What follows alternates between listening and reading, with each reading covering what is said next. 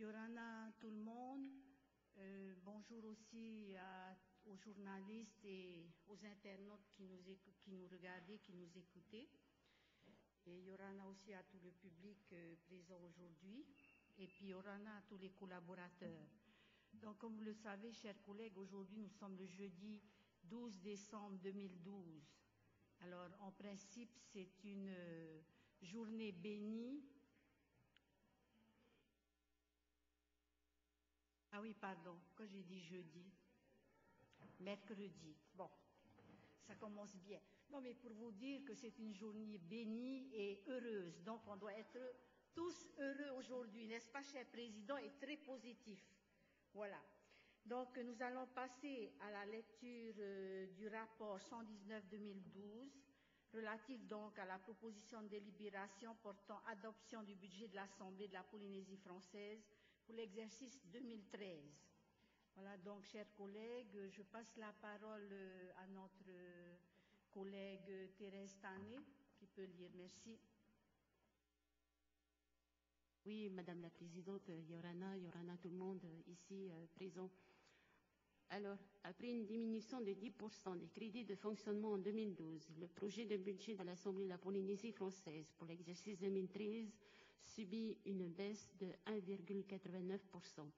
Les éléments ayant conduit à l'élaboration du projet de budget de l'institution pour l'année à venir s'articulent autour des deux points suivants. Une, une baisse du budget de fonctionnement de 43 millions, portant celui-ci à 2 milliards 238 millions. Deux, en section d'investissement, les crédits de paiement sont destinés au paiement de la terre Teriva et au réaménagement du site de Tarahoe. En conséquence, pour l'exercice 2013, il est proposé de fixer le montant total des crédits alloués au budget de l'Assemblée à la somme de 2 milliards 296 millions, toutes sections confondues, se répartissant comme suit. 2 milliards 238 millions section de fonctionnement et 58 millions crédits de paiement. Section de fonctionnement.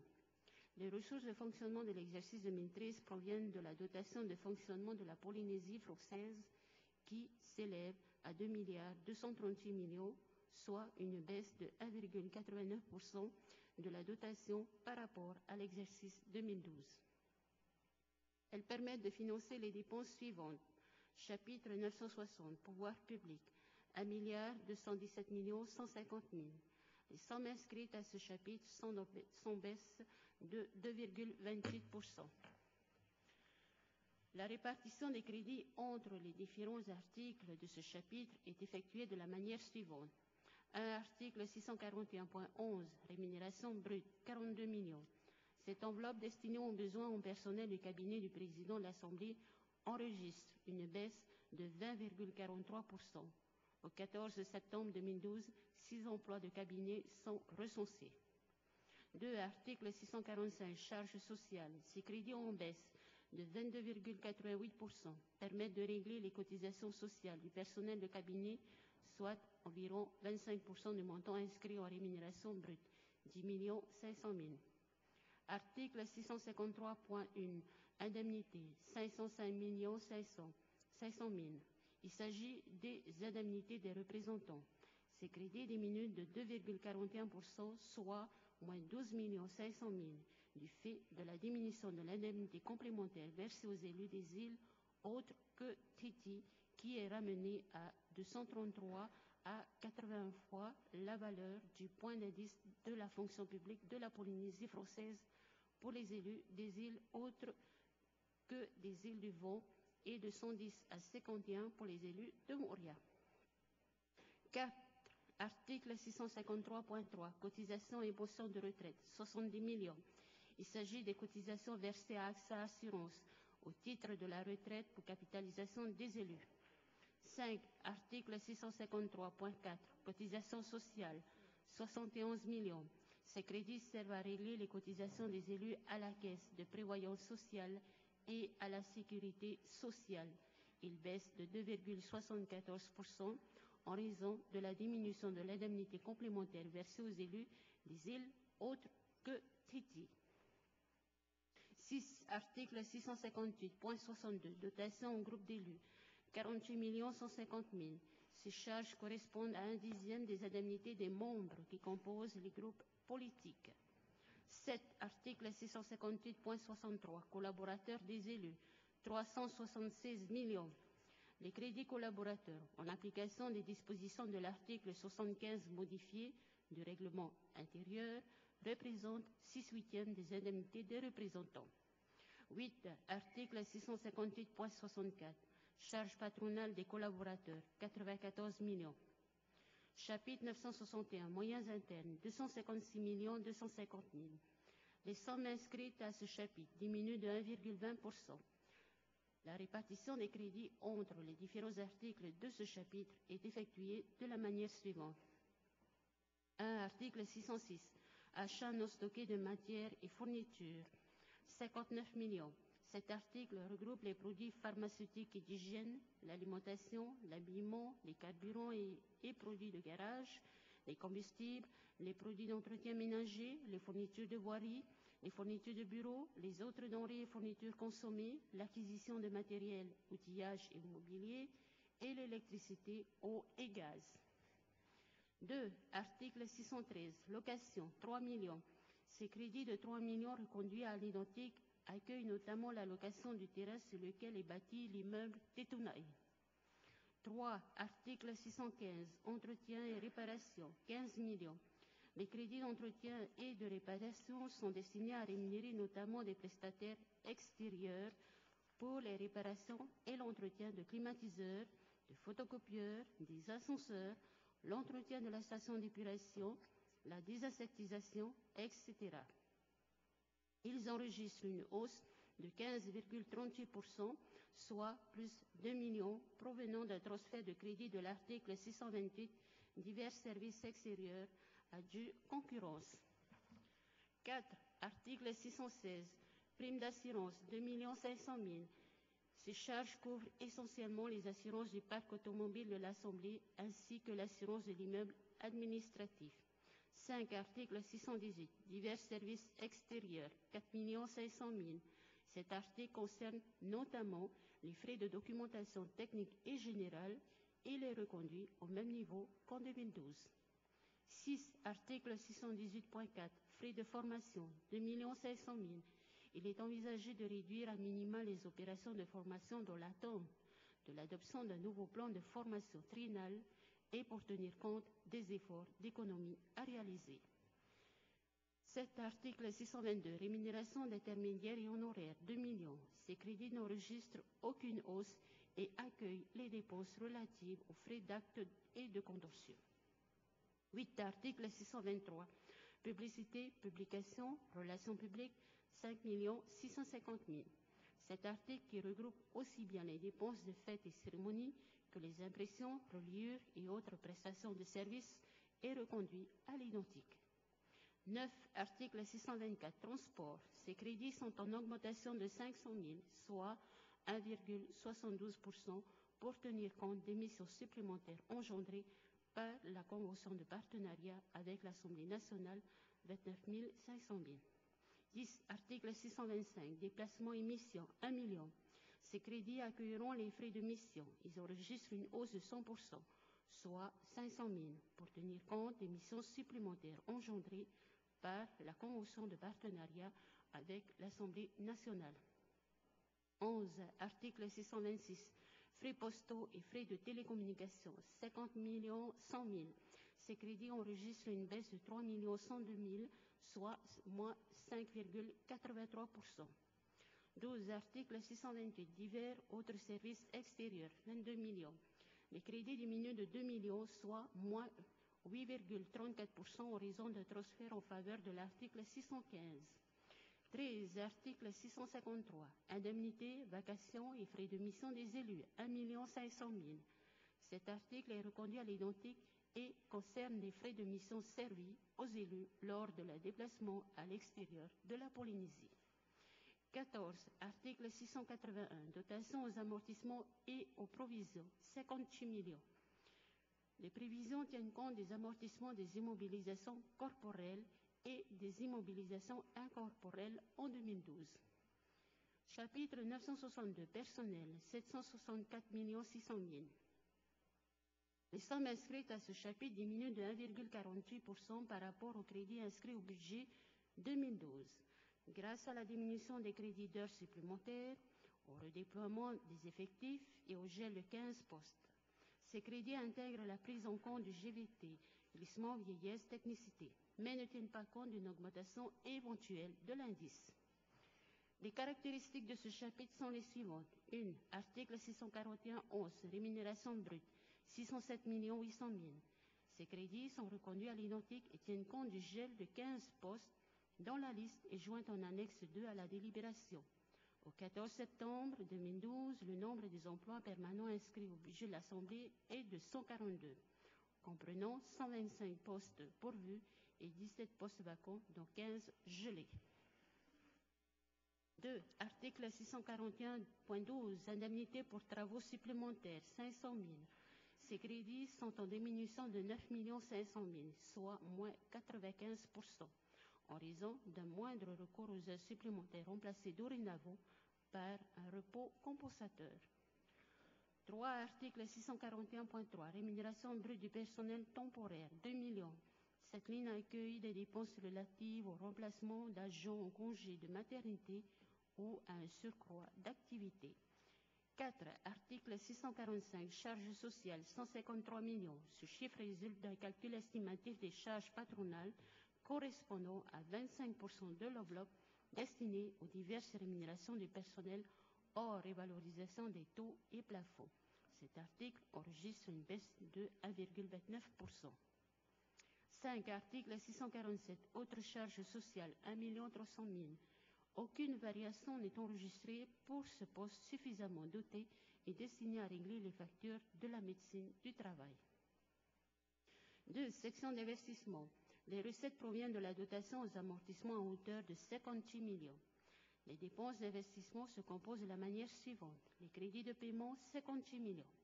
Les crédits de paiement inscrits au chapitre 900 sont affectés pour 15 millions à l'acquisition de la terre Teriva et pour 43 millions au réaménagement du site de Tarahui, notamment pour la réalisation des actions préconisées par le diagnostic énergétique tel que l'équipement de panneaux photovoltaïques ainsi que la rénovation du système électrique. Tel est donc l'objet de la proposition de délibération ci-jointe que nous, rapporteurs, proposons à nos chers collègues de l'Assemblée de la Polynésie française au nom de la Commission des finances adoptée.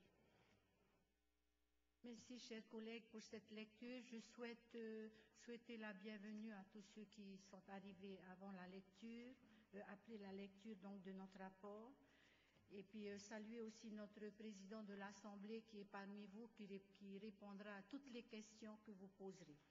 Donc pour la discussion générale, la conférence des présidents a prévu un temps de parole de 60 minutes répartis comme suit, euh, 10, 10, minutes par groupe minutes. Donc maintenant, j'appelle euh, l'intervenant du groupe euh, UPLD de prendre la parole. Merci.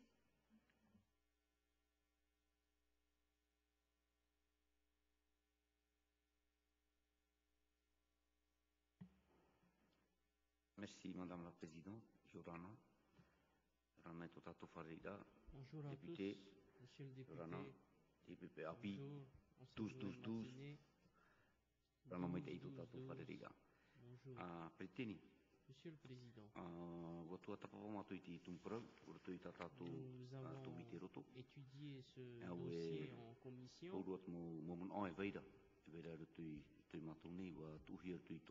Et tout ce que nous avions à dire a été dit en commission législative. Et peut-être que nos collègues euh, du Tahoera ou du Totatu Maruru, Aya ont d'autres choses Euh, à je demande euh, à l'intervenant ou l'intervenante du groupe Totato Aya, est-ce qu'il y a quelqu'un qui intervient? Ok. Madame Daphné Chavé, vous avez la parole. Merci Madame la Présidente. Yorana tatot e peuple. Bonjour à tous. Vous avez bien dormi? Ce ne peuple. sont que les personnes courageuses qui sont arrivées ce matin. Bonjour à tous. En 2012, l'Assemblée avait poursuivi son effort de baisse des dépenses. Non, pardon Madame. En 2012, l'Assemblée avait poursuivi poursuit son effort de baisse de dépenses en diminuant ses dépenses de fonctionnement de 10%, salutaire en ces temps difficiles. Toutefois, pour 2013, moins de 2% de diminution. Le président de l'Assemblée peut-il nous éclairer que les motifs d'une baisse des dépenses moindres. Cela veut-il dire que la baisse n'a été rendue possible que du fait de la récente réforme statutaire qui, par un effet cascade, a réduit les indemnités des élus et dont les crédits collaborateurs et les dotations aux groupes politiques? Ne serait-ce donc pas votre présidence qui a fait la différence? Nous aimerions, notamment savoir plus sur la mission confiée à l'ancien universitaire Jean-Marc Réunion. Il nous semble en effet de prime abord que les missions qui lui ont été confiées relatives aux archives sur les essais nucléaires intéressent au premier chef l'activité quotidienne de l'Assemblée, puisque vous la justifiez par une résolution. Il serait donc bon d'entendre à ce sujet le président de l'Assemblée. Pour le reste, peu d'observations à émettre si ce n'est, comme de tradition, saluer pour cette année qui s'achève le travail fourni par l'ensemble du personnel de l'Assemblée ainsi que par tous les collaborateurs des élus.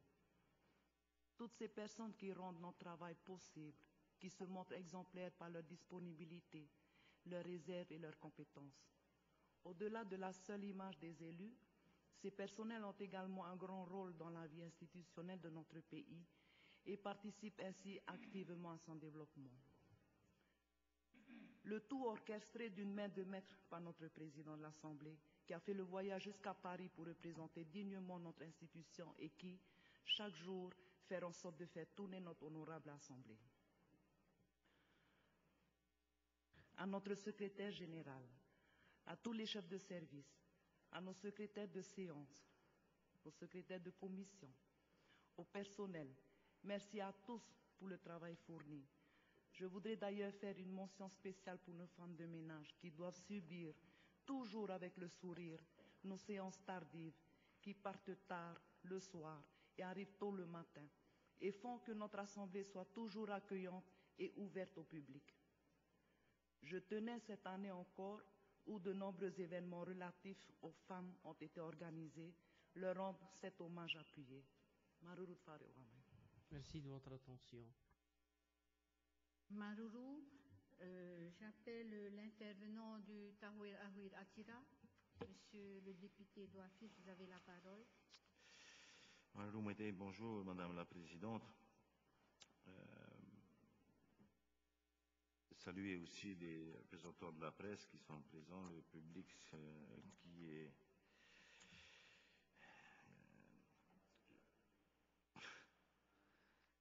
et naturellement saluer mes collègues de l'Assemblée. Oui, Madame la Présidente, nous parlons ce matin du budget euh, de notre institution. Après une nuit mouvementée, euh, où, euh, en fin de compte, nous avons vu un petit peu comment démocratiquement euh, cette institution fonctionne. Ce matin, j'ai envie de dire que 2 milliards 300 millions, tant d'argent pour 57 élus qui doivent en fin de compte se soumettre au diktat d'une seule personne, son président, qui décide ou pas de donner la parole aux élus de la, Polynésie, qui fait en fin de compte euh, la pluie et le beau temps dans cette Assemblée. Mais enfin, nous prenons acte de la diminution de la dotation du pays, puisque je crois qu'elle est en baisse de 1,89% en 2013. Cette baisse est en effet conforme avec l'idée que notre institution doit être solidaire de l'effort général qui est demandé à l'ensemble de la sphère publique afin de faire face à la pénurie financière de notre pays. Cependant, si cet effort est dans sa globalité avéré, il est à noter qu'il subsiste des poches d'opulence dans ce budget. En effet, à y regarder de près, c'est la présidence de l'Assemblée qui sait préserver quelques fromages, quelques bons fromages. En effet, en arborant assez fièrement la baisse de 20,43% des crédits destinés à la rémunération du personnel de cabinet de la présidence de l'Assemblée, nous noterons tout de même que la rémunération moyenne mensuelle par agent de la présidence est de l'ordre de 600 000 francs, hors charge patronale, notamment pour rémunérer des amis proches du président qui sont pas tout à fait jeunes encore, ils sont même à la retraite pour certains d'entre eux. Ensuite, nous avons bien noté que vous avez augmenté les frais de mission et de déplacement pour la convention de partenariat avec l'Assemblée nationale. À ce sujet, le président de l'Assemblée est à, son troisième, troisième, à sa troisième mission et notre budget en prévoit d'autres, puisque des crédits supplémentaires ont été inscrits dans ce projet de budget. Mais visiblement, ça ne suffira pas, puisque vous voulez solliciter l'Organisation des Nations Unies pour obtenir des crédits supplémentaires au travers du Programme des Nations Unies pour le développement, le PNUD. À ma connaissance, nous ne sommes pas encore un pays indépendant en voie de développement, loin de là. Nous avons par ailleurs noté, chers collègues, nous avons noté au Tarouera avec beaucoup d'intérêt que vous comptiez, et je cite un de vos communiqués, apprendre du fonctionnement démocratique qui règne à l'Assemblée nationale. Mon Dieu. C'est vrai qu'après avoir verrouillé à votre profit, Monsieur le Président, tous ces postes à responsabilité de notre institution, il y a en effet peut-être lieu d'aller suivre des cours de démocratie à Paris.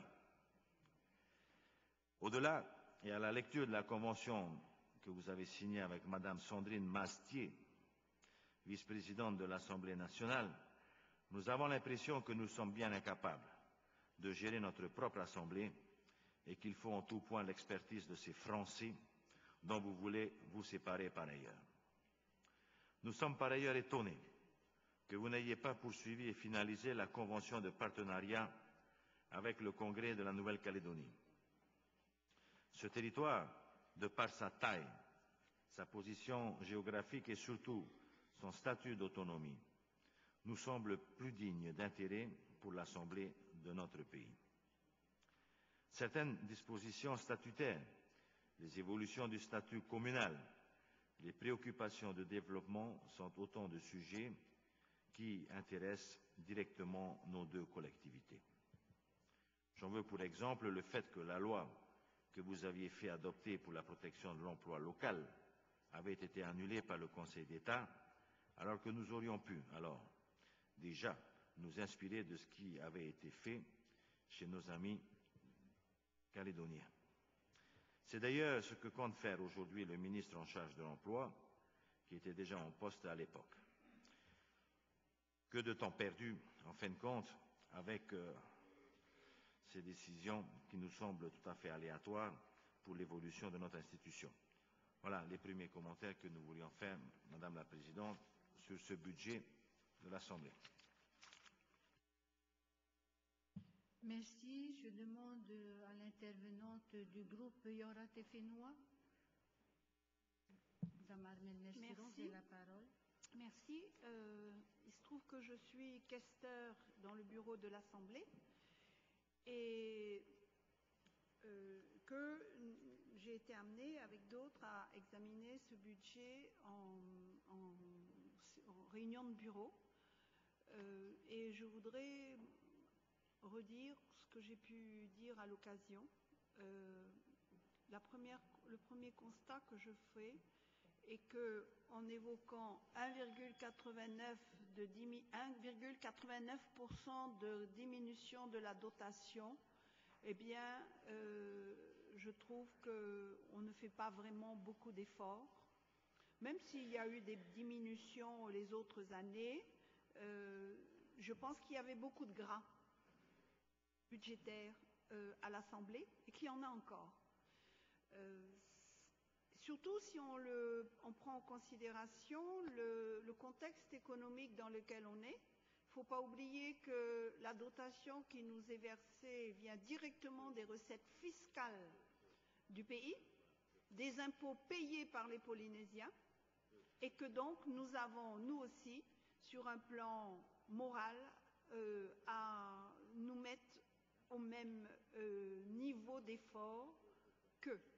Et je comparerai cela avec euh, l'effort de 5% que la CPS demande euh, à un organisme comme la Fraternité chrétienne, qui accueille des enfants handicapés et qui va devoir diminuer les prestations parce que, impérativement, on lui a diminué de 5%. J'aurais préféré qu'on diminue de 5% aussi notre dotation.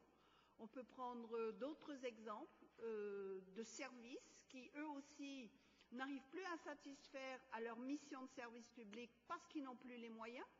Nos, nos, collègues des îles savent très bien que euh, des tournées administratives ne se font plus parce qu'il n'y a plus d'argent. Je pense qu'ici, on aurait pu faire plus d'efforts. Je ne dis pas qu'il n'y a pas eu d'efforts de rigueur dans la gestion. Je pense que de ce point de vue-là, on arrive peut-être aux limites de ce que l'on peut faire. Mais, et c'est notre dernier budget, puisqu'on arrive en fin de mandature, euh, je pense que pour euh, les suivants, on aurait pu sans doute aussi préparer le terrain de plus de rigueur pour que euh, nos concitoyens puissent se rendre compte que nous, avons fait des efforts et ça aurait été plus facile pour nos successeurs de prendre euh, finalement l'Assemblée avec des conditions déjà plus cadrées. Alors, vous me direz où on pourrait euh, faire des économies. Je prends l'exemple des crédits collaborateurs. Personnellement, je pense qu'il y a matière à faire des efforts. Et je dis ce que je pense parce que justement, on est en fin de mandat.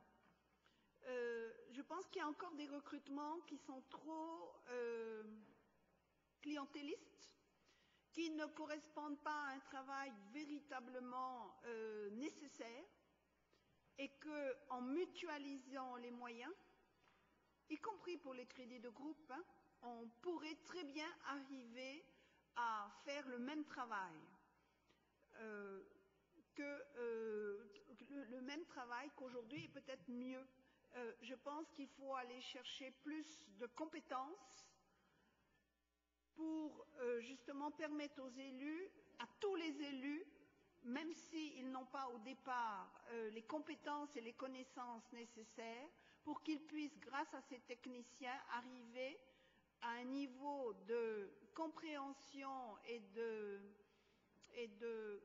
capacité à juger sainement de l'intérêt ou pas de telle ou telle disposition, cela pourrait être plus facile si nous, pouvions tous compter sur euh, des recrutements de qualité. Donc je suis d'accord avec le président quand il dit qu'il faut modifier le règlement intérieur. J'ai vu dans la presse qu'il évoquait le fait que l'on puisse fixer des rémunérations par rapport à des indices correspondant véritablement à des compétences dans, la dernière modification que nous avons faite de, la réglementation relative au statut euh, des collaborateurs, nous avons commencé à mettre en place un cadrage avec des échelles d'indices. C'est une première étape. Il faut aller beaucoup plus loin. Il, ne faut plus que les élus recrutent, je le dis fortement, dans le cadre de la famille. Ça n'est pas acceptable euh, aux yeux de la population. Et je sais très bien qu'il y a aussi des mécanismes de recrutement croisés qui permettent de déjouer les règles. Celle-là aussi, je pense qu'il faut, euh, pour la prochaine mandature, que l'on assainisse les comportements. Excusez-moi de dire les choses telles quelles, mais je crois qu'il faut le dire, ça ne me gêne pas de le dire. Euh, je pense également qu'en matière de crédit collaborateur, il faut se demander euh, si on a besoin que les vice-présidents de l'Assemblée aient des crédits collaborateurs beaucoup plus importants que les élus. Parce que finalement, le cabinet du président a des moyens financiers, peut recruter du personnel de qualité, et quelle est la, particularité des vice-présidents? C'est simplement d'occuper le perchoir. Je ne pense pas que ça justifie des crédits aussi importants. Ça évitera là aussi d'avoir de, de, des reproches à l'égard de la population. Et peut-être que pour les présidents de commission, c'est un peu la même chose, parce que, à moins que, j'insiste, ça puisse être pour des recrutements de qualité. Je prends l'exemple de la CCBF.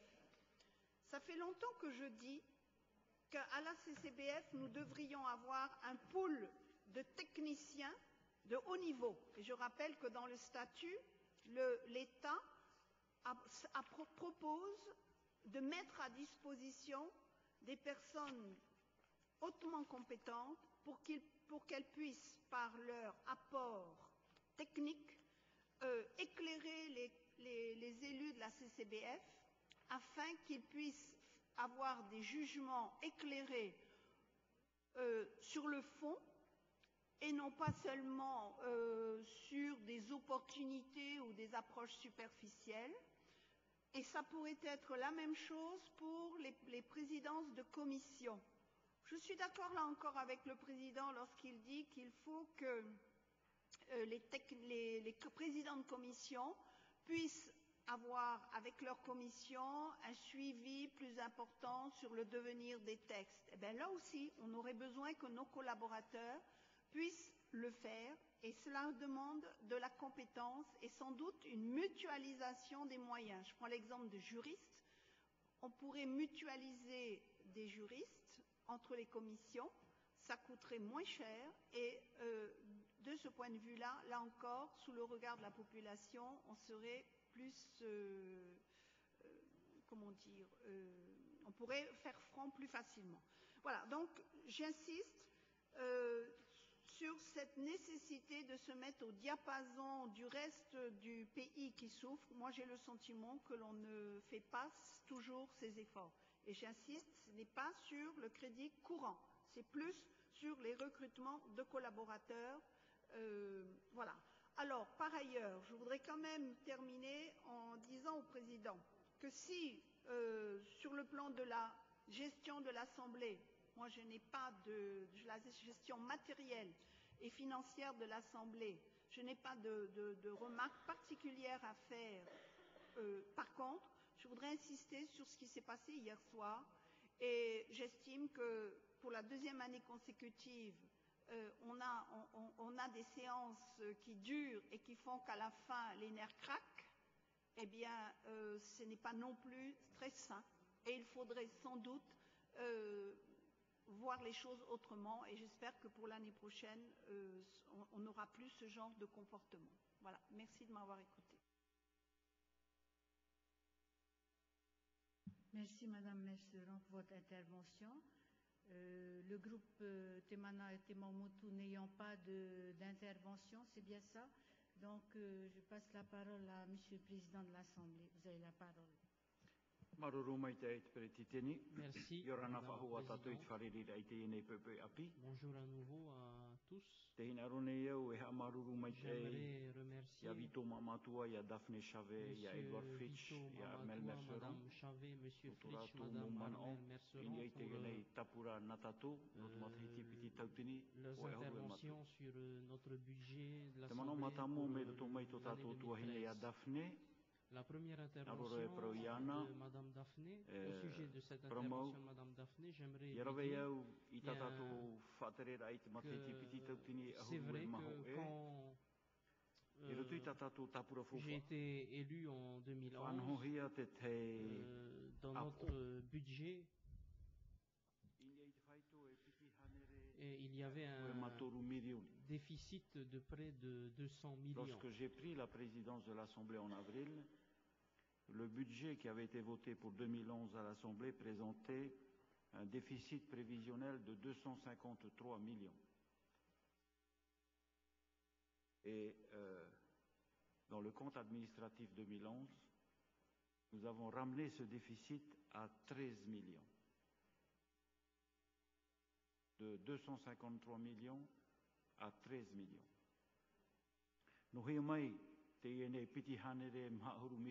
D'où nous viennent ces 200 C'est 240 millions de- d'efforts.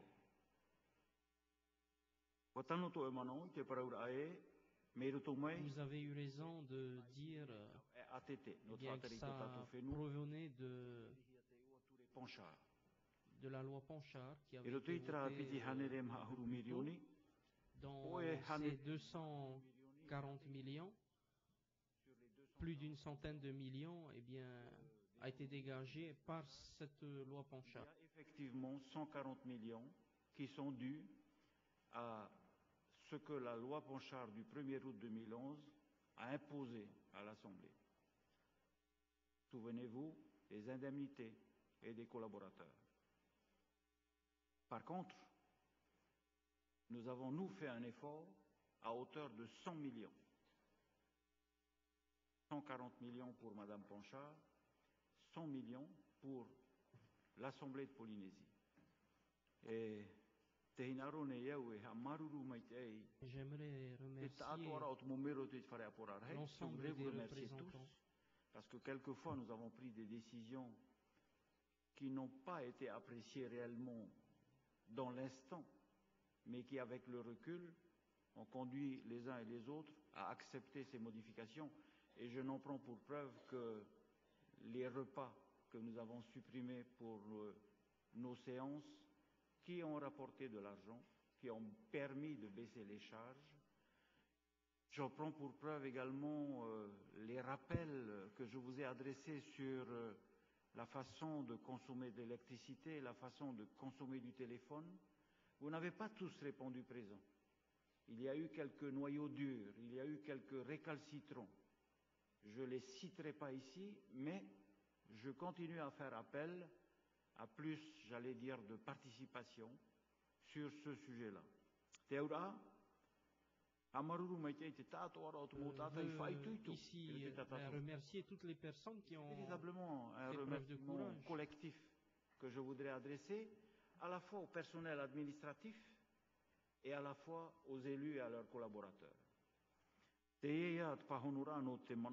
Voilà donc euh, la réponse que j'apporte à Madame euh, e Au sujet euh, des missions de.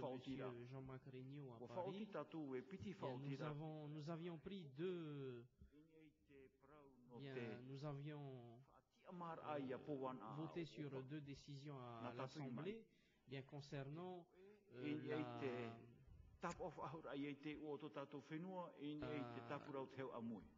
la situation de M. prau Opa. Nous en avions i tume ume discuté à l'Assemblée, même si ça avait créé quelques tumultes. Deux résolutions dans lesquelles nous souhaitions aller plus loin. Et pour aller plus loin, j'ai confié cette tâche à Jean-Marc Regnault, qui m'a transmis des rapports préliminaires.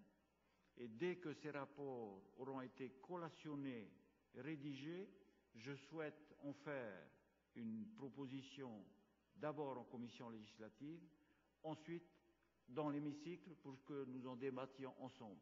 Par exemple, est-ce que les éléments supplémentaires euh, recueillis de son travail sur les archives concernant Powana Opa méritent et sont suffisantes pour relancer notre demande de jugement pour la réhabilitation de Powana Opa.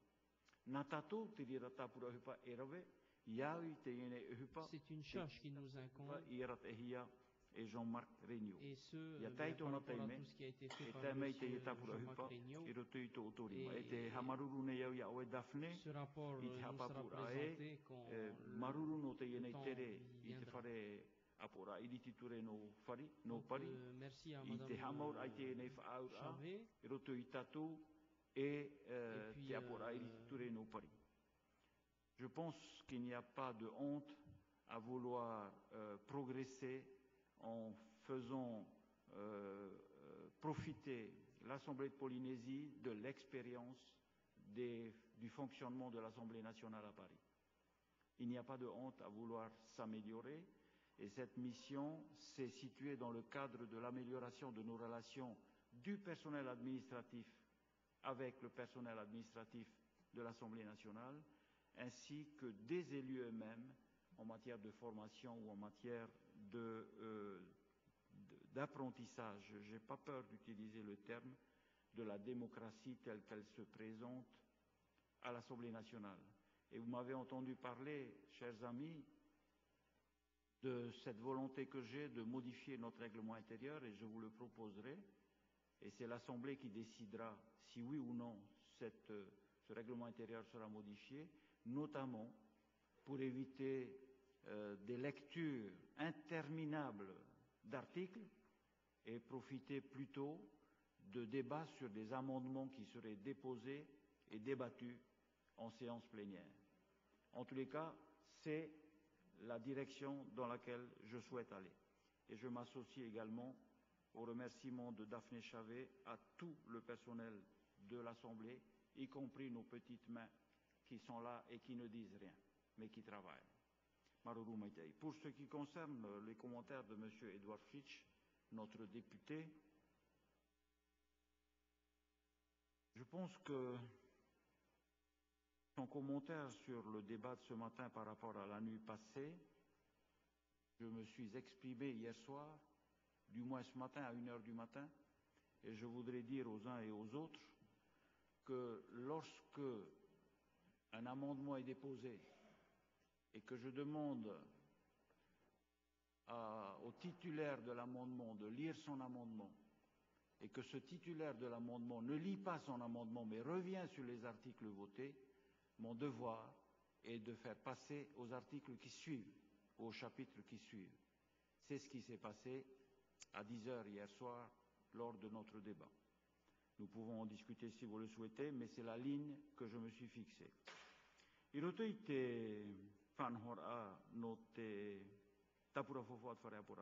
Au sujet du budget de l'Assemblée,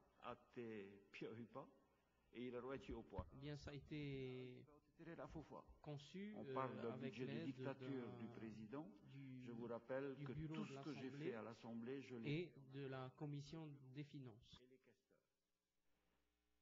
Et en plus, peut-être faudrait-il réfléchir euh, sur le rôle des questeurs, qui à l'Assemblée nationale est un rôle extrêmement important. Peut-être faudrait-il réfléchir à cette dimension, mais c'est à nous d'en débattre.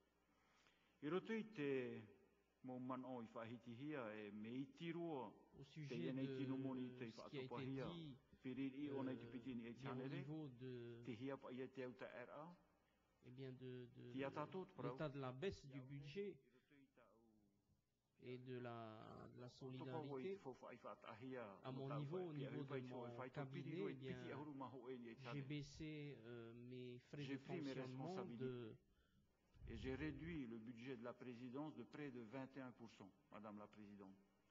Et à titre d'information, je voudrais vous rappeler les budgets primitifs et les comptes administratifs des différents, présidents sans les nommer, simplement en termes d'années.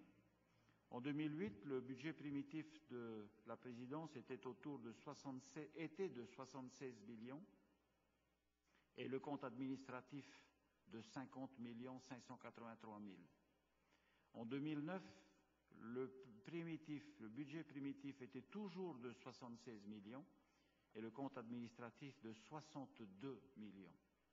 En 2010, le budget primitif a baissé et s'est retrouvé à 60 millions et le compte administratif pour 2010 était de 53 millions.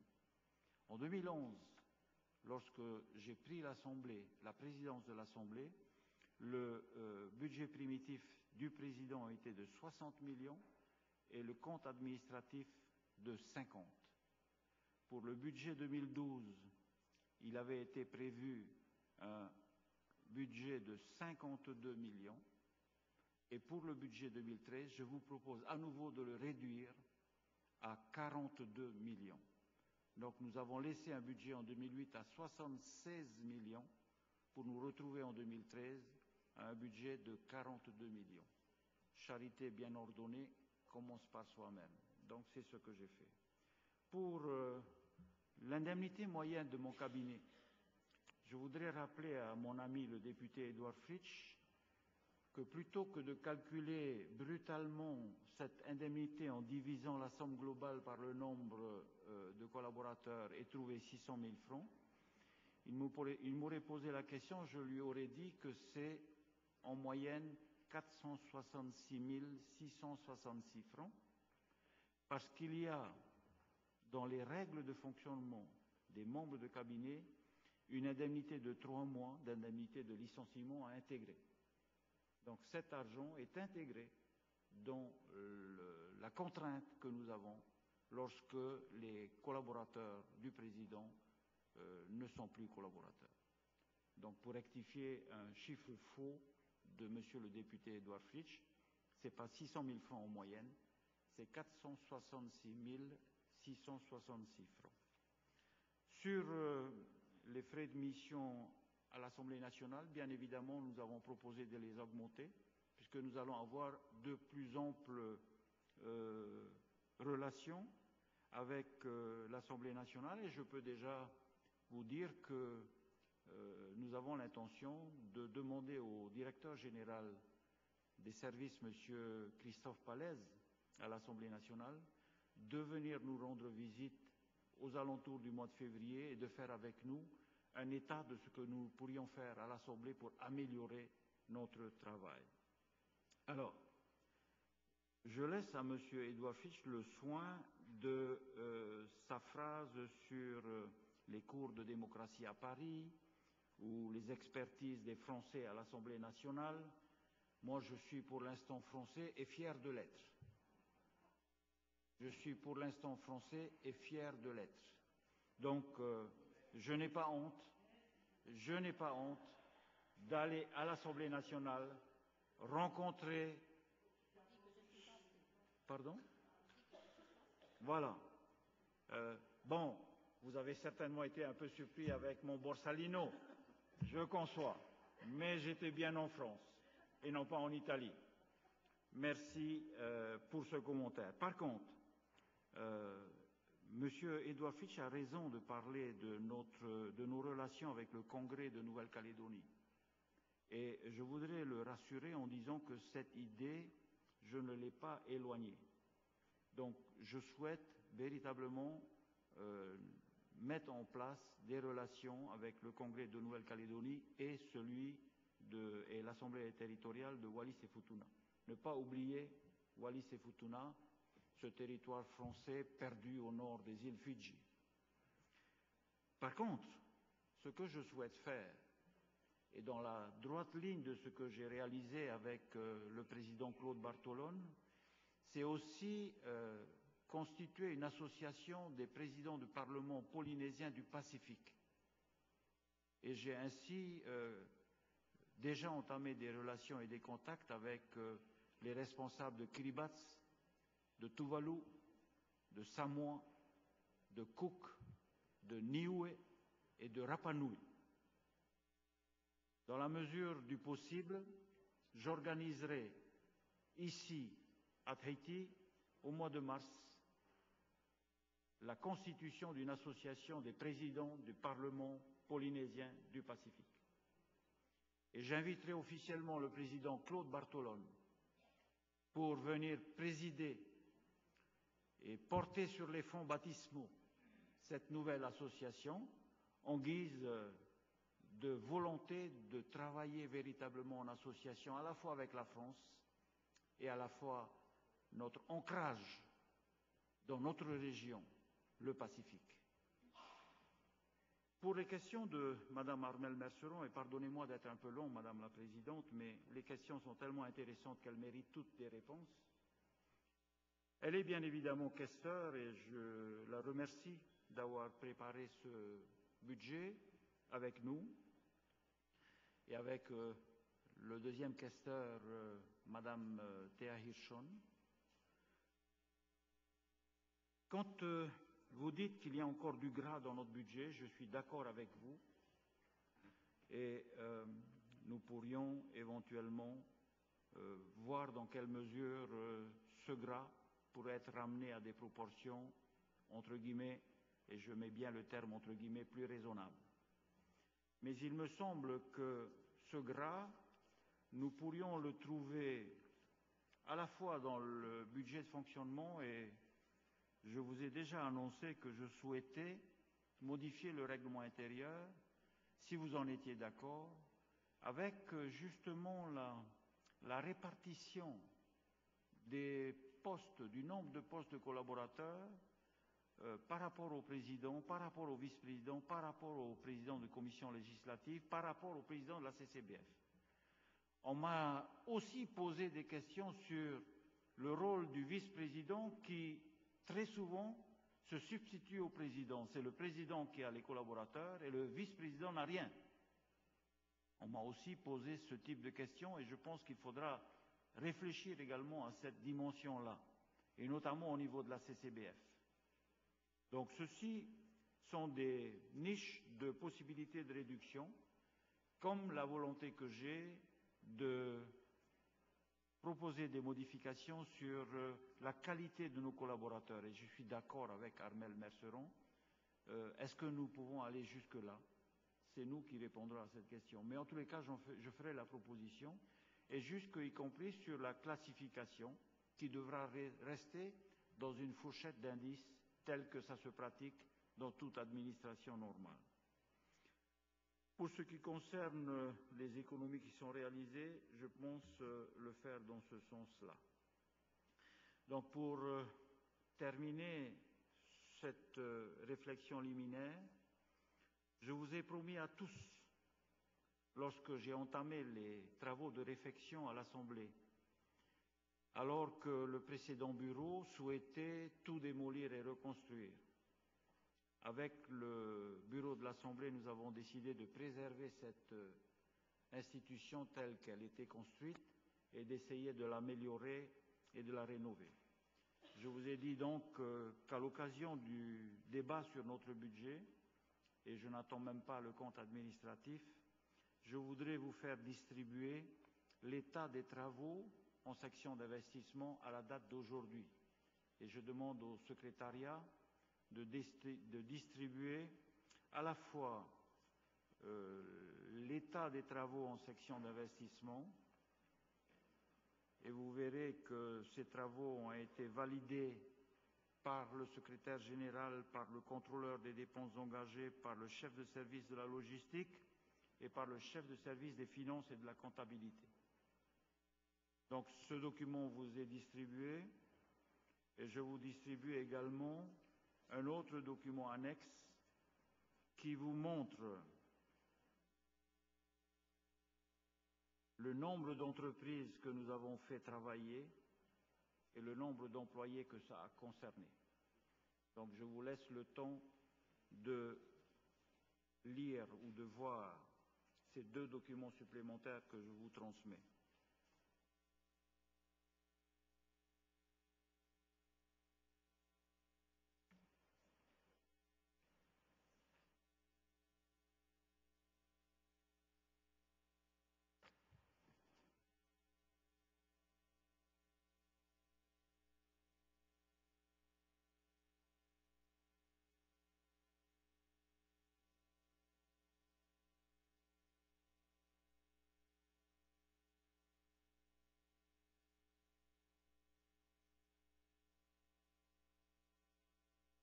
Vous pouvez le distribuer à la presse aussi. Vous pouvez le distribuer à la presse aussi.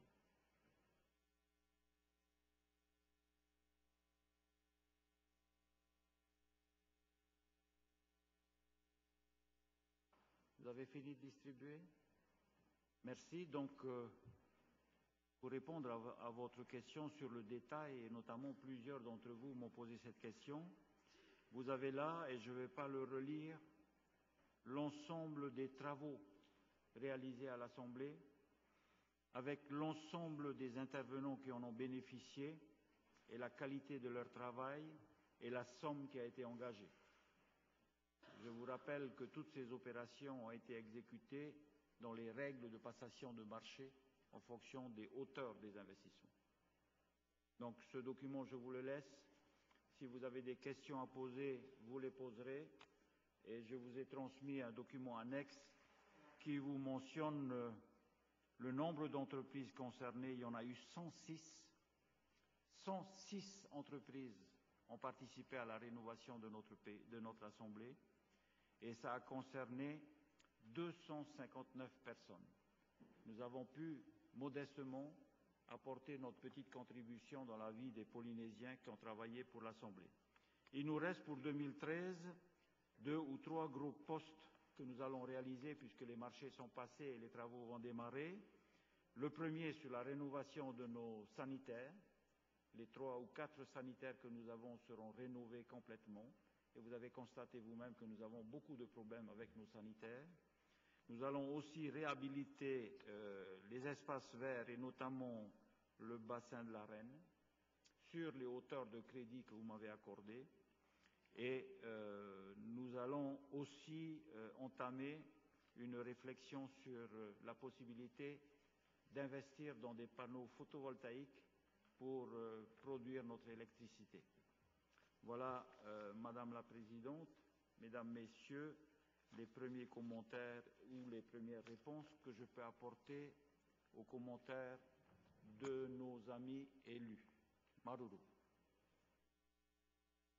Merci, Monsieur le Président, pour euh, les réponses euh, aux questions. Euh, est-ce qu'il y, est y, en a parmi vous qui souhaiteraient poser des questions? Oui, Monsieur Jean-Marie Srapoto, vous avez la parole. Madame la Présidente, bonjour.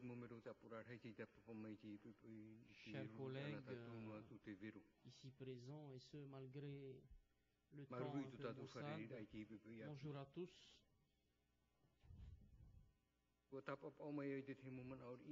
J'ai noté quelques observations de certains de nos collègues. La première chose que j'ai pu noter, eh bien, c'était au niveau de, du respect de la démocratie.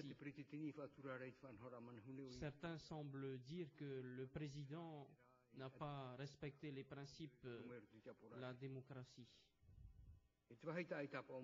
Et ce que j'ai noté, bien, c'est que ceux qui, qui rouspètent du fait que le président ne respecte pas la démocratie, eh bien, ce sont eux-mêmes qui eh bien, font un peu dégénérer nos débats. J'aimerais rappeler à notre cher collègue J'aimerais lui, lui citer euh, une petite expression, bien de ne pas cracher contre le vent, parce que sa salive risquerait de lui revenir en pleine figure. Ce sont toujours les mêmes qui crient et puis qui créent des tumultes dans nos débats. Et à mon sens, ce n'est pas tout à fait correct. Aussi, il nous faut nous respecter les uns les autres. Et là, euh, la démocratie pourra s'exprimer pleinement. Ma deuxième observation concerne les dépenses. Et j'aimerais euh, remercier, euh, féliciter Armel Merceron pour ses propos à propos de la baisse bien, du budget de fonctionnement. Et le président euh, de l'Assemblée nous a dit qu'il fallait effectivement se pencher sur la baisse des dépenses de fonctionnement de Assemblée, afin que la population eh bien, puisse constater que même à l'Assemblée, on fait des efforts sur euh, le budget. Alors j'ai constaté quelques erreurs qu'il me faut corriger. Et ma dernière euh, observation, eh bien, ça sera euh, au niveau eh bien, de l'ornement et puis de tout ce qui a été fait pour embellir notre assemblée. Et j'aimerais remercier le président eh bien, pour euh, tout ce qui a été fait au niveau des jardins, au niveau des bureaux. Notre assemblée est devenue un lieu euh, bien de visite pour les touristes. Aussi, j'aimerais l'applaudir et le féliciter, et ce malgré euh, malgré les quelques critiques et malgré eh bien, le fait que certains, certains représentants eh bien, rouspètent après les jardiniers qui utilisent leurs souffleurs dans les jardins, je pense qu'il faut euh, ben, être conscient que ce sont des choses qui servent à l'intérêt de tout le monde et à garder notre institution propre. Voilà les quelques observations que je voulais faire, que je voulais faire. et surtout insister sur le fait euh, ben, de féliciter notre président pour euh, satisfaire tout le monde. Et j'aimerais encore une fois, en notre nom à tous, le féliciter. Merci. Merci, je donne la parole à M. Vous avez la parole. e maruru te pete tini e ia rana tātou pa ato i te ipepe api tātou ti tā mei o te te mhana api tātou no atu i te ua e me me te o to mai te tātou pa ato J'espère que vous avez tous euh, dormi car euh, nous avons fini ce matin très tôt. Aussi, merci pour euh, tout ce qui a été dit. Monsieur le Président, merci pour toutes eh, vos explications. Il y a juste une chose que j'aimerais vous dire. Eh bien, quand vous vous êtes exprimé ce matin? Français, bien, ça m'a un peu peiné car j'ai l'habitude de vous entendre vous exprimer en tahitien. Alors là, aujourd'hui, vous avez changé de langue, vous avez parlé en français, peut-être euh, qu'il faudrait qu'on fasse de même. Que nous, Alors, euh, nous sommes arrivés à la fin de l'étude de notre budget. Et dans vos explications, Monsieur le Président, de tout à l'heure, il y a une idée principale que j'ai retenue, bien c'est que vous parlez de ben, d'une convention de, partenariat avec euh, le Congrès de Nouvelle-Calédonie et l'Assemblée de Wallis et Futuna. Alors, euh, à l'époque, il y avait eu déjà euh, quelques rencontres avec ces institutions et j'en faisais partie, ainsi que M.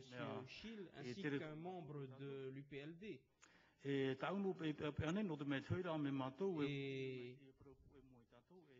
et à notre retour, nous avions présenté ce rapport face à l'Assemblée et les membres de l'UPLD ne l'avaient pas soutenu. Alors que c'est quelque chose euh, de très important, car euh, il s'agit de territoires euh, qui nous sont voisins dans le Pacifique. À mon avis, il ne faut pas que nous fassions les choses dans notre coin et eux. et ce n'est pas parce que nous étions à l'origine de ce projet qu'il ne faut pas qu'il ne faut pas le soutenir. Avant que bien, nous procédions à l'élection du président. Eh bien, je soutenu ce projet car euh, nous avons de nombreux de nombreux proches, de nombreux parents en Nouvelle-Calédonie et dans les pays du Pacifique. Et je vous le dis, Monsieur le Président, même s'il il s'agit d'un projet qui vient de vous, eh bien, je le soutiendrai. Et Monsieur le Président, ne pas pour euh, cette deuxième observation que, vous fais euh, au sujet de Monsieur Regnault, car je sais qu'il a été euh, missionné pour euh, bien effectuer des recherches sur notre, euh, ben, Et jusqu'à aujourd'hui, euh, rien ne nous a été remis pour nous dire eh bien qu'est-ce qui a été fait, euh, eh bien combien de fonds été mis à la disposition de cette personne? Et si un, rapport de présentation nous avait été donné, eh bien, ça aurait été peut-être. Euh, euh, au sujet de ce rapport, euh, ce rapport concernant le budget de l'Assemblée, eh bien, je vous préviens que pour notre part, nous resterons, nous nous abstiendrons, même s'il y a certains articles sur lesquels nous sommes d'accord. Concernant euh,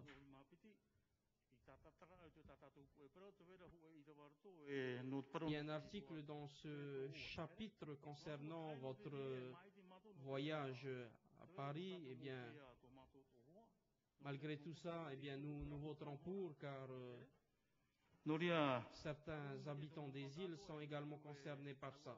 Aussi, merci euh, pour toutes euh, ces observations et j'aimerais remercier bien tous les présidents de groupe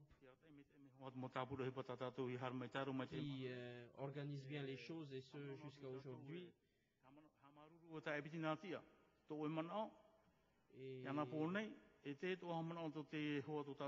Et J'aimerais également sur ce qui a été dit hier par vous par René. Et nous devons, eh bien, trouver les solutions pour calmer, apaiser un peu notre colère parce que ce n'est pas une belle image qui est donnée à notre jeunesse. Je vais vous parler de mon, mon petit-fils. Tu vas dans la, dans la cage. Et il a pour habitude de me dire, mais papy, est-ce que tu, tu vas dans la cage aux folles? Alors vous voyez un peu ça. Merci de votre attention. Maruru, euh, je donne la parole maintenant à Madame Tia Hirschon. Merci Madame la Présidente. Yorana Tatou à toi. Euh, je voudrais d'abord euh, commencer euh, par euh, féliciter notre, notre président pour l'intérêt qu'il porte aux arts. et nous avons devant nous, sur les murs, des objets qui ont été fabriqués par nos artisans euh, du Fénois et qui mettent en valeur nos différentes euh, expressions artistiques euh, par rapport aux, archipels. Et je vous félicite, Monsieur le Président, aussi la décoration des salles, la salle John Teariki, cet argent qui a été dépensé par les crédits de l'Assemblée ont été dé dépensés de manière euh, utile, mais aussi avec euh, un intérêt pour euh, les visiteurs, les écoles qui viennent ici, à qui on peut expliquer ce que représente chaque sculpture, chaque photo, etc. Donc pour moi, il y a de l'esthétique, mais il y a aussi du, pédagogique. Donc je vous félicite, Monsieur le Président, pour cette initiative que vous avez prise. Je vous félicite aussi pour tous les, euh, les travaux euh, qui ne sont pas encore terminés, mais du jardin, et aussi pour euh, votre, approche à équiper notre assemblée ou à la gérer de manière à faire des économies sur le plan énergétique. Mais euh, pour pas être une béni oui oui comme Madame Armelle Merceron nous qualifie très souvent, je vais quand même me permettre certaines observations, euh, euh, Monsieur le Président, à propos de certaines initiatives que vous avez euh, prises. Je commencerai par euh, l'Assemblée nationale, qui pour moi n'est pas non plus un exemple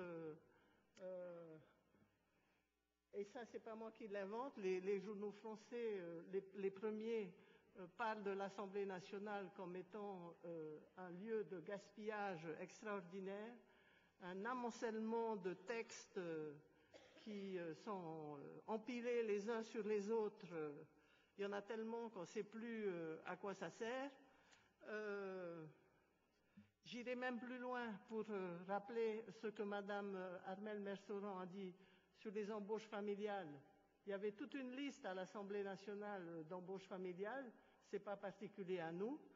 Euh, donc, euh, moi, j'aurais donné ma priorité au Pacifique. Et comme l'a dit euh, Roro, il y avait une convention déjà qui avait été en partie signée, qui avait été préparée, un voyage qui a coûté quand même, si je me souviens bien, 3 millions. Pour euh, faire partir euh, un membre de chaque groupe en Calédonie. Ça a été d'ailleurs une mission très intéressante. Et depuis, plus rien. Donc, je pense qu'il ne faut pas réinventer la poudre. Euh, on a posé les jalons. Terminons ce travail-là. Je vous signale que Wallis et Futuna étaient aussi à cette rencontre en Calédonie. Ils, sont inclus déjà dans cette, convention. Donc, et il était c'était à nous de les inviter puisque chaque année on se rencontre, euh, voilà, on est allé là-bas et c'était à nous à, inviter les autres. J'aimerais signaler qu'à l'Assemblée de Calédonie, ils, ont, ils sont plus en avance que nous pour certaines choses.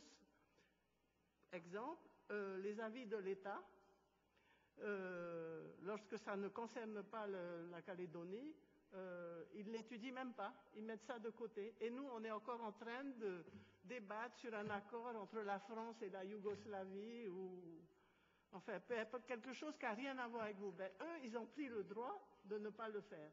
Voilà un exemple euh, sur quelque chose qu'on pourrait déjà faire euh, chez nous.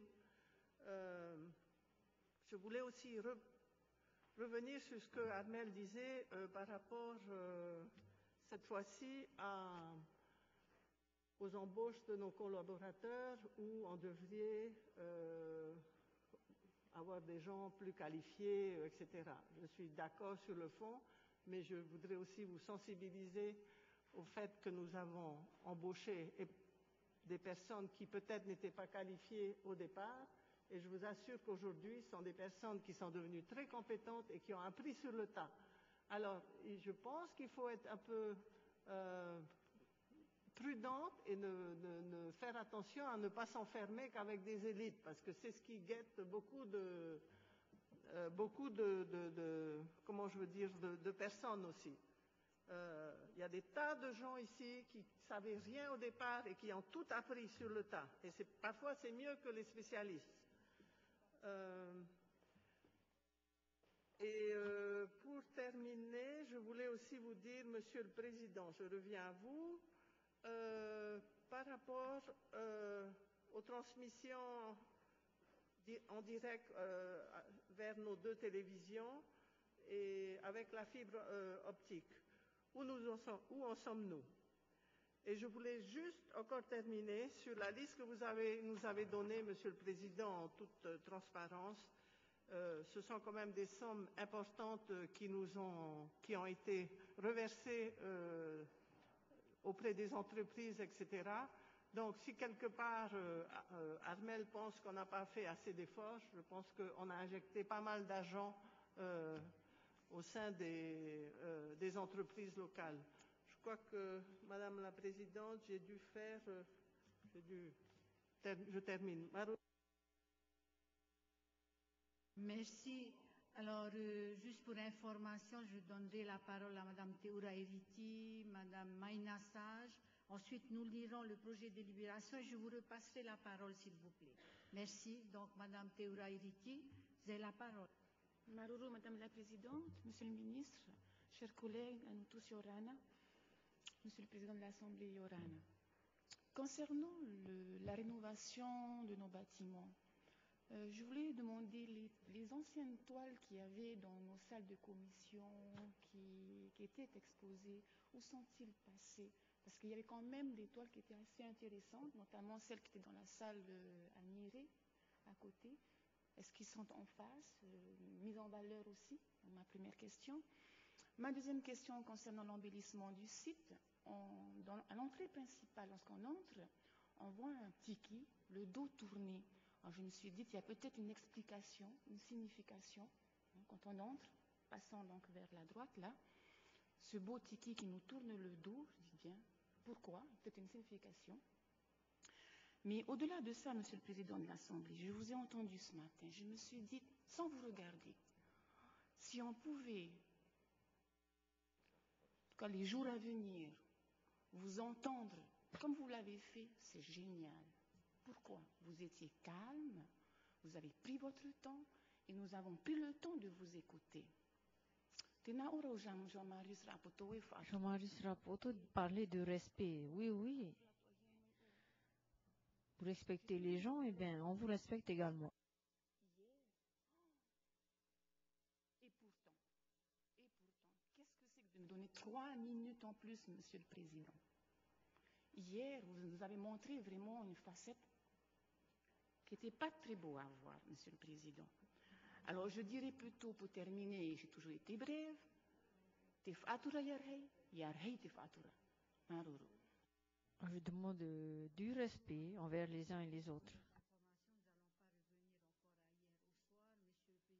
Je crois que c'est assez excusé depuis hier, ce matin, et encore là. Bon, merci. Madame Maïnassa, vous avez la parole. Oui, bonjour Madame la, Présidente. Bonjour à tous. Euh, j'ai bien entendu ce que vous avez dit, c'est assez excusé. Je n'ai pas tout à fait eu le même euh, sentiment. Euh, hier, nous avons donné une explication de vote très claire. Le président a expliqué sa vision de cet événement qui s'est passé sur des chapitres importants. Il est réintervenu ce matin lui-même en revenant sur ce détail, sa vision de ce qui s'était passé, et il a lui-même dit, si on le souhaitait, on pouvait euh, en discuter. Donc euh, je ne vais pas m'étaler trop longtemps, simplement lui dire qu'à notre sens, et je pense vraiment aux, yeux de tous, euh, vous avez péché par précipitation peut-être, je ne sais pas, mais en tout cas nous avons eu le sentiment sur euh, cette proposition d'amendement que nous n'avions pas pu nous exprimer. Bon, on, je, regrette cela, d'autant que c'était sur des sujets clés, euh, sur des articles clés euh, qui engagent le pays dans d'une nouvelle façon euh, de développer peut-être économiquement le pays, en tout cas des méthodes que nous n'approuvons pas. Et nous aurions souhaité nous exprimer très clairement euh, sur les raisons de, ce, refus. Maintenant, je viens à ce dossier. Vous savez, j'ai l'impression de revivre le débat que nous avons eu sur le rapport de la Cour des comptes, enfin de la, la CTC, sur le fonctionnement de l'Assemblée. C'est-à-dire que ce matin, certes, euh, il y a eu beaucoup d'émotions peut-être hier soir, et ce matin, on essaye d'apaiser les choses. Mais euh, nous ne sommes pas là pour euh, faire de l'autosatisfaitie et pour passer à côté de l'essentiel. Alors, je ne parlerai pas de la décoration, je ne parlerai pas des travaux en cours, je ne parlerai pas euh, du web et des panneaux solaires. Je vous dis très franchement, pour moi, c'est superficiel. Lorsqu'on étudie des comptes financiers dans cette Assemblée, nous sommes les premiers à aller parler du rapport d'activité de ce qui s'y passe dans ces établissements ou dans ces satellites. Nous sommes là pour débattre sur le fond. Et ce que je regrette, c'est que là, on étudie le budget de l'Assemblée et on ne parle pas du fond, du fond de notre propre activité. Notre activité à nous, pas comment euh, on utilise nos crédits, etc. Ça, on le sait, on a débattu plusieurs fois. Et je, je pense qu'on passe un peu à côté aujourd'hui. En cinq ans, nous avons, à tort ou à raison, hein, fait euh, l'objet de beaucoup de critiques. Des critiques non pas de forme, certes il y en avait, parce qu'on a rajouté un cocotier par là, ou on l'a enlevé, ou un tiki, ou un machin. Mais qu'est-ce qu'on nous reproche? Qu Quel est le principal reproche qui est fait à l'Assemblée? Il y en a beaucoup. Mais sur le fonctionnement, c'est avant tout, je pense, sur l'implication des élus, sur la présence. Alors avant d'aller parler, d'aller contrôler les lois du gouvernement et de l'action du gouvernement, parlons un peu déjà de notre travail, des conditions dans lesquelles nous travaillons et dans les conditions dans lesquelles chacun d'entre nous prenons à cœur ce mandat et faisons notre travail. C'est une réflexion personnelle qui doit être menée, certes, on n'a pas à juger les uns des autres, mais n'oublions pas que nous sommes payés et nous sommes bien payés pour faire un travail. Et je regrette, c'est vraiment mon regret au bout de cinq ans, c'est de voir qu'il y a encore, vraiment j'ai le sentiment qu'on passe à côté de ce travail de fond, d'analyse des dossiers, de présence, de venir débattre. Pourquoi je reviens sur cette question d'amendement? C'est pas pour parler forcément de ce truc-là. C'est parce que ça illustre euh, l'incapacité que nous avons d'aller au fond, souvent, euh, de, des problématiques que nous avons à traiter. On a eu l'occasion de, lire ce rapport de la CTC et regardez ce que les gens en ont tiré derrière. Est-ce qu'on a l'impression qu'on voilà, n'avait rien à se dire, que tout allait bien? Là, on arrive en fin de mandat je vous dis franchement, moi, le, le, le, le renouvellement du règlement intérieur, c'est un peu gros d'arriver en fin de mandat et de venir tout changer, alors que nous avons dans les tuyaux de l'Assemblée depuis trois ans un projet de règlement intérieur. Yaorat Fenois s'est impliqué pendant six mois dans ces commissions de travail. Je remercie au passage François Stama pour venir amender article par article ce règlement intérieur, pour aller au fond justement des conditions, de l'organisation, de nos responsabilités, tout ce travail. Qu'est-ce qui s'est passé? Foutu à la poubelle, pire, pire. Dans la même séance où on devait passer ce dossier, qu'est-ce qu'on a fait? On a rajouté des crédits collaborateurs à certaines commissions, complètement à contresens de, de, ce que l'on dit. Je vous dis, c'est un peu facile maintenant de venir nous dire qu'on va faire un, va modifier le règlement intérieur. D'autant que personne d'entre nous ne sait si on sera là encore l'année prochaine. Hein Alors, on va participer, évidemment. C'est notre responsabilité, on va venir, on va participer, comme on l'a fait en 2008, en 2009. Mais je vous dis franchement, euh, arrêtons de, cette autosatisfaction, vraiment, parce que là, c'est vraiment, c'est pas possible. Je, vous le dis sincèrement, euh, certains, j'entends que le président de l'Assemblée est fier d'être français. Je, me demande d'ailleurs ce que ça vient faire dans ce débat comme si ça permettait de justifier une collaboration avec l'Assemblée nationale. Bon, vous voulez faire une collaboration avec l'Assemblée nationale, pourquoi pas Mais si c'est juste pour aller récupérer des petits détails et que dans le fond, on n'améliore pas les conditions de, vraiment de débat de cette Assemblée, ça ne sert à rien. Merci. Merci. Donc, euh, nous allons passer à la lecture du premier article, la proposition de délibération. Article 1er. Pour l'exercice 2013, les ressources du budget de l'Assemblée de la Polynésie française sont évaluées, conformément au tableau annexé à la présente délibération. En section de fonctionnement, la somme de 2 milliards 238 millions. Total du chapitre 961, 2 milliards 238 millions. Merci. La discussion est ouverte. Monsieur René Temeraro, vous avez la parole. Merci, Madame la Présidente. Bonjour.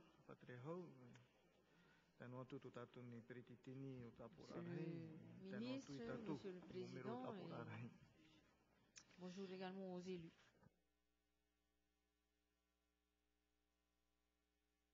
Je partage pleinement donc, euh, donc d'être dit par euh, notre collègue euh,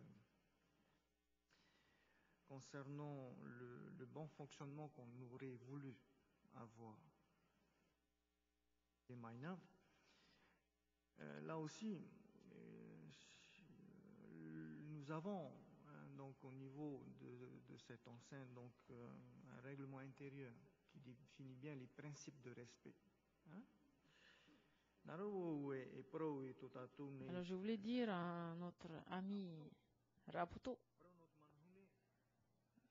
que ben, la démocratie, ben, c'est un principe, hein, mais ce qui nous dérange, nous, c'est que dans la, c'est le respect euh, de l'opposition, de la minorité. Et donc ça, c'est dans la pratique et non euh, juste dans le principe, mais il faut le mettre en pratique. Qu'est-ce qui dérange? On demande juste quelques moments pour euh, nous exprimer. Ben, la majorité restera là où elle est, et la décision revient à la majorité. En tous les cas, nous nous sommes, nous nous exprimons, et c'est cela la démocratie. Que vous soyez euh, polynésien, mais ce qu'on constate avec vos manières, c'est que vous êtes plus français que les Français. Je suis très heureux d'entendre le président euh, de notre assemblée voulant donc euh, donc avec l'Assemblée nationale, euh, avec une convention à l'appui, trouver donc une nouvelle formule donc, de bon fonctionnement hein, donc, de l'Assemblée. Je suis tout à fait d'accord, pas de problème. Sur les modalités pour pouvoir donc, mieux apprécier les discussions au niveau donc, des séances concernant les délibérations, faisant comme à l'Assemblée nationale, je partage. Pas, de souci ce côté-là. Il va de soi hein, qu'on puisse faire évoluer donc, les choses dans, cet, hémicycle. Pour ce qui concerne donc les dépenses euh, autour, euh, bon, j'ai pas d'avis là-dessus. Hein, je pense que bon, euh, le président a souhaité, c'est sans problème. Mais par contre, Madame la Présidente, ce que je voudrais donc moi-même en tant que président du groupe Tahuera, je voudrais, si c'était possible, bien évidemment, hein, si on peut avoir la liste des déplacements des élus et le montant de ces, déplacements à l'extérieur, hein, à l'extérieur, si on peut les avoir, comme ça on aura peut-être une petite idée hein, sur lesquelles on pourrait savoir qui euh, est parti où, quel est le montant de ces déplacements. Indépendamment donc de cela, concernant donc euh, cet article et le reste, nous allons nous abstenir, tout simplement. Sinon, par ça, donc, je voulais dire donc au président aussi euh, de notre assemblée, on connaît bien, qu'on reconnaît bien euh, ce personnage hein, depuis des années au sein donc de, cette assemblée. Euh, nous n'avons pas de soucis particuliers envers lui. Hein, et lui dit, c'est un homme très intelligent, hein, pas de souci, compréhensif, quand il veut. Hein. Et pour nous, nous n'avons pas de soucis particuliers. Nous pouvons travailler euh, facilement avec lui, euh, même à la conférence des présidents. On peut avoir des divergences d'opinion, mais sur le principe de respect, nous sommes respectueux. Merci. Maruru, mademoiselle Sabrina Berg, vous avez la parole. Merci, Madame la Présidente. C'est vrai, j'aurais voulu intervenir avant les, le débat sur les articles, mais c'est pas grave, je vais essayer d'apporter aussi mes, mes remarques dans un sens aussi constructif, que ce soit dans la suggestion, que ce soit dans la critique.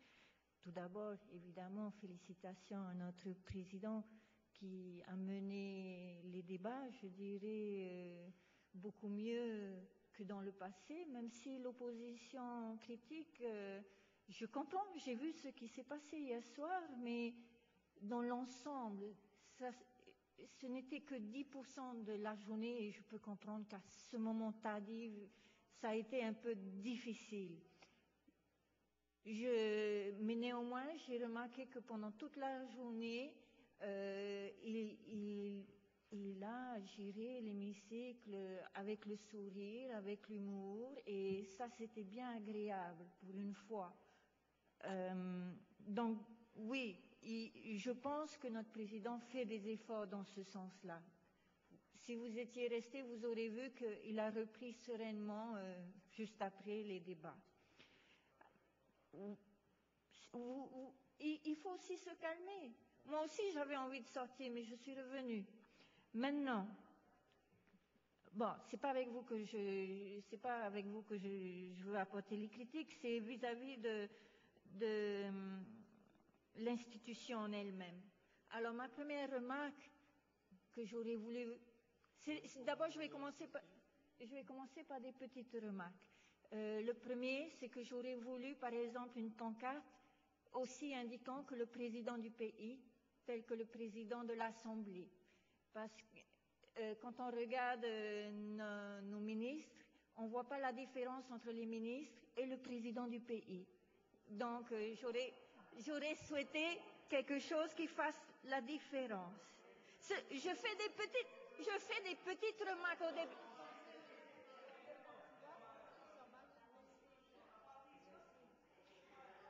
Bon, est-ce que je, est-ce que vous me laissez parler? C'est même pas à vous que je fais la remarque. Eh ouais, maman. Ah là là.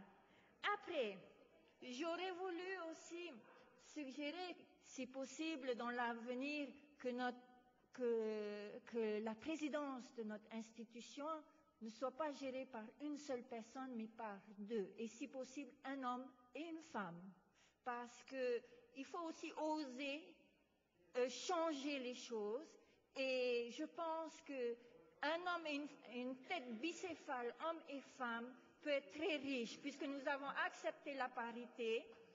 Nous pouvons également un jour espérer que cette institution soit gérée par deux personnes, un, homme et une femme.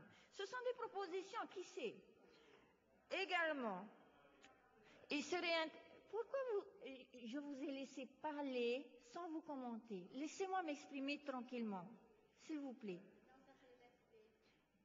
Voilà, vous voulez du respect? Respectez aussi.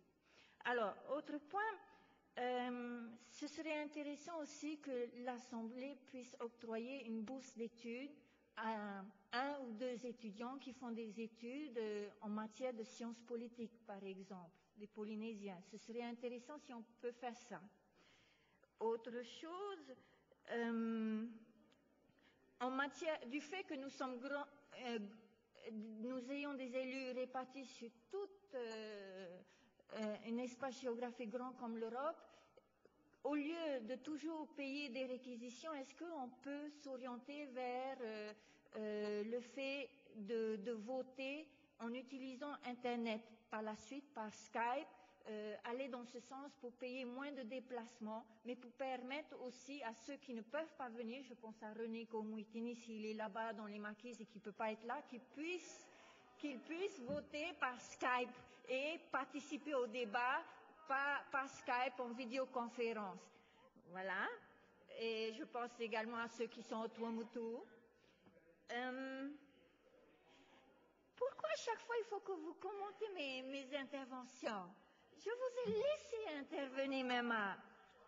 Alors, après, je vais commencer à aller, à un peu plus loin sur euh, l'accès à l'histoire législative de notre pays, notamment euh, dans, beaucoup d'institutions législatives, on a euh, l'histoire législative.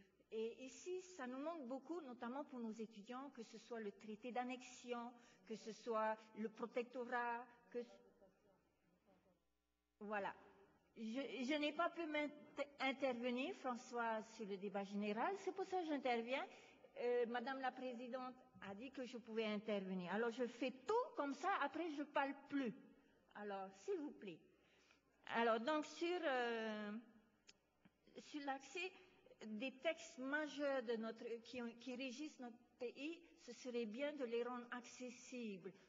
Sur les murs, tout comme on a les photos de nos grands hommes et nos grandes femmes, on pourrait peut-être avoir des textes tels que le traité d'annexion tel qu'il a été signé une copie accessible, le protectorat, les, textes qui régissent, euh, euh, les textes qui régissent l'enregistrement des terres, la constitution du domaine public, tous ces grands textes qui régissent notre pays aujourd'hui ont besoin d'être accessibles au grand public.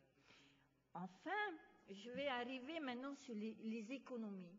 Les économies de notre institution, parce que c'est là aussi, même si on ne veut pas l'admettre, euh, où, la population fait notre grande critique parce que nous traversons une crise, économique, tout le monde subit euh, des, baisses dans leurs revenus et on, a l'impression que notre institution maintient un train de vie qui n'a rien à voir avec la réalité de la crise et que malheureusement nous ne réduisons jamais notre train de vie en harmonie avec la baisse des impôts, des, rentrées fiscales et pour euh, nous aligner sur le train de vie euh, de la réalité. C'est-à-dire que, par exemple, sur les cinq dernières années, notre pays a subi une baisse de 20% en matière de rentrée fiscale. Et ce 20% ne s'est pas répercuté sur nous. Et c'est pour ça notre population a l'impression que nous vivons dans une bulle parce que nous vivons au-dessus de la réalité.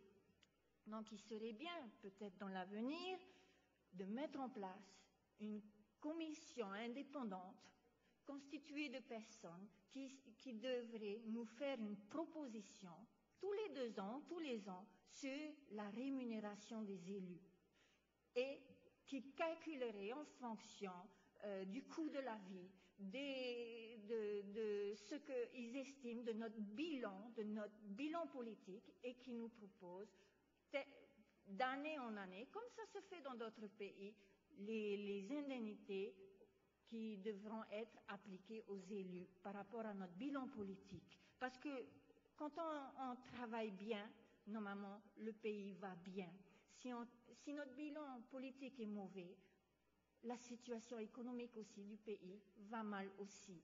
Et donc, nous devons aussi euh, nous accorder. C'est la parole et les actes. Alors, Myron, tu me laisses parler. Alors, sur ce point-là, non seulement pour les élus, mais on peut aussi parler, puisque l'année prochaine, en mai 2013, il y aura des élections et que ce seront forcément de nouveaux élus qui seront ici.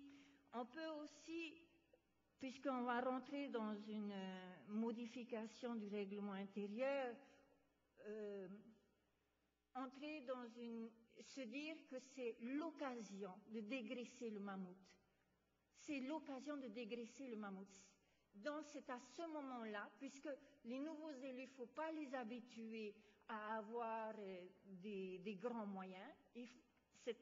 C'est donc à ce moment-là qu'il faudrait penser peut-être à réduire les crédits collaborateurs en mai 2013, donc pour les prochains élus, de faire des crédits collaborateurs à hauteur, par exemple, de 300 000 par élu, pour ne pas euh, les habituer à des grands moyens et les habituer aussi à travailler avec les moyens de l'Assemblée. Je me souviens en 2004, lorsque nous sommes venus ici, nous n'avions pas de crédit collaborateur, nous travaillions avec les commissions, les services de commission de l'Assemblée qui sont très bien dotés en personnel compétent.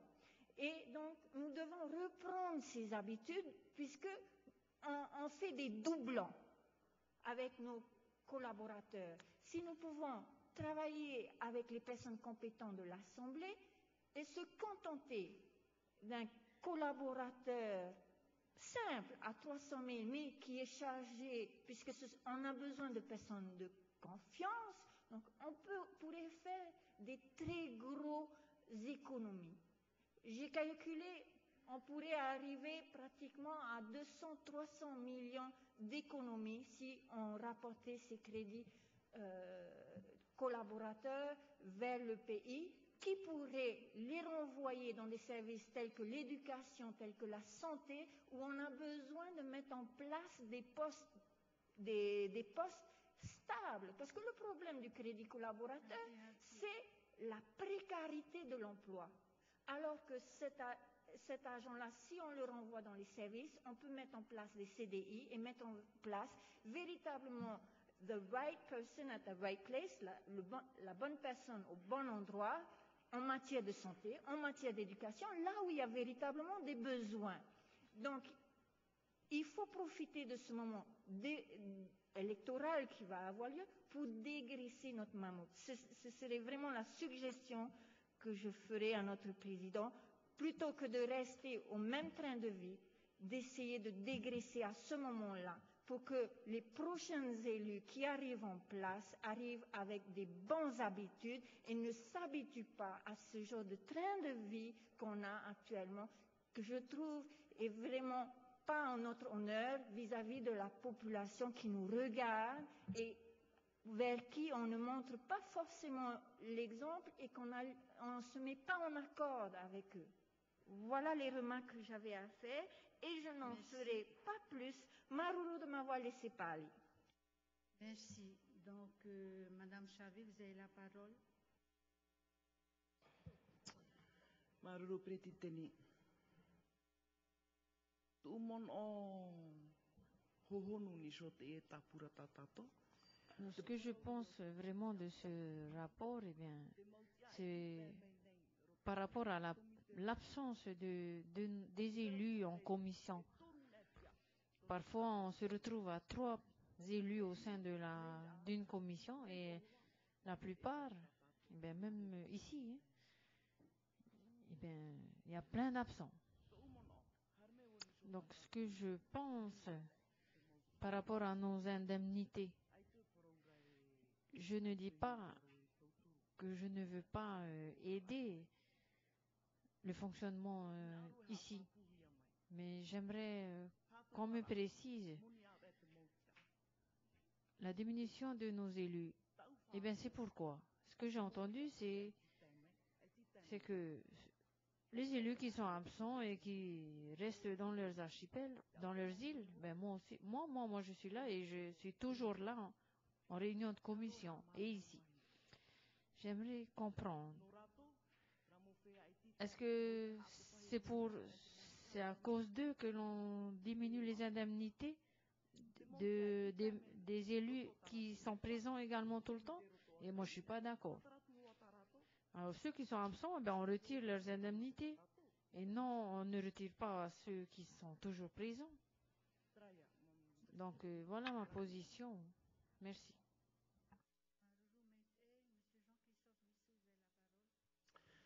Merci, Madame la Présidente. Euh, bonjour à tous. J'espère que vous êtes bien reposés après une euh, séance aussi euh, longue pour ne pas dire euh, un peu houleuse d'hier soir et qui euh, m'a contraint à, à, partir. Parce que, et je souhaite partager cela avec vous puisque nous sommes sur le sujet de l'Assemblée, pour vous dire que vous qui avez été dans l'opposition et nous qui sommes dans l'opposition euh, aujourd'hui et depuis maintenant euh, de, longs mois, pour ne pas dire de longues années, hein, ce qui nous concerne. Plus important pour nous, ce n'est pas tellement l'aspect du contexte matériel. Ce n'est pas les travaux qui ont été réalisés dans cet hémicycle, dans nos bureaux, dans les jardins. Plus important pour nous, c'est notre liberté d'expression et de parole. C'est ça le plus important. Et lorsque, au cours d'une séance aussi importante que euh, l'étude du budget, quelqu'un nous coupe le micro, pratiquement systématiquement, prend la parole pendant que nous parlons, allume son micro et nous demande de nous taire, parce que soi-disant il a estimé que notre temps de parole était révolu. Lorsqu'il n'y a pas de débat, parce qu'il ne s'agit pas que de poser de questions, il s'agit aussi de pouvoir réexpliquer lorsque les questions n'ont pas reçu de réponse. Lorsque l'opposition travaille sur des amendements, que ces amendements ne sont même pas lus, votés en touche, par la seule décision de quelqu'un qui est au perchoir, qui est le président de l'Assemblée, mais cela ne lui donne pas le droit de faire taire l'opposition. Donc, euh, des institutions qui fonctionnent démocratiquement, qu'est-ce que ça veut dire? Ça veut dire qu'il y a une opposition qui est respectée. Or, notre sentiment, c'est que nous ne sommes pas respectés. Voilà pourquoi il arrive à un moment où on se lève et on préfère sortir. Parce que cette frustration peut se traduire par des actes qu'on ne souhaite pas commettre.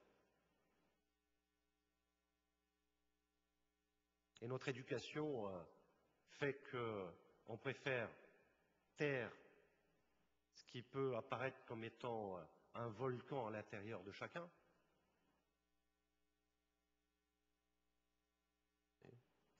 Donc même moi, ce matin, je me suis demandé pourquoi je vais venir ici à l'Assemblée, débattre de quoi.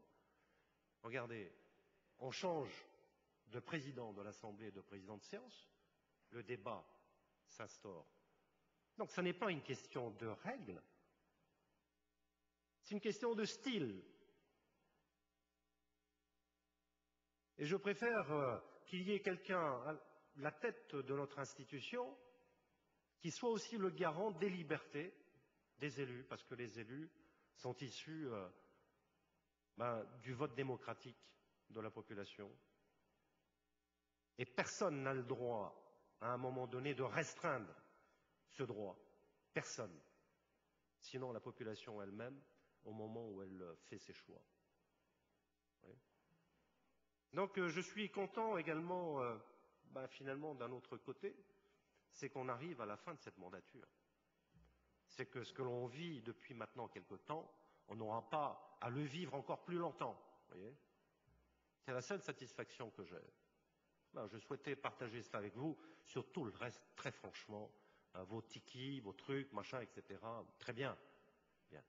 Et sinon on n'a pas la liberté de pouvoir s'exprimer, je ne vois pas en quoi on va se gargariser de regarder euh, toutes ces transformations lorsque c'est pour euh, amoindrir les possibilités d'expression de l'opposition. Merci.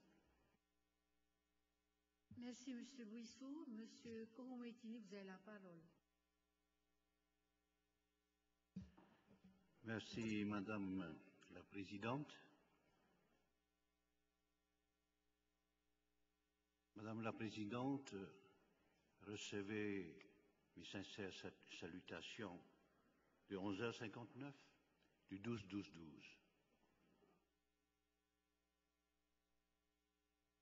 À 12 heures. Eh bien, j'ai simplement à vous dire que c'est vrai que hier, je me suis tu. Je n'ai même pas prononcé un seul mot. Et je n'ai pas eu d'accrochage. Parce qu'en ne disant rien, eh bien, j'ai pas eu d'accrochage. Et c'est ce qui s'est passé.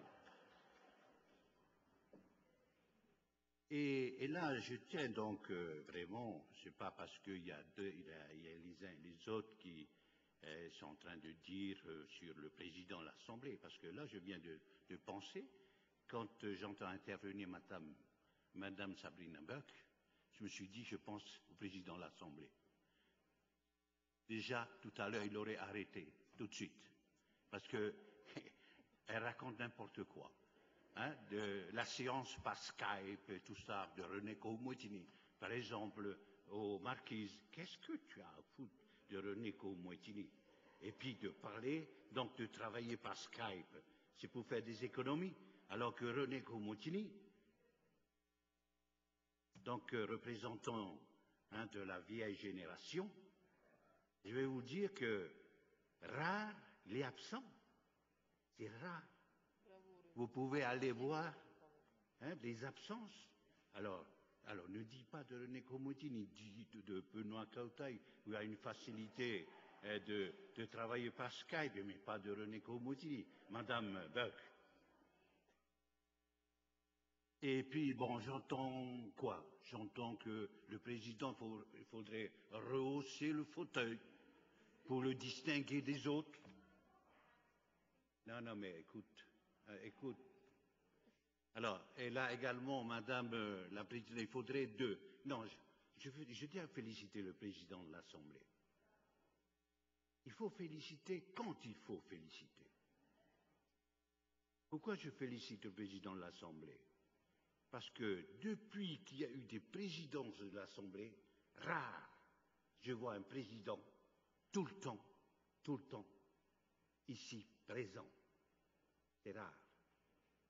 Et ce qui fait que euh, je trouve que, par exemple, le président de l'Assemblée ne soit remplacé par le premier vice-président, deuxième vice-président, troisième vice-président. Eh bien, c'est rare que je vois le président actuel représenté, remplacé par les vice-présidents. Je crois que si c'est ainsi, il faudrait diminuer, il faudrait qu'il y ait plus de vice-présidents de l'Assemblée. Ça fait des économies. Ou bien qu'il y ait un vice-président ou une vice-président. C'est tout. Ça fait des économies. Deuxième, troisième, ben, vous savez, la dotation. La dotation pour les vice-présidents, vous savez combien? 5 800 000 par, par mois. 1 million 800 000 par mois. C'est bien ça, Président, à peu près. Alors, c'est pour vous dire que euh, c'est très important. Pourquoi? Parce que les vice-présidents sont, euh, sont, dotés d'une euh, d'un montant de, de 1 million, enfin plus de 1,5 million de toute façon, et parce qu'ils peuvent recruter du personnel. C'est pour ça que quand le président a son staff, les vice-présidents ont également leur staff. Alors c'est pour vous dire, il y, a, à faire des économies. Bon, enfin, je ne vais pas euh, aller là-dessus parce que et quand il faut un homme ou une femme, bon, je suis d'accord puisque c'est la parité, mais et en ce qui concerne sans doute euh, si on veut parler et puis modifier le règlement intérieur, à mon avis, c'est vrai que euh, bon, on nous dit que ce sera au mois d'avril-mai, euh, le 5 mai, le deuxième tour des prochaines élections, et s'il faut attendre donc la nouvelle assemblée pour pouvoir donc en parler et mettre en place ou modifier le règlement intérieur, c'est intéressant aussi que la nouvelle majorité, la nouvelle assemblée puisse travailler dessus et, non pas aujourd'hui puisque nous sommes en fin de mandature et est-ce que nous allons revenir? Ça, point d'interrogation. Est-ce que parmi nous, sur les 57, est-ce qu'il y en a 30 qui vont revenir des, des 57 On ne sait pas. Et l'avenir nous le dira. Mais j'en suis sûr que je ne reviendrai plus jamais. Alors faites autant. Et si, je dis je ne reviendrai plus jamais ici à l'Assemblée, c'est parce que est-ce que je vais me représenter ou pas? C'est cela, la question. Si je ne me représenterai plus, eh bien je ne reviendrai plus jamais, c'est fini. Et c'est là. Et alors, c'est pour ça qu'il serait bon quand même que euh, attendre peut-être pour moi, c'est une façon de voir les choses, attendre la nouvelle Assemblée pour euh, voir, revoir et modifier les, euh, le règlement intérieur. Et parce que vous savez que le prochain, la prochaine Assemblée, quand le président qui sera élu par la nouvelle Assemblée, il sera président pendant toute la mandature, pendant cinq ans. Et puis, euh, c'est là également qu'il faut voir. Alors, c'est, voilà, voilà, un peu ce que je voulais dire. Et puis, bon, et, là,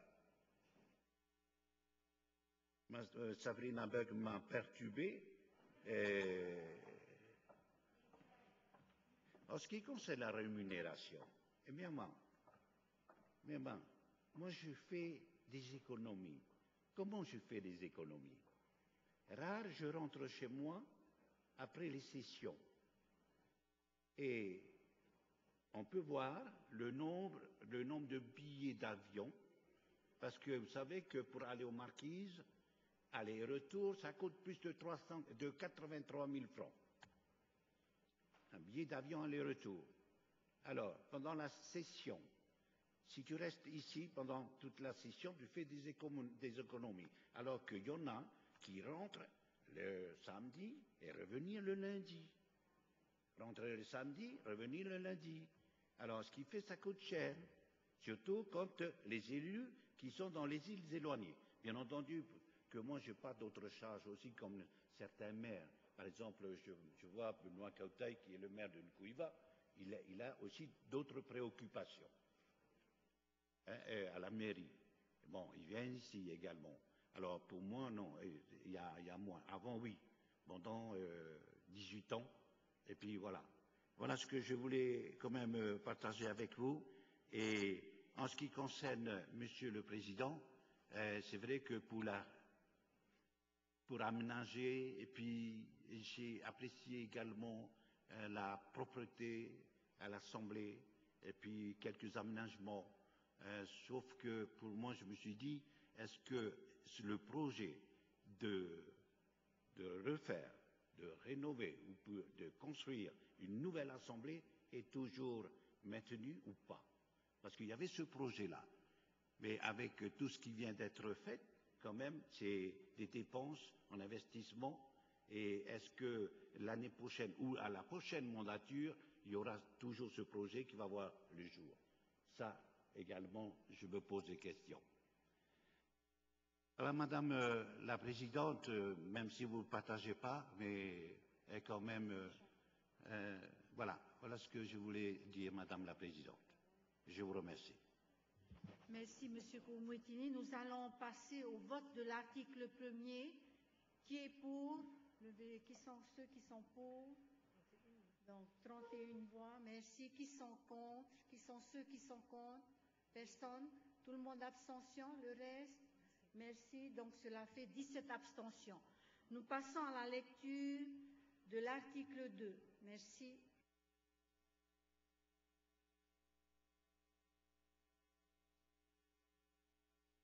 Madame la Présidente, on va peut-être revenir à l'article premier en section oui, d'investissement. Oui, oui, oui, oui. Excusez-moi. Donc, euh, le total du chapitre, nous passons au vote du total du chapitre. Même vote Même vote. Merci. Nous passons donc euh, à l'article 2. En section d'investissement. Alors, en section d'investissement, à la somme de 58 millions. Total du chapitre 958 millions. La discussion est ouverte. Monsieur Fernand Romatarois, allez-y. Eh, oui, merci Madame la Présidente de me donner la parole. Bonjour Monsieur le Ministre, Monsieur le Président, bonjour également et bonjour également à tous. Alors, en entendant les interventions des uns et des autres, je ne peux rester silencieux. Hein, donc, ils ont raison de s'exprimer par rapport à ce qui s'est passé. Mais, mais à mon sens, eh ben, c'est comme s'il n'y a que eux qui ont raison et la majorité, eh ben, ils ont tort, ou bien notre président a tort. Mais si on regarde bien ce qui s'est passé, pourquoi est-ce que le président a agi ainsi? À chaque fois, lorsque la majorité s'exprime, ils font du tapage. Là, je parle de l'opposition. Vous n'avez pas remarqué ce matin quand euh, vous vous êtes exprimé, le président, est-ce qu'il a fait tapage? Ben non, rien du tout.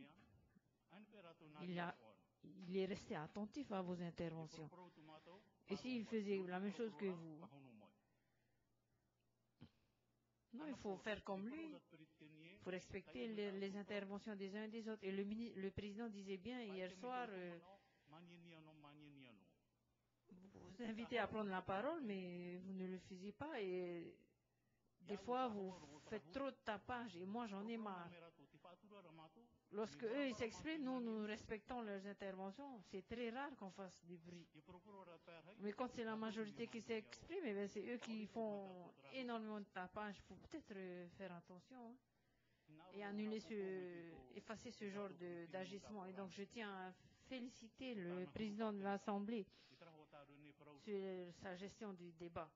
Comme l'a dit vraiment René. Et c'est vrai que c'est la première fois que je vois un président de l'Assemblée qui, la plupart du temps, préside nos débats. Et à mon avant, c'est vrai que des fois, il est sévère. Et c'est bien qu'une personne comme lui vienne présider notre, notre institution. Ben, sinon, c'est chacun qui fait comme il veut. Parce que, et moi, j'ai envie de féliciter notre président.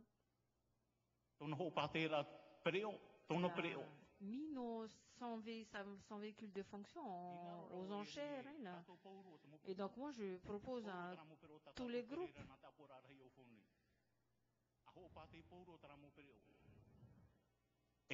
proposer leurs véhicules en, à la vente aux enchères et ainsi nous aurons moins, nous ferons des économies. Et par rapport à l'enveloppe dont parlait Arnold, peut-être que cette enveloppe viendrait aider les groupes qui n'ont pas de crédit. Donc voilà ce que je pense. Et là, nous ferons des économies. Nous aurons moins de charges à payer. Et comme disait Daphné, ceux qui viennent jamais en réunion, dans la commission où je, que je préside, nous sommes neuf. Et il me semble que nous sommes huit dans des îles. Et c'est très rare que cette commission ne se réunisse pas. La plupart du temps, tout le monde est là. Enfin, cinq membres sont présents sur neuf. Et pour la plupart des membres, eh bien, ils, sont, euh, ils habitent les îles. Et donc je dis à ceux de Tahiti, j'encourage ceux, ceux de, Tahiti pour participer à, aux réunions en commission et en séance plénière. Et donc, il ne faut pas montrer du doigt les Iliens parce que nous, nous sommes toujours là. C'est plus ceux de Tahiti qui sont qui doivent faire euh, des efforts à ce niveau-là. Et comme le disait René, comme nous, nous venons, nous rentrons très rarement chez nous. Lorsque notre session commence, eh bien, nous restons là, nous laissons nos, nos familles dans les îles.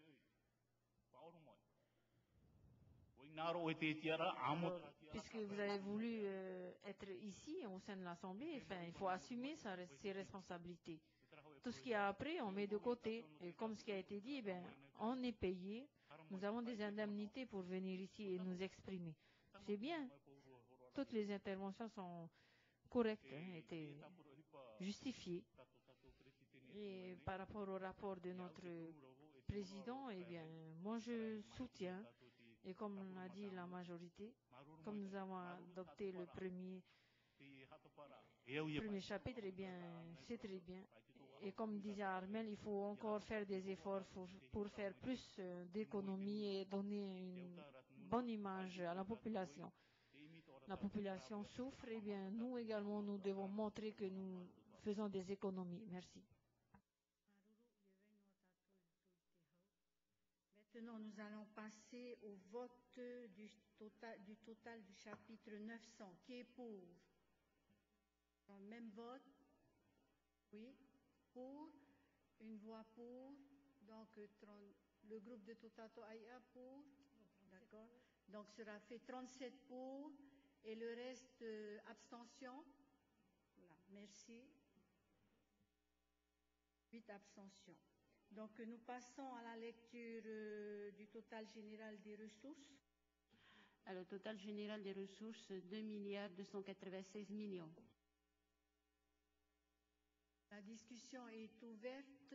Je donne la parole à Madame Maïna Sage. Vous avez demandé non? Madame Lana Tétouanoui.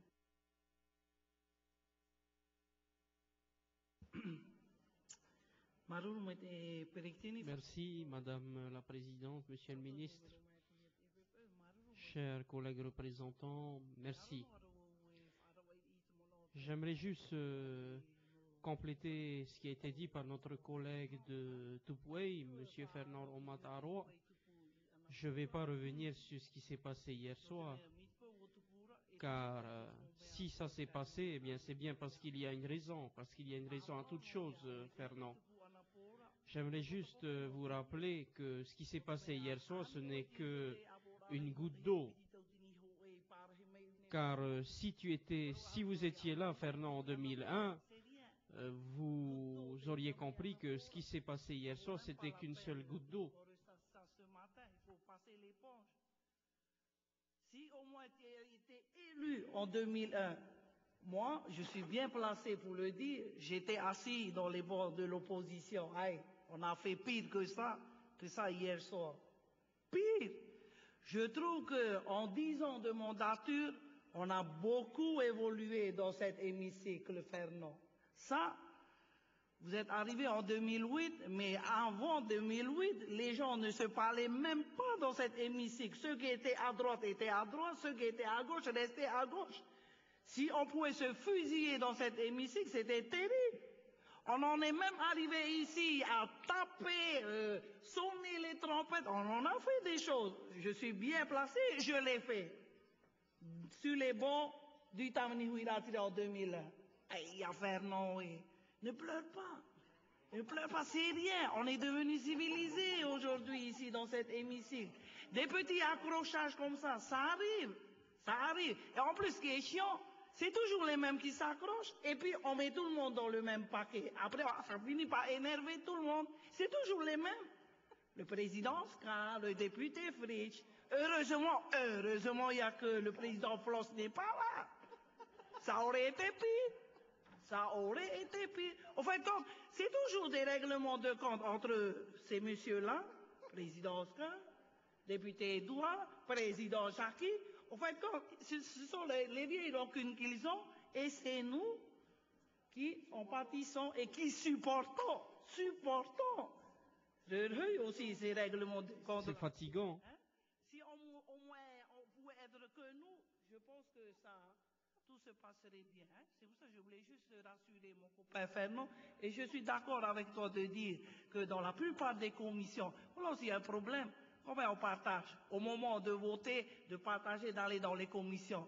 Il y en a d'autres pour les Il y en a beaucoup qui, euh, qui euh, s'emparent des sièges dans les commissions.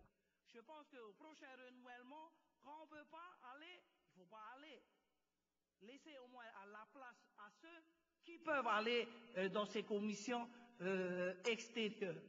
Hein? Et de grâce, c'est vrai, dans la plupart des commissions intérieures, les élus des îles, enfin je ne sais pas, je sais pas pour René Koumoutini, mais les marquises, hein, la plupart du temps, nous faisons l'effort d'être là. Bon, je ne dirais pas pour ceux qui ont d'autres fonctions euh, que ceux euh, de représentants, mais c'est vrai. Nous sommes payés, il faut quand même euh, un peu de tenue et puis de présence pour notre travail d'élu. Voilà, Madame la Présidente, ce que je voulais dire. Merci. Maruru Lana, maintenant nous allons passer au vote du total général des ressources. Même vote. Euh, donc 31 voix pour et puis 17 abstentions, c'est ça? 16 abstentions. Bon, merci. Nous allons passer maintenant au vote de l'article 1er. Même vote? Même vote. Merci. L'article 1er est adopté. Nous allons passer à la lecture de l'article 2. Alors, pour l'exercice 2013, le montant des crédits ouverts au budget de l'Assemblée de la Polynésie française en dépenses de fonctionnement est fixé conformément au tableau annexé à la présente délibération à la somme de 2 milliards 238 millions. Total du chapitre est 960, 1 milliard 217 milliards, millions 150 000. La discussion est ouverte. Pas de discussion, donc euh, nous passons au vote. Même vote. Alors, euh, 31 voix pour, avec euh, le total, le groupe du Totato Aya, ce qui nous fait 35 euh, voix pour et le reste abstention. Pardon? Non, M. Koumoutini demande la parole, il ne vote pas pour. Donc, euh, le reste est en abstention, 10 abstentions. Monsieur René vous avez la parole.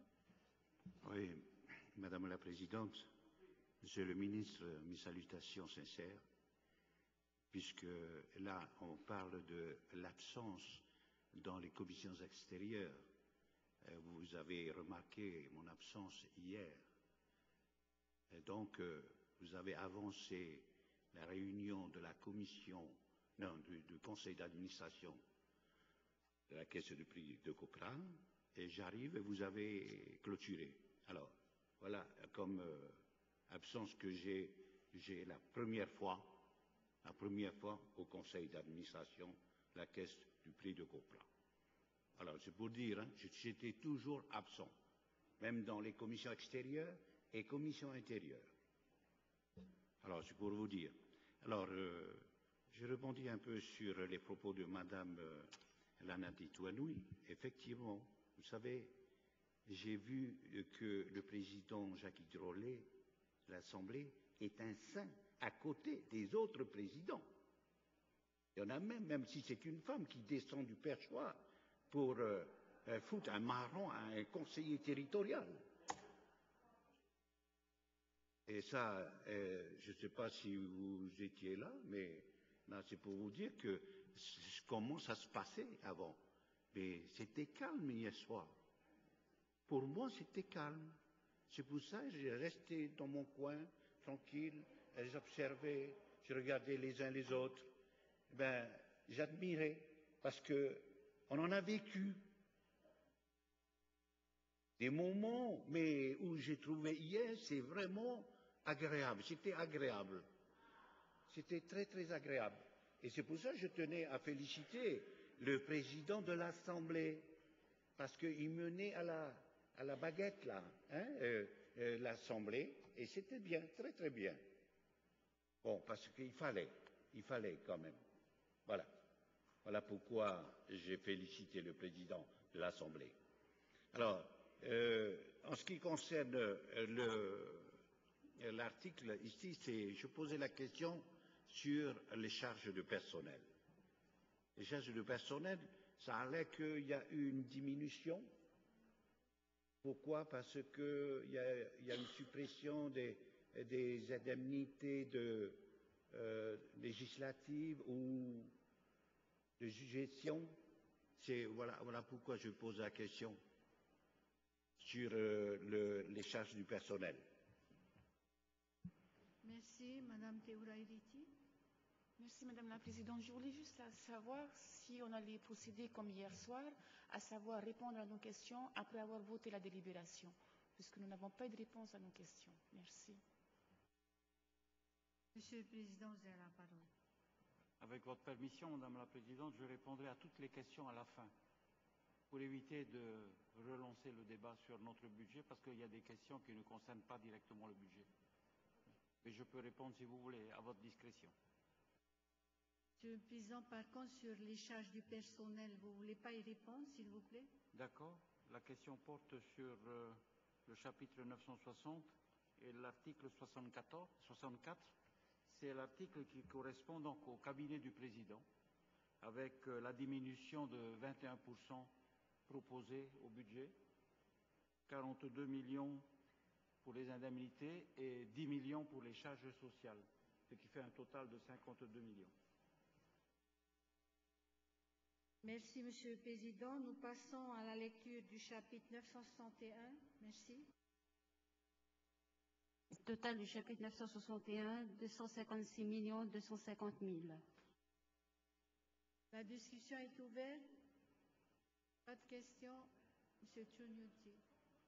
961. Le 960, oui, a été voté. Oui Excusez-moi. 961. Pas de questions. Donc, nous passons au vote. Même vote Même vote. Donc, euh, 31 voix pour et 17 abstentions pour le chapitre 961. Merci. Euh, le chapitre est voté. Nous passons à la lecture du chapitre 962. Total du chapitre 962, 764 millions 600 000. Merci. La discussion est ouverte. Pas de questions. Même vote. Même vote. Le total général? 2 milliards 238 millions. La discussion est ouverte. Même vote. Même vote. Le total général est voté. Maintenant, pour l'ensemble de l'article 2, même vote. Même vote. Merci. L'article 2 est voté. Nous passons à la lecture de l'article 3. Pour l'exercice 2013, le montant des crédits de paiement ouverts au budget de l'Assemblée de la Polynésie française au titre des mesures nouvelles sur les dépenses en capital est fixé conformément au tableau annexé à la présente délibération à la somme de 58 millions. Total du chapitre 958 millions CP. La discussion est ouverte sur l'article 3. La discussion, nous passons au vote. Donc, même vote, 31 voix pour et 17 abstentions. Donc, l'article 3 est voté. Nous passons maintenant à l'article 4, lecture de l'article 4. En tant que de besoin, les crédits ouverts par euh, la présente délibération peuvent faire l'objet de transferts ou de virements de crédit dans la limite de la réglementation existante. La discussion est ouverte sur l'article 4. Oui, Madame Daphné Chavé, vous avez la parole.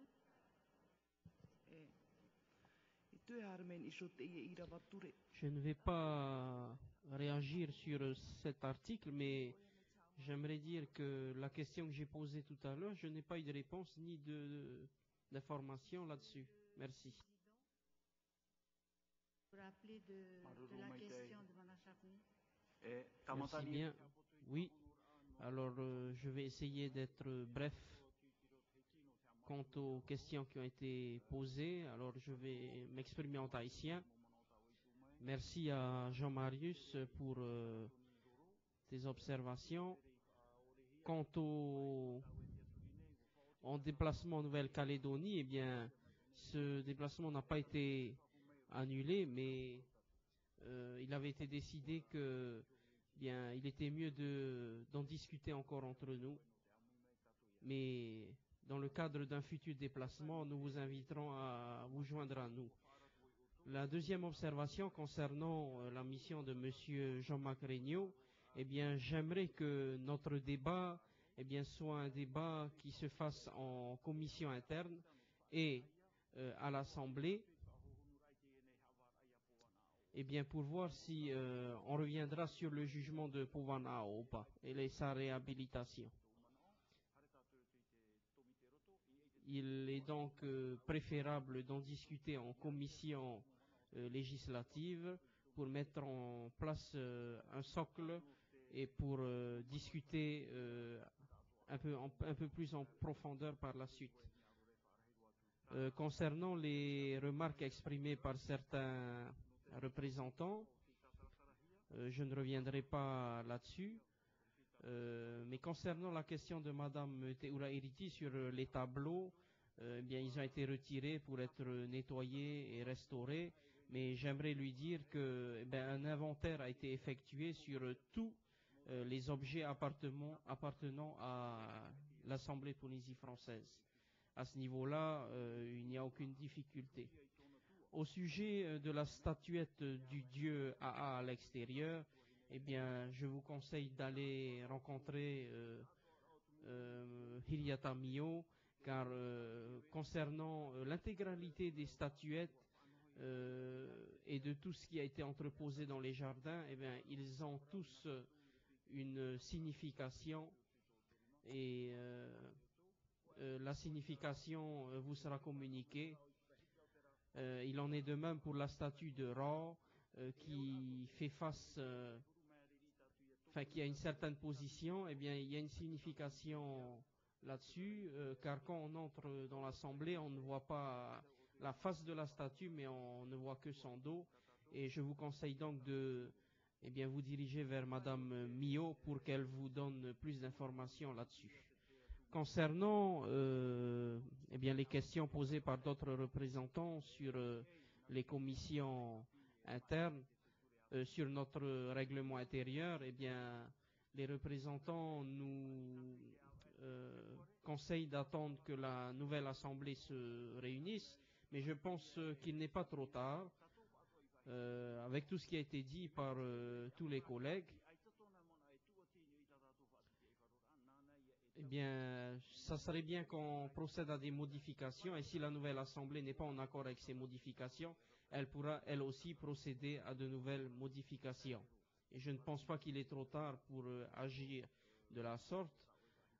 Aussi, merci euh, René pour euh, tout ce que tu nous as dit à propos de la démocratie. Je ne pense pas que nous sommes plus français que les Français. C'est une euh, une idée qui ne concerne que vous. Concernant les représentants qui euh, eh bien, se sont déplacés à l'étranger, eh bien, vous serez rendu destinataire, destinataire de l'ensemble euh, des déplacements et des frais liés à ces déplacements. Au sujet des membres qui siègent dans les commissions et à l'Assemblée, eh bien, je vous rejoins tout à fait. Euh, Daphné Chavé. Euh, je pense qu'il faudra revenir effectivement sur euh, eh bien, les indemnités de ces représentants qui ne sont pas assidus aux différentes réunions des commissions et de l'Assemblée. Nous en débattrons et nous prendrons les décisions qui s'imposent. Au sujet des observations de M. Bouissou, euh, ben, à son avis, euh, tout ce qui a été fait dans cette Assemblée n'a aucune importance si la démocratie n'est pas respectée. À mon avis, je suis ici pour garantir bien, les principes même de la démocratie dans cette Assemblée. Mais ce qu'il faut qu'il sache, c'est que la démocratie, ce n'est pas eh répondre à euh, toutes les volontés de l'opposition. Non, c'est euh, diriger un débat convenablement et euh, en fonction de la volonté de la population. Et concernant la dernière observation, la dernière intervention de M. René Kohumwetini, que je remercie, il est vrai que quand j'ai été élu président de l'Assemblée, eh bien, je me suis donné pour ligne de conduite eh bien, d'être euh, assidu et de me rendre, euh, enfin, d'être le plus présent possible. Et vous savez que je cherche toutes les solutions pour euh, bien réduire les dépenses de fonctionnement euh, et euh, de faire respecter les horaires de d'ouverture et de reprise de nos séances. Voilà ce que j'avais à vous dire. Merci. Merci, Monsieur le Président. Je euh, donne encore euh, quelques minutes euh, de temps de parole à Madame Daphné Chavet, car je pense que vous vous êtes mépris quant à la question qu'elle vous a posée. Merci. Madame la Présidente, Monsieur le Président, je crois que on s'est mal entendu sur ce point-là.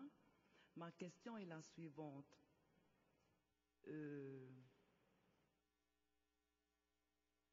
sur tous les 57 élus, notre indemnité a été baissée sur tous les 57 élus. Et maintenant, sur l'article 653.1, je remarque que cette fois-ci, c'est que les îles, euh, les élus des îles éloignées, y compris Montréal. Il y a une baisse d'indemnité encore. Hein? Ça veut dire que, enfin, moi je comprends tel quel. Ça veut dire que nous, les élus des, îles, ça faire deux fois qu'on nous baisse notre indemnité. Alors, j'ai entendu dire, ce qui est venu à mes oreilles, c'est parce que les représentants des Iliens sont toujours absents. Ce sont des échos, hein, sont toujours absents, et c'est le pourquoi on nous baisse encore, nous, les Iliens, une deuxième fois, notre indemnité. C'est là où je, je, je voulais comprendre. Ce n'est pas le fait de pouvoir participer pour que notre pays avance ou ça, s'il faut économiser. Non, c'est pas ça. Je veux juste comprendre le pourquoi nous, les Iliens, deux fois, on nous baisse les indemnités. Voilà, Président. Mais, mais je suis entièrement d'accord. Hein. Ceux qui ne viennent pas en séance ou en commission, c'est sûr qu'il faut retirer leur, indemnité, les absences, hein, parce qu'il y en a plusieurs. Hein. Le pourquoi? Nos enfants, quand ils fréquentent les lycées d'établissement ici à Tahiti, ils arrivent en retard cinq minutes en classe. On compte la matinée d'absence. Et nous, les élus, on se permet de ne pas tout le temps être là. Bon, je m'excuse s'il y en a qui sont très occupés, mais quand même, mais quand même, nous sommes les représentants de cette population. Nous devons assumer. Voilà ma question, Monsieur le Président. Merci. Merci, Monsieur le Président. Vous avez la parole. Voilà ce que j'avais à dire sur euh, ce rapport. on établit le budget de l'Assemblée de Polynésie, euh, on adresse un courrier au président du pays pour lui demander quel est le niveau d'équilibre, d'augmentation ou de baisse des recettes. Et euh, lorsque nous avons été avertis du créneau à l'intérieur duquel il fallait évoluer, on a essayé de chercher sur l'ensemble des postes euh, budgétaires de l'Assemblée ceux qui nous semblaient être euh, possibles de réduire. Le premier poste euh, de réduction a porté sur les heures supplémentaires, des employés de l'administration. Euh, c'est une suppression pure et simple. Ça fait donc 100% de suppression, avec la possibilité, donc, selon les règles qui sont euh, établies à l'Assemblée à l'intérieur euh, du statut du personnel de l'Assemblée, la possibilité de récupérer. Donc ceux qui font des heures supplémentaires, plutôt que d'être payés, sont récupérés. Et là, euh, ça nous fait quand même 100% de baisse de réduction. Ensuite, euh, j'ai voulu donner l'exemple. En tant que président, j'ai proposé euh, que la rémunération du cabinet de la présidence soit diminuée, et d'une façon importante. Et nous l'avons diminuée de 21%. Ensuite, d'autres postes nous ont semblé être aussi importants sur les diminutions, et notamment les frais de télécommunication. Donc là, nous avons réduit ces postes-là, et nous avons réduit de 6%. Donc 100%, 21%, 6%, et il nous restait les indemnités complémentaires des élus autres que de Triki. Il ne s'agit pas de l'indemnité principale. Il s'agit d'une indemnité complémentaire. Et là, nous avons proposé une réduction de 2,45%. Donc la réduction est de 2,45% et euh, nous avons considéré que nous pouvions tous faire des efforts sur cet aspect-là. Bien évidemment, ce qui me semble encore plus important, c'est de ne pas défavoriser les uns par rapport aux autres et de faire en sorte que si nous pouvons, par notre règlement intérieur, euh, régler aussi le problème d'assiduité, parce que vous avez parlé d'assiduité à la fois dans les commissions intérieures, dans les commissions extérieures pour la majorité, dans, les réunions plénières, avec euh, les retards permanents et les personnes que l'on voit en permanence absentes et qui envoient des lettres d'excuses en disant je suis absent pour telle ou telle raison, mais je n'ai pas la possibilité en tant qu'ordonnateur de vérifier si les raisons sont exactes et éventuellement de, de, proposer une retenue sur salaire. Donc ce que j'aimerais, Daphné, je vous remercie pour votre question, ce que j'aimerais, c'est que nous puissions avoir une discussion globale sur l'ensemble de ces points que nous avons constatés et qui posent problème en termes de comment vivre la démocratie dans notre Assemblée. Et ces éléments-là doivent être intégrés dans la modification du règlement intérieur, à la fois en termes d'assiduité, à la fois, par exemple, on a parlé tout à l'heure des commissions euh, législatives. Moi, je suis favorable à ce qu'on répartisse les présidences de commissions législatives à la proportionnelle de, de, des élus à l'Assemblée. Jusqu'à maintenant, la répartition se faisait majoritairement, totalement pour la majorité. À l'Assemblée nationale, une commission, la commission des finances, est réservée à l'opposition. La présidence de la commission, pas la majorité à l'intérieur de la commission. Vous savez, à l'Assemblée nationale, ils sont 74 dans les commissions législatives. Ils appellent ça des commissions permanentes. Donc, je suis pour la réflexion d'une meilleure répartition des présidences de commissions législatives en fonction du nombre d'élus de chaque groupe. Donc, pourquoi pas, sur les neuf commissions, éventuellement cinq à la majorité et quatre à l'opposition. Maintenant, il nous restera à choisir quel type de commission nous allons éventuellement accorder aux uns et aux autres. Il y a tout un panel de réflexions et de modifications que je vous proposerai, si vous en étiez d'accord, au, mois de, février. Tous ces points-là me semblent être utiles à la discussion. On a parlé, de du suivi des lois. Quand les commissions législatives travaillent, quand l'Assemblée vote une loi, comment laisser une loi vivre sa vie si nous, on ne sait pas ce qu'elle devient? On peut donner ça comme responsabilité au niveau des commissions législatives. C'est ce qui se passe à l'Assemblée nationale. Euh, vous avez remarqué vous-même que dans certains articles, il nous faut pratiquement une heure pour lire l'article. À mon avis, c'est du temps perdu dans la mesure où on peut rétrocéder ce temps sur le débat démocratique entre nous. Je vous signale qu'à l'Assemblée nationale, même en commission législative, ils ne lisent pas les articles. Ils obligent les députés à travailler sur les textes avant que ces textes n'arrivent en commission législative. Donc vous voyez un peu, même pas dans les commissions législatives, pas plus que dans, les séances dans l'hémicycle. À quel moment le débat a lieu Quand le député pose un amendement sur un article? À ce moment-là, il y a un débat à l'intérieur de, l'hémicycle ou à l'intérieur des commissions. Il y a énormément de possibilités de modification, bien que je comprenne qu'il faille laisser à la prochaine majorité le soin de, de, de déposer ou de régler un problème de règlement intérieur. Moi, je pense que nous pouvons aussi, nous, donner des pistes, voter un règlement intérieur, éventuellement, si la nouvelle majorité n'est pas d'accord, elle reviendra sur ces pistes et elle changera éventuellement les propos que nous aurons, nous, à adopter. Voilà, Madame la Présidente, en résumé, les raisons pour lesquelles ces diminutions ont eu lieu. Merci, Monsieur le Président. Avant de continuer, je souhaiterais souhaiter la bienvenue à une invitée de marque dans notre Assemblée, Madame Marie-France Irigoyen, maître de conférence en psychologie, qui a donné donc une conférence hier au soir. Désolée, nous n'avons pas pu y assister sur le harcèlement. Bienvenue à vous et bienvenue aussi à vous, Maître Chirez, parmi nous. Voilà, merci, chers collègues. Euh, je passe la parole à Madame Françoise Tama. Merci, Madame la Présidente. Bienvenue à notre invité de marque qui aurait dû être là hier soir peut-être. euh, je ne vais pas répéter tout ce qu'on a dit, mais c'est un président comme celui-là qu'il faut pour une institution comme celle-ci. Je ne vais pas le couronner comme on l'a déjà couronné.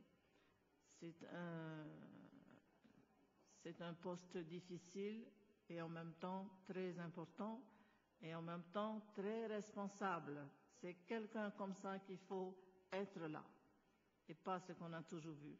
L'Assemblée, si je peux faire un constat tout, vite fait, parce que ce n'est pas ma question, j'ai une question précise à poser. L'Assemblée, quand je suis arrivée, elle n'était pas du tout à sa place. Pas du tout à sa place.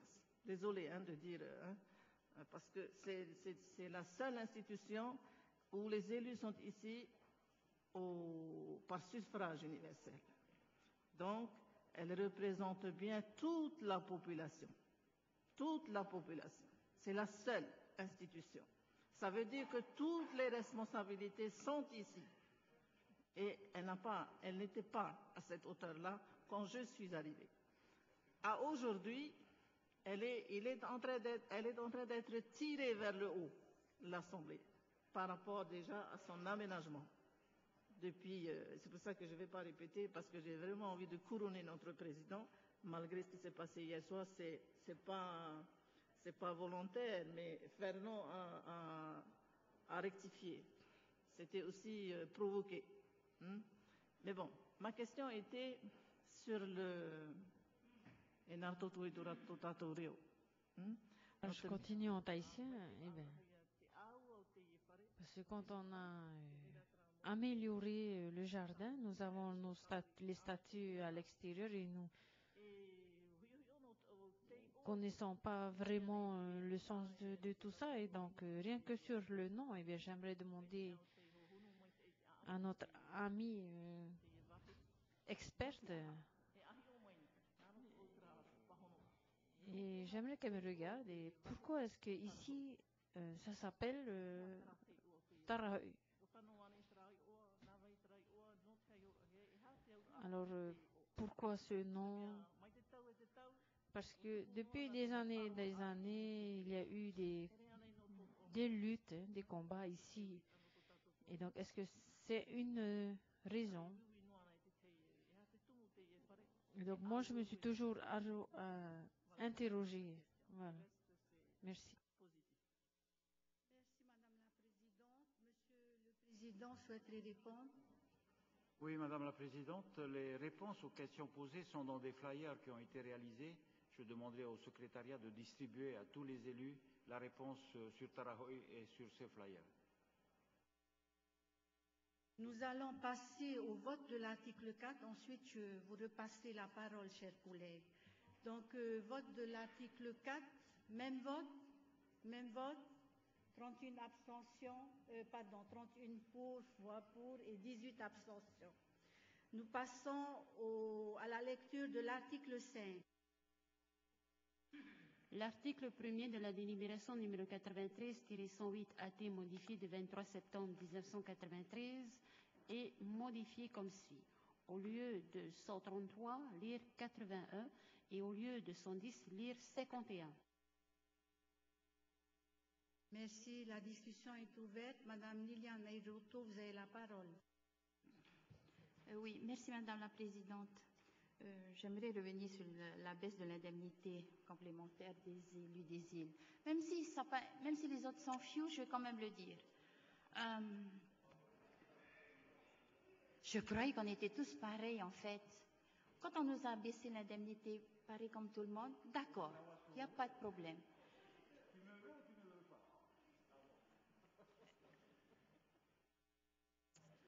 Euh, les élus des îles, on a deux vies. Nous avons une vie chez nous et nous avons une vie ici. Oui, on, dit comme c'est un choix, d'accord, oui, c'est vrai. Mais ici, vous, les élus qui sont ici, vous rentrez chez vous, euh, votre famille est là, pas nous. On peut rester deux semaines, comme Fernand l'a dit, on reste pour toutes les séances. On loue ici. Si vous avez un logement à nous proposer, oui, d'accord, d'accord pour ça. Mais sinon, non. Je suis désolée. Nous payons un loyer. Hein? Nous avons deux maisons, donc les, charges et les dépenses sont multipliées par deux. Je suis désolée.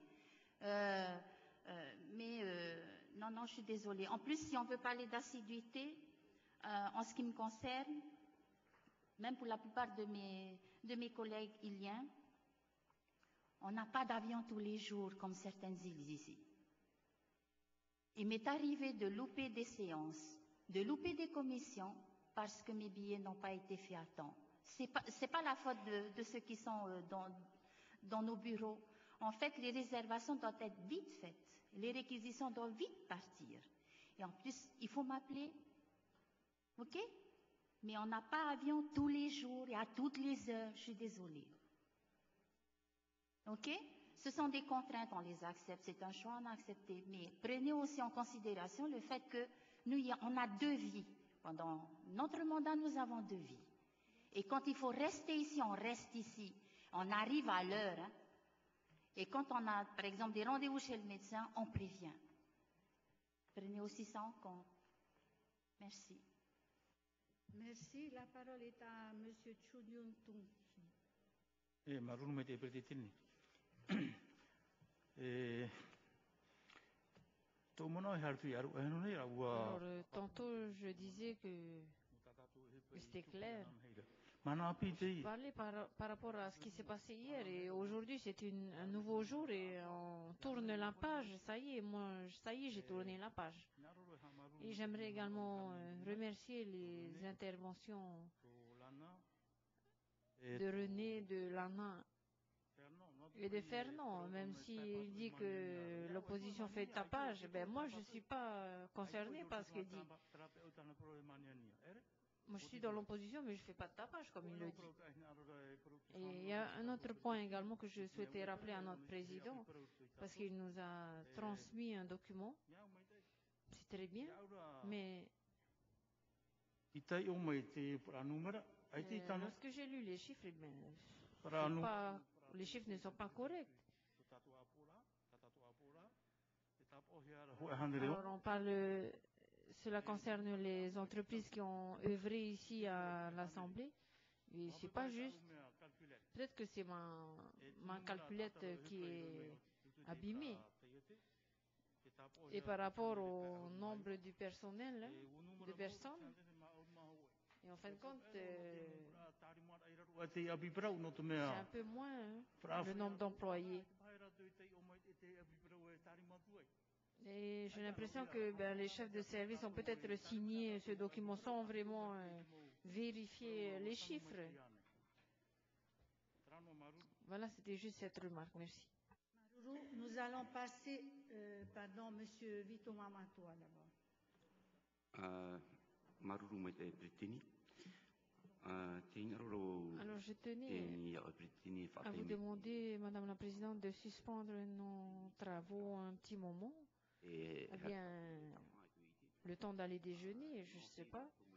Donc c'est une demande de la part des Iliens qui souhaitaient que l'on discute.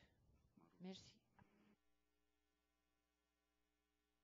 Marouroumet et euh, mademoiselle Sabrina Burke, rapidement, hein, merci. Oui, non, il y avait, par rapport à ce rapport, il y avait deux choses qui étaient importantes aussi à signaler. C'était notamment euh, le problème des accidents de travail et des congés maternité euh, qui sont toujours euh, pas pris en qui, qui sont couverts par l'argent de l'Assemblée mais pas par la CPS. Et j'aurais voulu savoir dans notre budget euh, est-ce qu'on dépense effectivement du budget de l'Assemblée pour couvrir des accidents de travail, pour couvrir des congés maternité? Euh, parce qu'il faudrait qu'on règle ce problème, parce que nul ici n'est à l'abri d'un accident de travail. Et ça peut coûter assez cher à l'Assemblée alors qu'on cotise à la CPS. L'autre point que je voulais également souligner rapidement, c'est le fait que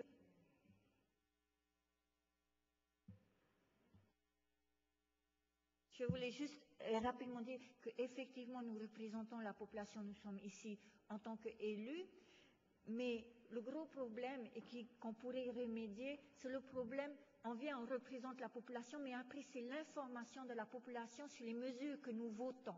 Alors si l'Assemblée peut dans l'avenir émettre une communication sur tous les textes qu'on passe pour informer, mais avec la position de la majorité et la position des différents groupes de l'opposition, une position officielle de l'Assemblée. Après, ils peuvent rajouter ce qu'ils veulent, mais qu'ils viennent, qu'ils contribuent à un communiqué chaque fois sur la position de l'opposition et la position de la majorité pour que notre population puisse également être informée de ce qu'on fait ici, parce que c'est le rôle de, du représentant. Et Merci, juste pour juste compléter. On allait parler, on, règle, on allait modifier le règlement intérieur si nécessaire. Je crois qu'on en a assez discuté. On va passer au vote de l'article 4, euh, pardon, de l'article 5. Alors, euh, je demande une suspension, Madame la Présidente, avant le vote de cet article.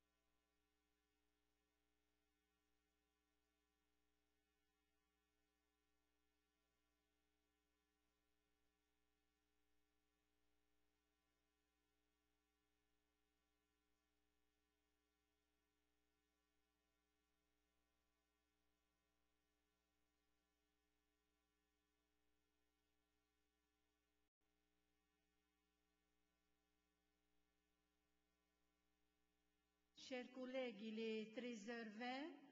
Nous allons faire une suspension de séance pour déjeuner, reprise à 14h30. Reprise de la séance à 14h30. Bon appétit.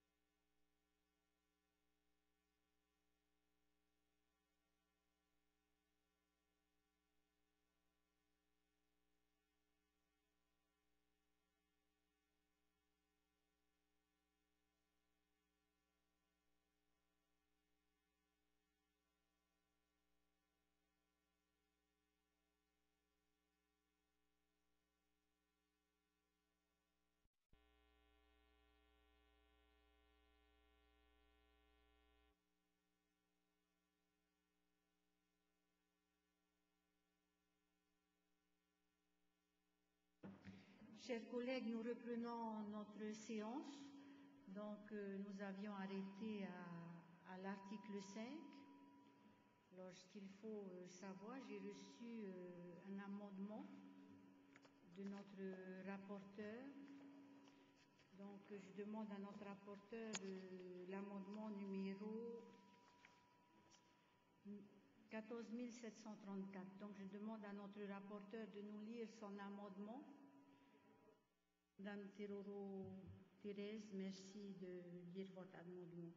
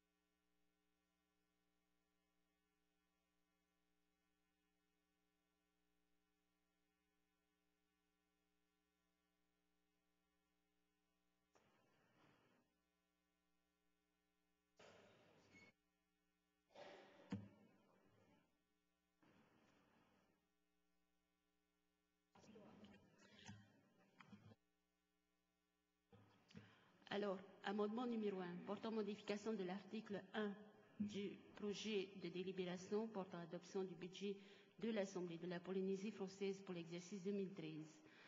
Alors, grand 1, proposition de modification de l'article 1. Le tableau des ressources d'investissement est modifié comme suit. Total du chapitre 900 en plus 43 500 000. Euh, vous êtes trompé d'amendement. En fait, pour vous, c'est le numéro 10, 14 734. Regardez bien le numéro de l'amendement. Merci de le lire. Okay. Alors, 1, proposition de suppression de l'article 5. L'article 5 est supprimé. L'article 6 devient l'article 5. Nous passons euh, au vote sur la recevabilité de cet amendement à l'unanimité. À l'unanimité, merci. Donc, euh, la suite, merci.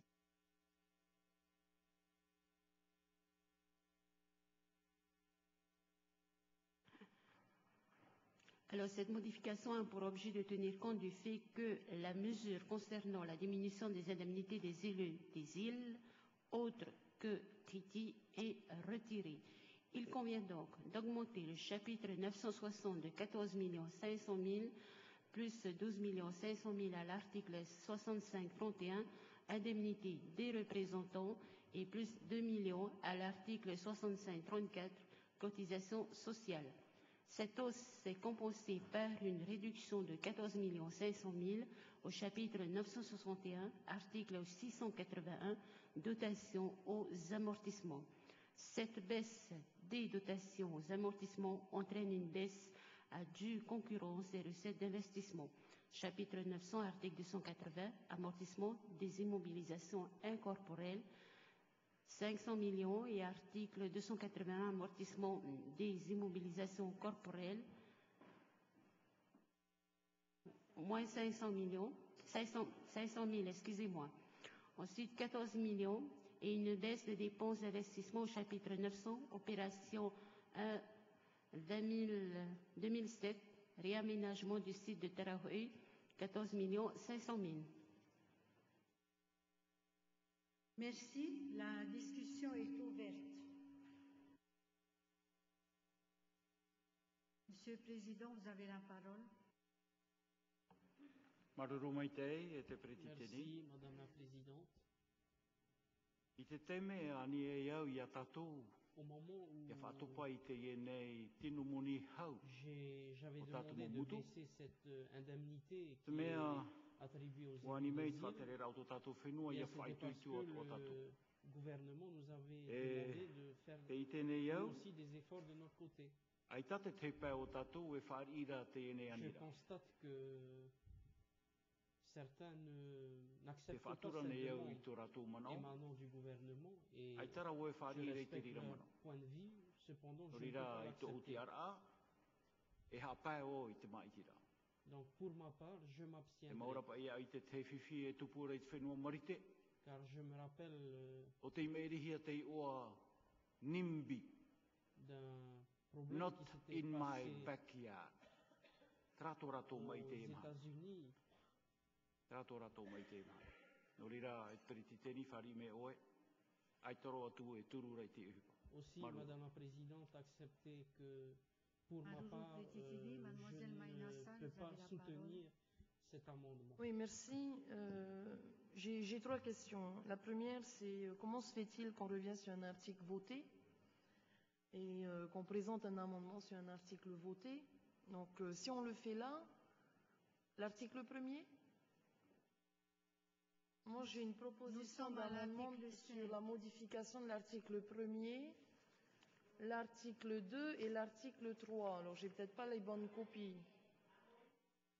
Comment? Ah, on m'a donné Euh, que ça, excusez-moi. Mais moi, j'ai... L'amendement, Article 4 on- euh, Amendement numéro 4, on commence par l'amendement numéro 4 D'accord. Article 5 est supprimé. On commence par celui-là et après on va faire les autres Bon. Donc en tout cas, euh, ça, ça vaudra pour les autres. hein. Mais euh, j'ai une question quand même. Est-ce qu'on va voter les premiers amendements? On commence par l'amendement numéro 4, après on revient au premier. C'est ça? Non, c'est un peu non, bizarre. je vous Sur ai la donné forme, le hein. numéro de l'amendement 14 734. C'est une faute de 14 frappe. 734. 14 Bon. 734. Sur le fond maintenant, sur le Voilà. fond, j'ai deux questions. La première, est-ce qu'on peut nous redonner un historique sur euh, cette baisse d'indemnité? Effectivement, il y a eu une baisse de 10% hein, de, de notre indemnité standard, je dirais. Et c'est vrai que les élus des îles ont une indemnité complémentaire, il me semble d'environ 100 000 francs, pour euh, justement vous dédommager, des, notamment au niveau du logement quand vous venez sur Tahiti. Euh, c'est une indemnité que je ne remets pas en compte. Bien entendu, vous devez avoir un, autre endroit pour loger quand vous venez ici, vous n'allez pas acheter une deuxième voiture, bref, vous avez des frais complémentaires. Maintenant, euh, ce que j'aurais souhaité, plutôt que d'avoir euh, cet amendement, c'est de savoir sur ces 100 000, qu'est-ce qui s'est passé? Est-ce que vous avez eu une baisse de 10% aussi sur cette in- indemnité lorsqu'on a baissé l'indemnité euh, de base de tous les élus. Donc je voudrais qu'on nous précise si ça a été le cas ou pas. Deuxièmement, dans le projet de budget, la baisse, la nouvelle baisse, si j'ai bien compris que vous contestez, représente en montant combien sur le total? Si j'ai oui dire que c'est environ la moitié. Euh, Personnellement, je vais vous livrer mon sentiment sur ça. Je trouve que c'est tout à fait normal que vous ayez une indemnité complémentaire. Par contre, notre souci, c'est que cette indemnité serve bien à ce, à quoi elle doit servir. Et à ce titre-là, euh, moi je suggère plutôt que l'Assemblée prenne en charge directement vos frais de logement, puisse organiser euh, puisque ça coûte environ, je, fais une synthèse, ça coûte 100 000 francs. Euh, il y a une vingtaine d'élus, multiplié par euh, le nombre de mois, ça équivaut à peu près à 20 millions par an. Euh, ne peut-on pas réfléchir, plutôt que d'aller indemniser de cette manière, de réfléchir à une solution pérenne où vous aurez un logement qui vous est attribué? Si vous n'en avez pas besoin, ne l'utilisez pas. Si vous en avez besoin, vous en ferez la demande. Et d'ailleurs, je serai pour qu'il y ait une extension aussi pour ceux de la presqu'île. C'est tout à fait normal. Voilà. Maintenant, ce que l'on souhaite, c'est que cette indemnité serve réellement à ce à quoi elle est destinée. Qu'il y ait un contrôle et qu'il y ait un bilan avant de nous présenter un amendement de cette sorte. Et puis ma dernière question, elle s'adresse à ceux qui ont fait cet amendement. Euh, vous allez revenir de- d'environ près de 17 millions cette ligne de crédit que l'on prend sur d'autres lignes d'investissement. Je voudrais savoir ce qui ne sera pas réalisé sur ces lignes d'investissement. Merci.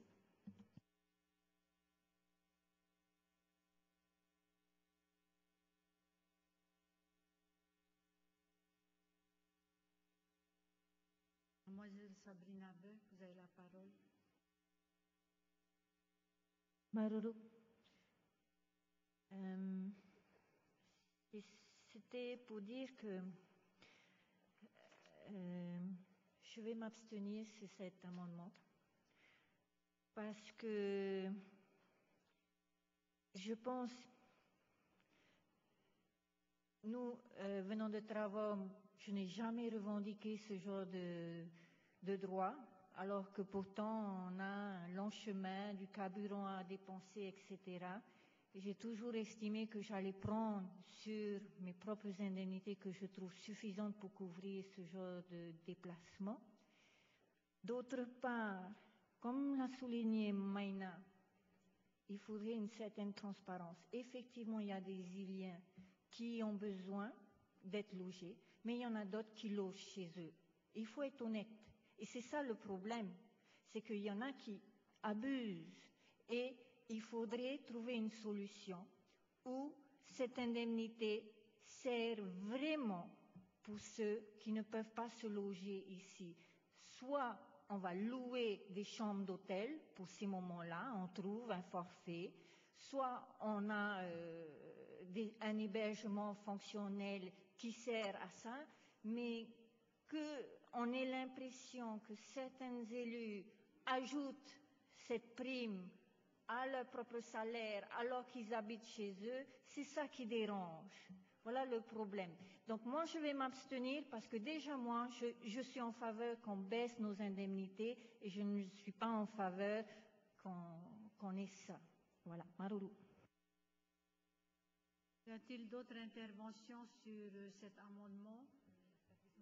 Madame Patricia Jennings, avez la parole. Oui, merci Madame la Présidente. Je ne suis pas contre le fait qu'on paye une indemnité euh, euh, aux élus des îles. Voilà. Mais encore faut-il que ces élus restent du matin jusqu'à la fin de la séance parce qu'on en voit euh, qui arrivent le matin et qui repartent vers 6 heures. Alors, comment se fait le paiement de ces indemnités complémentaires? Alors, c'est ma question. J'aimerais bien parce que dans le règlement intérieur, il faudrait être absent euh, trois fois pour avoir une coupure euh, au niveau de notre indemnité. Alors, je voudrais qu'on me, voilà, qu'on me rafraîchisse un peu cela. Merci.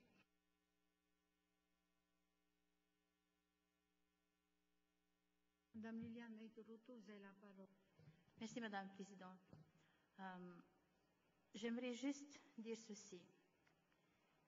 Qu'on ne fasse pas payer à la totalité les erreurs des autres. Je répète, qu'on ne fasse pas payer à tout le monde l'erreur de certains. S'il y en a qui le font, eh bien, ils le font. Mais il y en a aussi qui sont là et qui restent, qui sont présents. Si ce qui avait été prévu était fait, que l'immeuble à côté était réservé pour les représentants, il n'y aurait pas ce problème-là. Mais seulement ce n'est pas le cas. Lorsque nous, on vient des îles où on n'a pas avion tous les jours, comme je l'ai dit ce matin, et dans la journée, il n'y a pas deux, trois avions, c'est pas vrai, pour, en tout cas en ce qui me concerne, euh, on reste ici une semaine, deux semaines, on est là. Ceux d'ici, ils rentrent chez eux, ils ont leur mari, ils ont leurs enfants. Non, non, moi je le dis, hein. Ça commence à bien faire aussi. Ne faites pas payer aux autres l'erreur, hein, à tout le monde l'erreur de certains, s'il vous plaît. Faites la part des choses. Il faut être juste aussi. C'est tout ce que je demande. Maintenant, si la majorité, si la, plupart, ok. Mais n'oubliez pas, quand vous serez absent, moi je noterai. Hein. Ceux qui vont venir, qui vont s'en aller l'après-midi, je noterai. Merci, Madame Armel Messeron, vous avez la parole. Si, ben, je crois que les deux intervenantes euh, avant moi ont, dit les choses. Hein. Je crois que euh, il faut, il y a une indemnité, elle est faite pour compenser des, des pour compenser des charges supplémentaires. et pour que les élus soient présents. Donc, euh, oui, pour compenser des charges supplémentaires, non pour que ce soit euh, un surcroît d'indemnité, et non pour voir des élus partir juste avant le dernier bateau ou euh, venir le matin et puis au bout d'une heure ou deux partir. Voilà, donc le vrai problème en fait derrière tout ça. Voilà, on n'a pas appliqué les règles. Aucun président jusque-là n'a euh, appliqué les règles qui permettaient de diminuer les indemnités quand euh, on était absent. C'est tout? Oui, moralité, nous allons appliquer les règles. Bon, Madame Françoise vous avez la parole. Bonjour, Madame la Présidente. Je crois qu'on est bien au milieu d'un débat intéressant, très intéressant, parce qu'on est dans la gestion des fonds. Euh, je dirais que l'amendement. Écoutez-moi, écoutez-moi.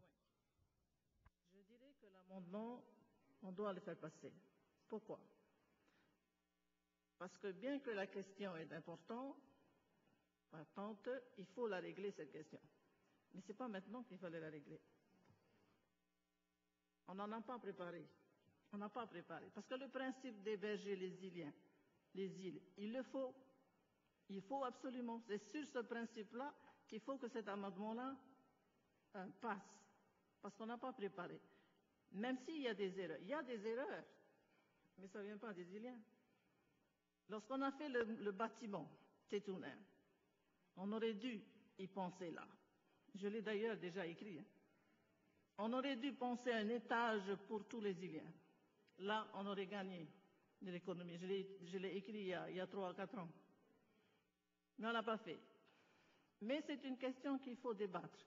Puisqu'il y a une modification du règlement intérieur, c'est le moment de rediscuter de tout ça. Parce qu'il y a bien des Iliens qui ont des maisons ici et qui n'ont pas besoin de ça, mais il y en a qui ont vraiment besoin de ça. Donc ce n'est pas le moment de modifier maintenant, c'est mon avis. Il faut remettre les choses euh, à leur place et reprendre le débat ça.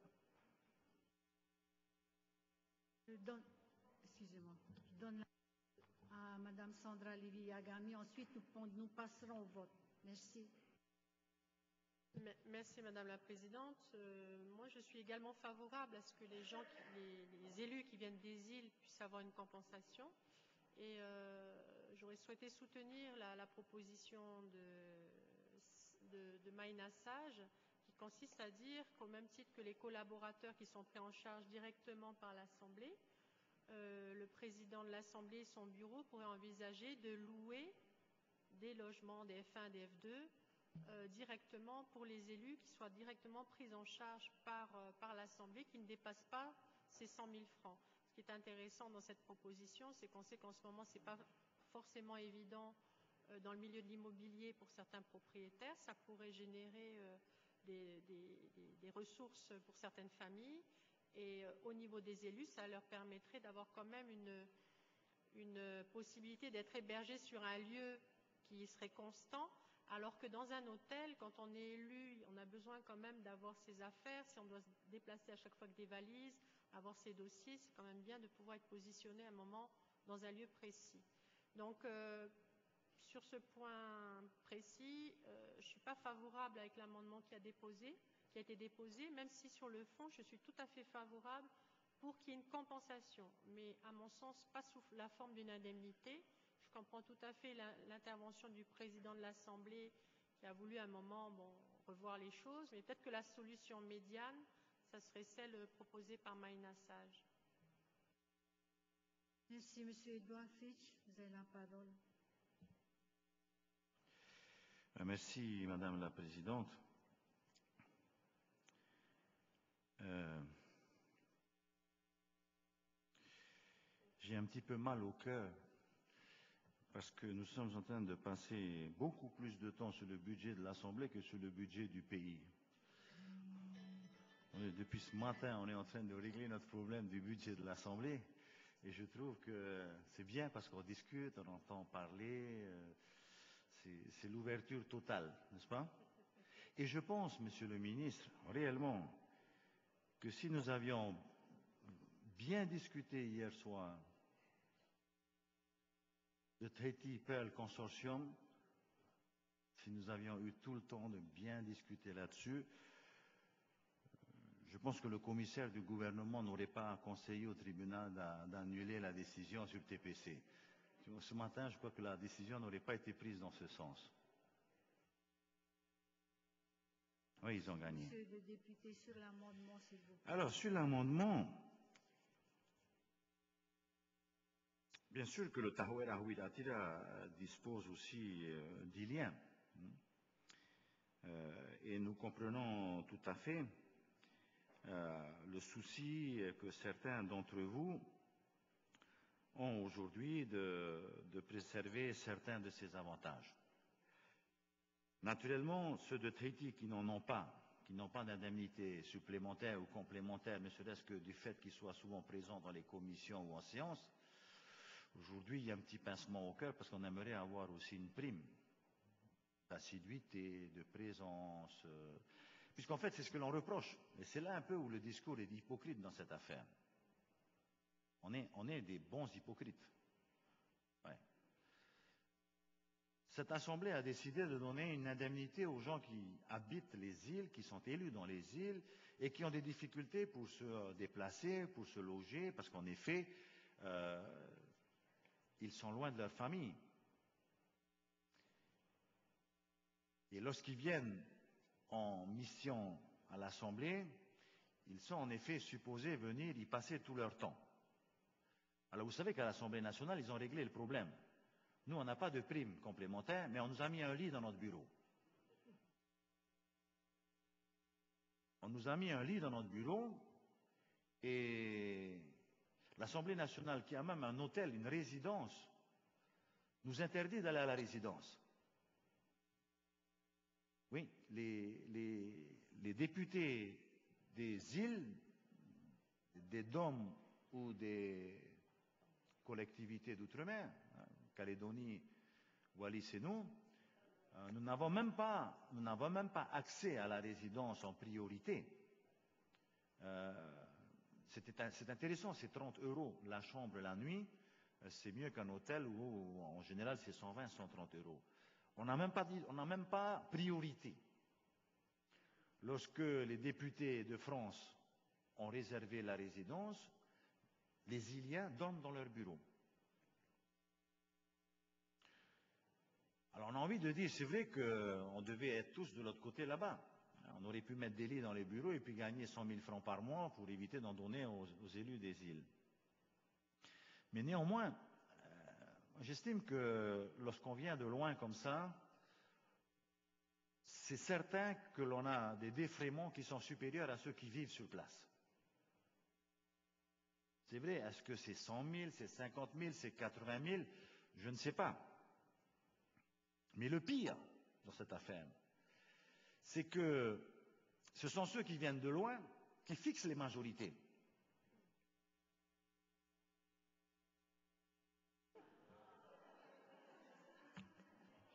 C'est tout le problème qu'on a aujourd'hui.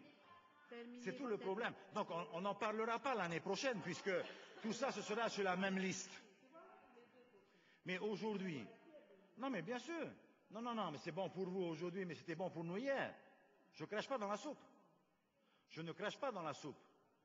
C'est la répartition des élus qui fait qu'aujourd'hui, c'est Tahiti qui donne le ton. Bleu, orange, un peu rouge, mais qui donne la majorité? Ce sont ces gens des îles. Alors, je comprends très bien que vous soyez très embêtés. Mais moi, je crois, franchement, pour régler le problème, je crois qu'il ne faut pas le trancher maintenant. Je ne soutiens pas. Je ne soutiens pas. Mais je pense que ce serait imprudent pour nous d'essayer de trancher le problème aujourd'hui et d'attendre peut-être le début d'une mandature pour en discuter beaucoup plus calmement. Mais néanmoins, parce que été président de l'Assemblée, j'ai été confronté, bon, Mme Tam a été aussi dans le bureau, on en a beaucoup parlé, mais réellement, je serais gêné de dire que ces gens-là, ils pourraient gagner la même chose que nous. Parce que c'est sûr que le fait de se déplacer loin de son lieu de résidence a un coût. A un coût. Ça a un coût. Maintenant, a-t-on suffisamment d'éléments pour le chiffrer? Je ne sais pas. Je ne sais pas.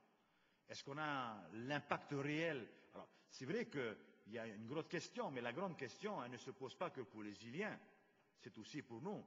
Euh, c'est l'assiduité. C'est l'assiduité. Euh, je crois qu'il ne faut pas pointer que les gens des îles. Nous sommes concernés autant que vous, et bien souvent, en effet, il y a certains Iliens qui sont plus présents que d'autres même, qui sont juste à 20 kilomètres d'ici. Donc, euh, je crois que évitons de mélanger les choses parce qu'on risque d'y passer encore beaucoup de temps, et puis on a encore beaucoup de dossiers, en fin de compte, derrière, qui nous attendent. Et comme on nous a empêché de parler hier soir, et là je suis heureux parce que je peux parler comme je veux. Alors je ne sais pas si c'est parce que le président est derrière moi et non plus devant moi, mais euh, toujours est-il que, je crois qu'il ne faut pas que l'on perde du temps là-dessus, et c'est vrai que ça doit se régler en bureau. Ça c'est au bureau à décider de quelque chose avec les représentants de chaque groupe, puisqu'ils sont tous présents, mais ne nous empoisonnons pas avec cela, parce qu'on va, tenir un langage encore plus hypocrite qu'hier. Merci. Merci. Donc, je vais écouter vos conseils. Nous allons passer au vote de l'amendement. Donc, qui est pour? Levez bien haut le doigt pour qu'on puisse compter.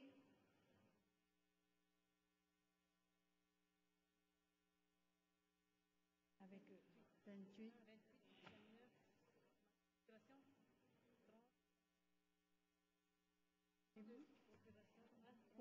Pour Pour aussi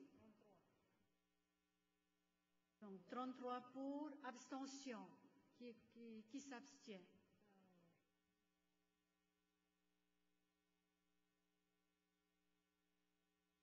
Qui est contre? Personne? Merci. Donc euh, l'amendement est, est voté. Donc nous allons maintenant passer à l'article, au vote de l'article amendé. Qui est pour le vote de l'article amendé. Et pour 30, même vote? Même vote? Même vote, merci. Donc, comme nous avons l'article 5 qui a été supprimé, alors selon le, le règlement, le règlement intérieur, donc je vous donne, euh, avant que je vous passe la parole, excusez-moi, selon l'article 39, L'Assemblée peut, au cours d'une même séance, revenir sur un vote précédemment exprimé. La décision de remettre la question aux voix doit être prise à la majorité des membres présents ou représentés. Donc, avant de, nous sommes obligés de revenir à l'article premier, de réétudier l'article premier, puisque l'article amendé a été voté à la majorité des voix. Donc, euh, j'ai besoin d'abord d'avoir votre avis, qui est pour qu'on revienne euh, donc à l'étude de l'article 1. Est-ce que c'est le même vote? Même vote, merci. Madame Sandra Lévy-Agami, vous avez la parole. Oui, Madame la Présidente, il me semble ne pas vous avoir entendu euh, donner le décompte des voix sur le vote de l'amendement. La, Est-ce qu'on pourrait l'avoir Merci. Euh, Excusez-moi, donc c'est 33 voix pour et 5 abstentions donc pour l'amendement. Et l'article amendé Idem, 33, 33 voix pour et 5 abstentions. Il n'y a aucune voix contre. Donc nous passons au deuxième amendement, qui est l'amendement numéro 14 731. L'amendement numéro 1, entre guillemets. Mais c'est l'amendement numéro 14 731. Merci. Donc, Madame Teroro Thérèse, vous avez, Tama, euh, excusez-moi, vous avez la parole. Tani, pardon. Alors, proposition de modification de l'article 1. Le tableau des ressources d'investissement est modifié comme suit. Total du chapitre 900 en plus 43 500 000. Merci. Même vote pour la recevabilité de, de l'amendement à l'unanimité? L'unanimité, merci. L'exposé des motifs, merci. Alors, Madame la Présidente, avant, le total général des ressources est diminué de 14 500 000, soit 2 milliards 280 millions 500 000 au lieu de 2 milliards 296 millions. Le montant des ressources d'investissement et les annexes sont modifiés en conséquence. Alors, exposé des motifs. Cette modification a pour objet de tenir compte du fait que la mesure concernant la diminution des indemnités des élus des îles autres que Tahiti a été retirée. Il convient donc d'augmenter le chapitre 962 14 500 000 plus 12 500 000 à l'article 65-31, indemnité des représentants, et plus de millions à l'article 65-34, cotisation sociale. Alors cette hausse est, est compensée par une réduction de 14 500 000 au chapitre 961, article 681, dotation aux amortissements. Cette baisse des dotations aux amortissements entraîne une baisse à due concurrence des recettes d'investissement. Chapitre 900, article 280, amortissement des immobilisations incorporelles, 500 000 et article 281, amortissement des immobilisations corporelles, 14 millions et une baisse des dépenses d'investissement au chapitre 900, opération 1 2007, réaménagement du site de Terrahoy, 14 millions 500 000. Merci. La discussion est ouverte. Madame Lana. Oui, merci Madame la Présidente. Je ne vais pas revenir sur le débat euh, de l'amendement qu'il y a eu. J'ai levé mon don, je voulais expliquer mon vote pour euh, l'amendement qui a changé d'ailleurs euh, l'intitulé de l'article numéro 1. J'ai voté pour l'amendement parce que sur le principe, comment ça a été décidé, je ne suis pas d'accord. On aurait pu quand même consulter les présidents de groupe et puis on aurait pu discuter quand même. Apparemment, d'après mes informations, ce sont trois personnes qui ont décidé le oui ou non euh, de couper. Bon, je ne veux pas polémiquer, mais je veux quand même être clair euh, sur euh, ma position d'élu. On ne va pas venir ici faire la fine bouche et faire les hypocrites. Je me suis déjà euh, exprimé concernant surtout ce sujet-là des élus des îles. Outre ce qui a été dit sur l'assiduité de chacun d'entre nous, chacun assumera ses responsabilités, puisque nous sommes envoyés ici pas par le bon vouloir du bon Dieu, mais par un vote, par un travail que nous, avions fait dans nos circonscriptions respectives, en allant demander, convaincre nos populations de nous faire confiance. C'est pour ça que nous sommes là tout d'abord. Alors si nous avons des comptes à rendre, ce n'est que, en tout cas en ce qui me concerne, c'est à eux. De deux.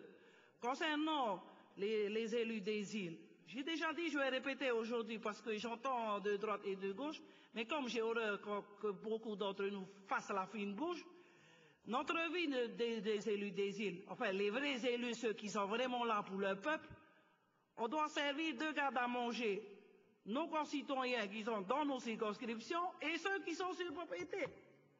C'est ça la vie. Ça sert à ça nos indemnités. Non mais c'est moi qui le dis. Moi, nous, on vit ça tous les jours non seulement on rend des comptes là-bas dans nos circonscriptions, quand nous venons ici, nous rencontrons aussi nos populations des archipels.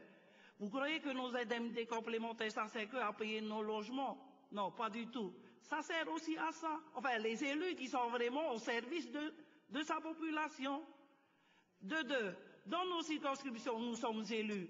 Vous croyez qu'en récemment, dans la commune où nous sommes élus, on circule on circule. On ne vient pas pleurer ici à l'APF pour demander au président, hey, tu peux me payer mon billet d'avion parce que j'ai besoin d'aller à Rouené, j'ai besoin d'aller à Montpellier puisque c'est la circonscription dans laquelle je suis élu, ou bien pour les toits motos, si c'est à l'ouest ou si c'est à l'est.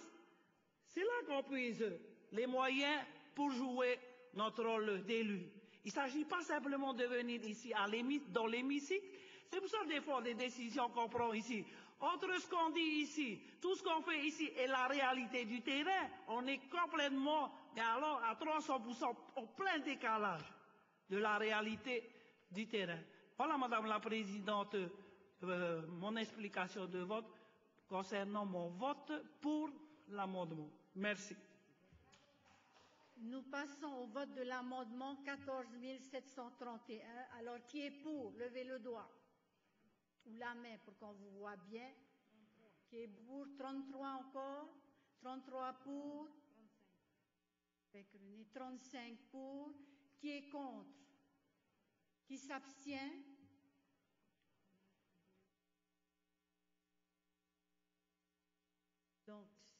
4 abstentions, ce qui nous fait 35 voix pour et 4 abstentions. Donc nous passons maintenant au, au vote de l'article 1 amendé. Qui est pour? Même vote? Même vote, merci. Donc l'article 1 est adopté. Nous passons maintenant à l'article 2, à l'amendement donc numéro 14 732. Madame Tani, vous avez la parole. Oui, Madame la Présidente. Alors, euh, c'est un amendement portant modification de l'article 2 du projet de délibération portant adoption du budget de l'Assemblée de la Polynésie française. Euh, proposition de modification de l'article 2. Le tableau des dépenses de fonctionnement est modifié comme suit. Total du chapitre 960, 1 milliard 231 millions 650 000. Total du chapitre 961, 241 millions 750 000. Total du chapitre 962, 764 millions 600 000. Total général 2 milliards 238 millions. Les annexes sont modifiées en conséquence. Nous passons, nous passons au vote sur la recevabilité de l'amendement à l'unanimité. Merci. Donc la discussion est ouverte. Madame vous avez la parole. Oui, je voudrais avoir des réponses aux questions que j'ai posées au, premier amendement. C'est-à-dire, est-ce qu'on peut avoir un point euh, sur ces indemnités par personne? Euh, Est-ce que vous avez subi la baisse des moins 10% de cette indemnité? Combien a été proposé dans le budget actuel? Ça représentait une baisse de combien? Et est-ce que là, on, on rétablit euh, jusqu'au montant initial ou il y a quand même une baisse qui va être impactée? Et deuxième question que j'ai posée, en investissement, ça représente euh, l'arrêt de quel projet? Merci.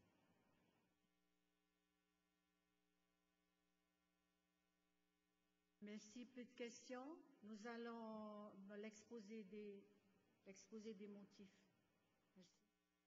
Alors, cette modification a pour objet de tenir compte du fait que la mesure concernant la diminution des indemnités des élus des îles autres que Titi a été retirée. Il convient donc d'augmenter le chapitre 962 14 500 000 plus 12 500 000 à l'article 65 31 indemnité des représentants et plus de millions à l'article 65-34 cotisation sociale.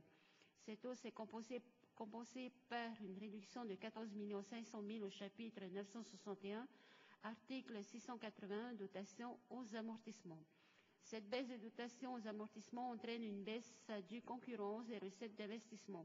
Chapitre 900, article 280, 280 amortissement des immobilisations incorporelles 500 000 et article 281 amortissement des immobilisations corporelles 14 millions et une baisse de dépenses d'investissement au chapitre 900 opération 1 2007 réaménagement du site de Tarahoy 14 millions 500 000. La discussion est ouverte. Pas de discussion, donc nous passons au vote.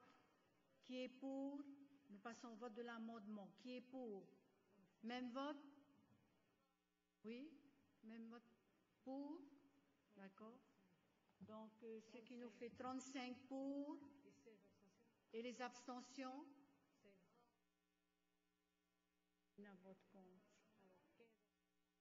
Donc, ce qui nous fait 15 abstentions et un vote contre, une voix contre. Deux, deux contre.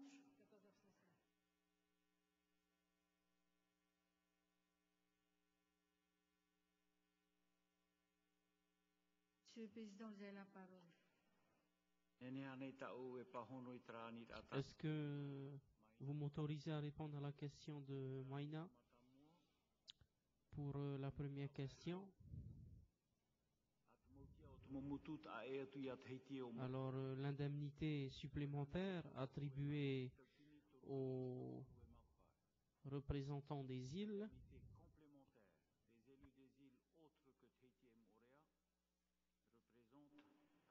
132 335 francs.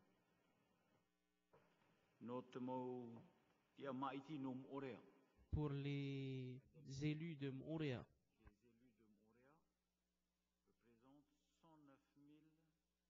150 francs. E e,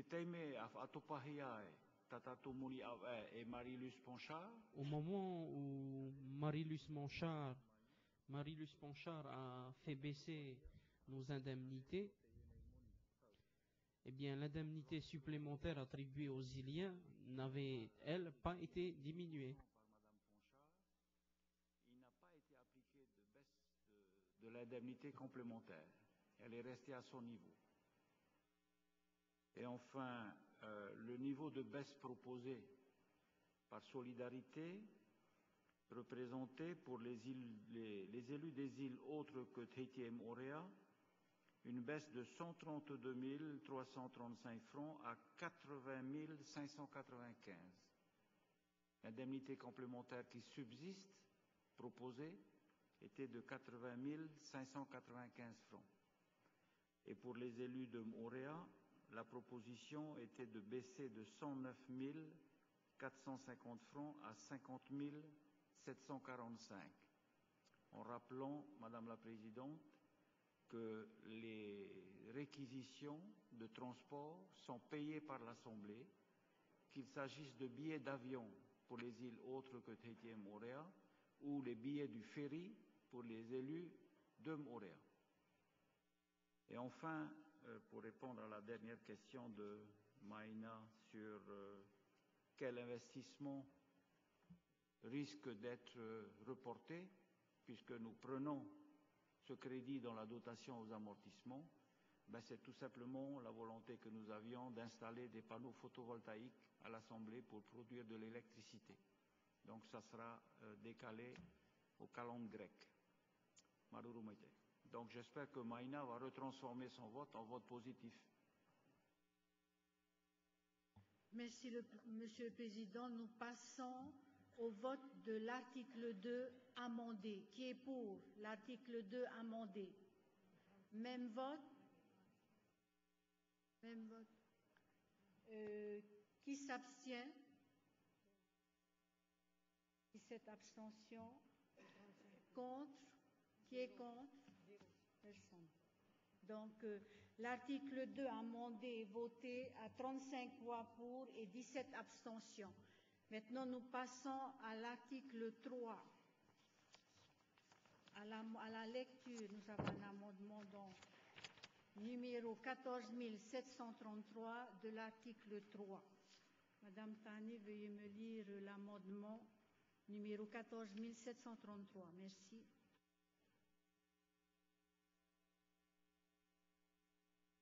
Alors, proposition de modification de l'article 3. Le tableau des dépenses et investissements est modifié comme suit.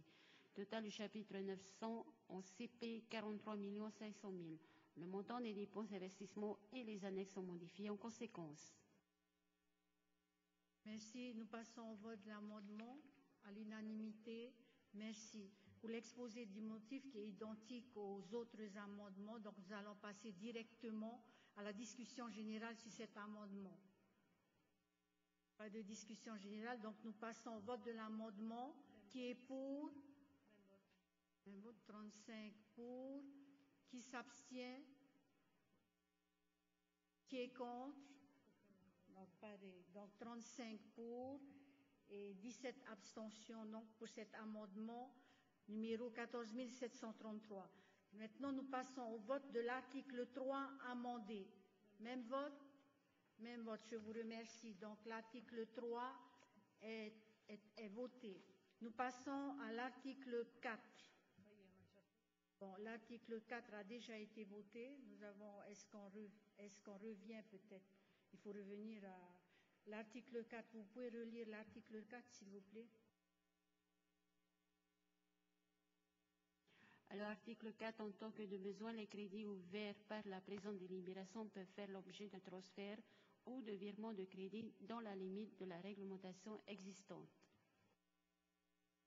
Merci. La discussion est ouverte. Même vote?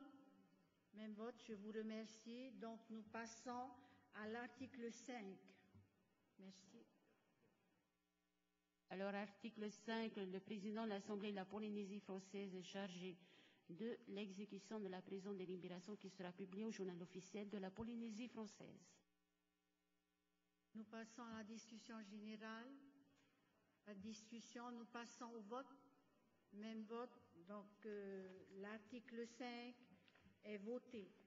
Nous passons maintenant au vote euh, de toute la délibération. Est-ce que la discussion est ouverte? Oui. Madame Chavet. Merci, Madame la Présidente. Euh, je voulais juste rajouter, par rapport à ce matin, je n'ai pas pensé qu'il y aurait un boom comme ça. Mais sinon, euh, pas, nous ne sommes pas là, comme beaucoup le pensent, alimentaire. Non, pas du tout. Et je voudrais éclaircir aussi. Quand je suis dans l'hémicycle, je m'en vais sur Montréal tous les soirs. Une fois, c'est mon assemblée prend en charge mon bateau. C'est à l'ouverture. Mais le reste des soirs, quand je rentre sur Montréal, je paie moi-même mon bateau. Voilà, je tenais à ce que tout le monde le sache. Merci. Je vous remercie. Monsieur René Comouetini, vous avez la parole. Merci, Madame la Présidente. Euh, D'abord, euh, la question à Monsieur le Président de l'Assemblée de la Polynésie française. Euh, pourquoi vous ne mettez pas la photo du Président de la République française, François Hollande, là où il est? Et c'est pour une préparation à l'indépendance ou quoi? Ça, c'est une question que je veux poser au président. oui, d'accord. Non, non, mais c'est l'article qu'il faut. C'est cet article-là où on peut poser cette question. Et alors, euh, bon, je voudrais expliquer le pourquoi euh, de cette euh, bon rétablissement de, de, ces, euh, de ces indemnités, euh, car il était convenu que pour ceux des îles autres que Tahiti et Montréal, que nous, quand on vient ici, et quand on va euh, pour, euh, par exemple, une nuitée dans, un, dans une chambre d'hôtel, si on trouve 12, 12 000 francs, une chambre d'hôtel par nuitée, c'est vraiment la chambre la moins chère. La moins chère. Et bon, pour les élus des îles. Alors, une nuitée, 10 nuitées, ça fait 120 000. Alors, c'est pour ça que cette indemnité, justement, nous permettait de louer un appartement, si on trouve un appartement de 120 000 francs ou 100 000. Et c'est comme ça que nous vivons.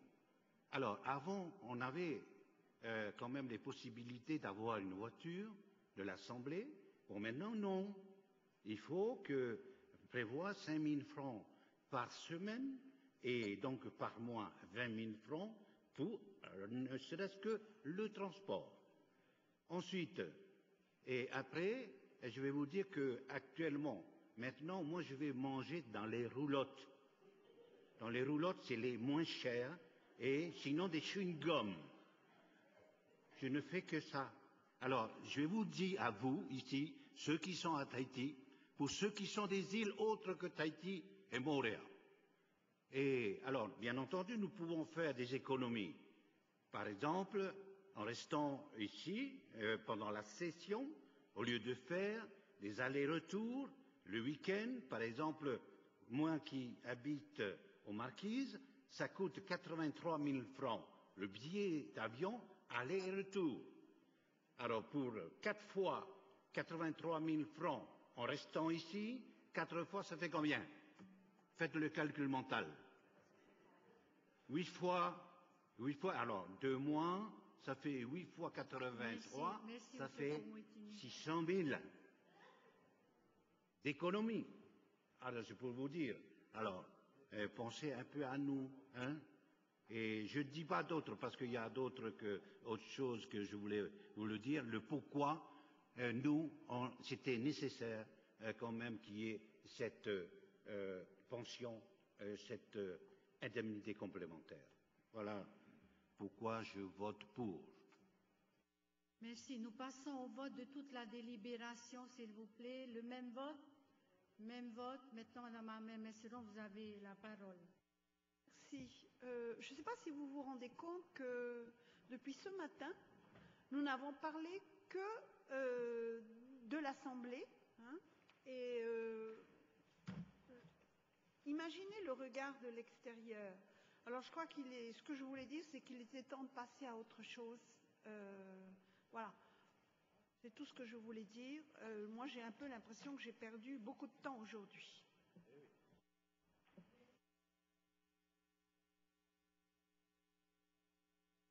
Merci. Donc, euh, nous allons passer aux autres rapports, puisque vous avez, on a, on a beaucoup discuté de l'Assemblée, c'est vrai, du projet de l'Assemblée. Madame la Présidente, est-ce que je peux euh, juste euh, ajouter quelque chose? Madame Parker, ouais. allez-y. ce n'est pas une explication de vote. Je veux simplement dire que depuis ce matin, je ne me suis pas exprimée au nom du groupe parce que j'ai estimé que cette décision ne me revenait pas, qu'elle qu'elle appartenait aux élus des îles autres que Tahiti de s'exprimer. Mais je tenais quand même à, m'associer, à associer le groupe à, au remerciement euh, pour le travail et puis la disponibilité euh, du personnel et aussi du, travail qui a été fait par notre président de, l'Assemblée. Et euh, de dire que je voulais aussi souligner qu'au niveau du travail et de l'organisation, du fonctionnement des, commissions, il y a eu une grande amélioration et une évolution aussi euh, euh, au niveau aussi de nos débats au sein de, nos séances. Et je tenais aussi, bien sûr, à remercier notre président parce que j'ai beaucoup, je parle de moi personnellement, euh, par son exigence, par son exigence, et aussi euh, j'ai beaucoup amélioré dans mon travail en tant que présidente de la commission des affaires économiques. Voilà, c'est tout ce que je voulais ajouter. Merci. Donc nous allons continuer à étudier les autres rapports. Euh, nous sommes en principe, nous devons en principe étudier le rapport numéro 102-2012 Monsieur le ministre nous a demandé une rectification de l'ordre puisqu'il y a des priorités. Puisque, Monsieur le ministre, je vous remercie pour votre patience depuis ce matin. Donc, Monsieur le ministre nous a demandé de, rectifier l'ordre du passage des rapports. Donc, il souhaiterait que le rapport 120-2012 soit traité en premier le projet de loi de pays portant dispositif d'incitation au départ volontaire des fonctionnaires de la Polynésie française. Ensuite, euh, le deuxième rapport qu'il souhaiterait étudier, c'est le rapport numéro 95-2012 et le troisième, numéro 102-2012. Alors, je soumets euh, ce rectificatif à votre vote. Alors, qui est pour À l'unanimité Merci. Donc, euh, nous allons passer à l'étude euh, du rapport 120-2012. Donc, le rapporteur a la parole, le rapporteur du, du rapport 120-2012. Merci. Comment je dis, Monsieur le Président? Je commence. Excusez-moi, je propose d'abord une suspension de séance de deux minutes. Monsieur le Président va reprendre sa place. Excusez-moi, Monsieur le Président, je pensais que c'était automatique. Merci.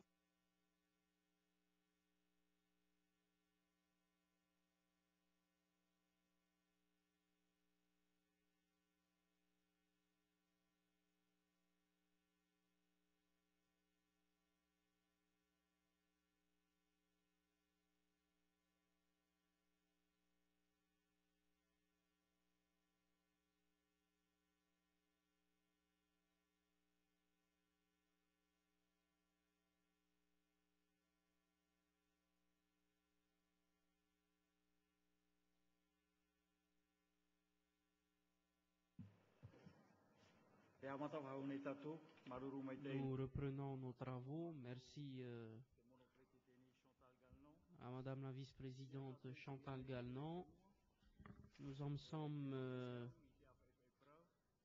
à la loi de pays numéro 120-2012 et je demande au rapporteur, Monsieur Fernand Omataro, Madame Joël Frébeau, de bien vouloir nous faire lecture de ce rapport. Par lettre numéro 6084 PR du 19 novembre 2012, le président de la Polynésie française a transmis aux fins d'examen par l'Assemblée de la Polynésie française un projet de loi du pays portant dispositif d'incitation au départ volontaire des fonctionnaires de la Polynésie française. Il convient de rappeler que le plan de redressement des comptes de la Polynésie française comprend un volet important de réorganisation des services de l'administration et de restructuration des satellites du pays. La réorganisation de l'administration et la restructuration des satellites du pays a pour objet de les mettre dans une configuration plus adaptée à l'exercice de leur mission. Elle vise aussi à réduire le nombre de personnel en, sureffectif au regard des besoins générés par ces missions. Au 1er juillet 2012, 7536 agents, toutes catégories confondues, ont été dénombrés au titre des effectifs de l'administration et des établissements publics, EPA, EPIC, ORPT et CHPF, voire à l'annexe 1 au rapport, pour une dépense globale estimée à 41,701 milliards de francs dont 29,466 milliards de francs pour les seuls services administratifs, dépenses inscrites au chapitre 962-02 du budget primitif 2012. Parmi ces 7536 agents, 4701 exercent au sein des services de l'administration. Globalement, les effectifs employés par l'administration sont majoritairement régis par le statut de la fonction publique du pays 76,3% des effectifs contre 23,7% pour les ENFA. Ces effectifs sont répartis par service sur les plus représentatifs selon le tableau joint en annexe 2 et par âge et statut, tous services confondus selon le tableau joint en annexe 3.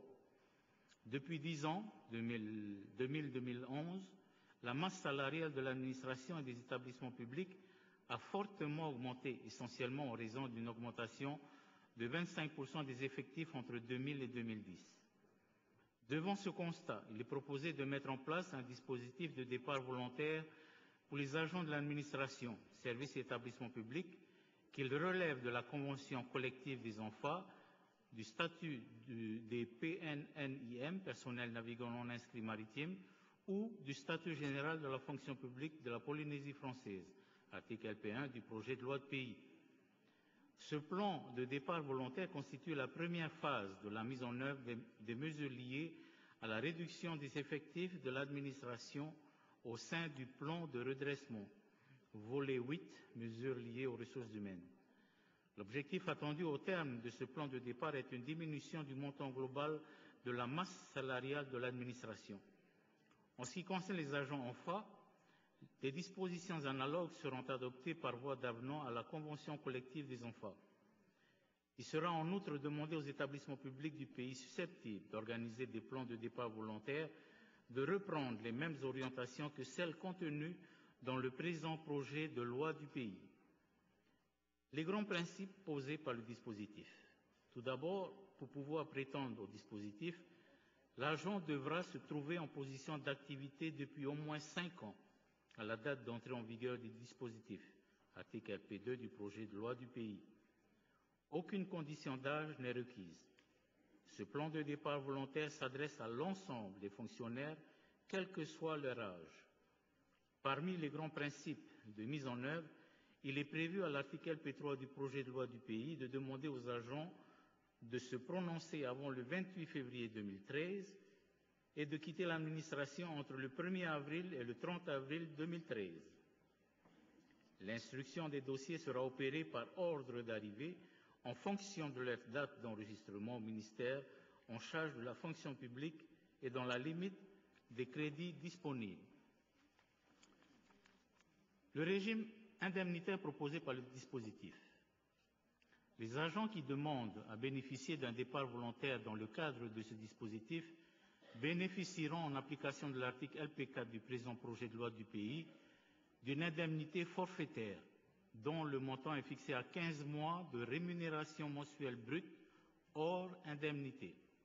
Toutefois, le montant de l'indemnité forfaitaire ne pourra pas être supérieur au montant de la rémunération brute hors indemnité qui aurait été servie aux fonctionnaires jusqu'à ce qu'ils réunissent les deux conditions suivantes être âgé d'au moins 60 ans et de réunir le nombre d'années de cotisation requises pour bénéficier d'une retraite à taux plein de la tranche dite A du régime général des salariés de la CPS.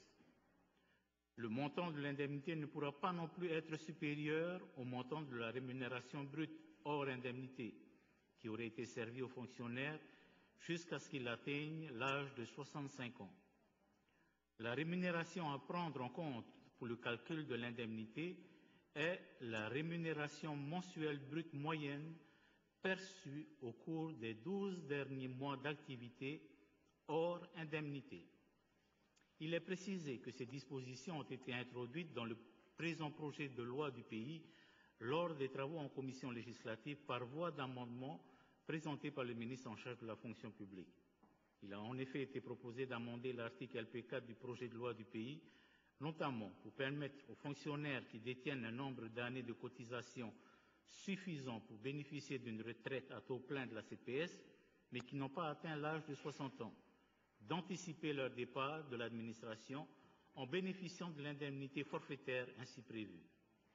Cela permettra également à l'administration de réaliser une économie générée par ces départs dès l'année 2014, dans la mesure où l'administration ne peut pas placer ses fonctionnaires à la retraite tant qu'ils n'ont pas atteint l'âge de 60 ans. L'article 5 du projet de loi de pays précise que l'agent qui, dans les cinq années suivant son départ volontaire, est recruté au sein d'un service ou d'un établissement public administratif est tenu de rembourser à la Polynésie française ou à l'établissement public administratif qui a versé l'indemnité de départ volontaire, au plus tard dans les trois mois qui suivent le recrutement, les sommes perçues au titre de cette indemnité. Cette disposition vise à éviter les effets d'aubaine. Elle est par ailleurs également applicable aux agents qui, après avoir bénéficié du présent dispositif, seraient recrutés dans les cinq années suivant leur départ volontaire au sein du cabinet du président de la Polynésie française ou d'un autre membre du gouvernement de la Polynésie française. Une estimation financière du présent dispositif est difficilement envisageable dès lors que celui-ci s'adresse à l'ensemble des fonctionnaires de la Polynésie française, toutes catégories confondues, quel que soit leur âge, à la condition qu'ils soient en position d'activité depuis un minima cinq ans. Toutefois, le gouvernement indique qu'au regard des dispositions du projet de loi du pays portant diverses dispositions relatives au régime de retraite des travailleurs salariés de la Polynésie française et au régime de retraite tranche B au profit des ressortissants du régime général des salariés, adopté le 10 juillet 2012 par notre Assemblée, qui, à partir de fin 2012, jusqu'à la fin 2016. Donc, allonge l'âge de départ à la retraite anticipée en le portant à 52 ans et 6 mois au 31 décembre 2012 au lieu de 50 ans et augmente le nombre d'années de cotisation nécessaires pour obtenir ces droits tant à la retraite à taux plein qu'à la retraite anticipée. Il est aisé de penser que ce dispositif devrait être attractif pour les fonctionnaires âgés de 55 ans et plus au 1er décembre 2012 et détenant au minimum une ancienneté de 26 ans à cette date au sein de l'administration de la Polynésie française. D'ailleurs, toujours selon le gouvernement, une attente forte est exprimée par ces fonctionnaires à travers leurs représentants de pouvoir bénéficier d'un départ volontaire, attente fortement alimentée par les nouvelles dispositions adoptées donc par notre Assemblée en matière de retraite et qui pourraient être mises en œuvre dès le mois de janvier 2013. Le gouvernement a donc recensé les fonctionnaires des services et des établissements publics administratifs répondant à à ces conditions d'âge, 55 ans et plus, et d'ancienneté, 26 ans et plus, et ce recensement fait apparaître un nombre de 201 fonctionnaires affectés dans les services et établissements publics administratifs répartis dans les cadres d'emploi des catégories A, B, C et D de la fonction publique de Polynésie française, voir à l'annexe 4 au rapport. Les agents enfin répondant à ces conditions au sein des services administratifs sont quant à eux au nombre de 313. Vous pouvez voir cela à l'annexe 5 au rapport. Il est précisé que l'objectif serait d'atteindre 400 départs dans l'année le surcoût engendré par les indemnités de départ étant estimé à 800 millions de francs CFP pour un coût global de 2 milliards. L'économie générée par ces départs serait ainsi de 1,2 milliard en année pleine à partir de 2014. Il est indiqué qu'au départ, la source de financement de ce dispositif devait être examinée avec l'État dans le cadre du plan de redressement, mais que, pour l'heure, aucun accord n'a été trouvé avec l'État sur le financement de ces départs. Il est néanmoins apparu impératif d'engager le dispositif en le finançant sur les seuls moyens du pays, d'où une inscription à ce titre de 800 millions de francs de crédit de personnel au projet de budget général du pays pour l'exercice 2013 que nous venons d'adopter. Le Conseil supérieur de la fonction publique, dans sa séance du 3 août 2012, a rendu un avis favorable à l'unanimité sur le projet de loi du pays, avant que celui-ci ne soit modifié en commission de l'emploi et de la fonction publique, étant précisé que les organisations syndicales représentatives ont émis le souhait que le montant maximal de l'indemnité complémentaire soit porté à 15 mois. Le CESC, qui a rendu son avis sur le présent projet le 19 septembre 2012, s'est lui déclaré favorable à la mise en place d'un dispositif d'incitation au départ volontaire des fonctionnaires, à condition qu'il soit assorti de critères permettant de cibler les secteurs les catégories et les fonctions qui ne font pas état d'un besoin de personnel patent pour assurer le bon fonctionnement des services ou établissements concernés. Tel est donc l'objet du projet de loi de pays si joint que je vous propose, que nous proposons, Joël et moi-même, à nos collègues de l'Assemblée de la Polynésie française au nom de la Commission de l'emploi et de la fonction publique d'adopter. Merci, Monsieur le représentant. Madame Alix Pratschen, euh, représentante du CESC, a été invitée à venir euh, présenter l'avis du CESC, mais elle n'est pas là. Alors la conférence des présidents a prévu une heure de temps de parole répartie euh, en dix minutes par groupe. Alors, le ministre devra nous quitter à 5h30. Aussi, si nous ne finissons pas l'étude de ce dossier aujourd'hui, eh bien nous continuerons demain matin. Je demande au groupe Totato Aya, pas d'intervention, à l'UPLD, pas d'intervention. À l'intervenant du groupe Yorot Fenua, Madame Armel Merceron.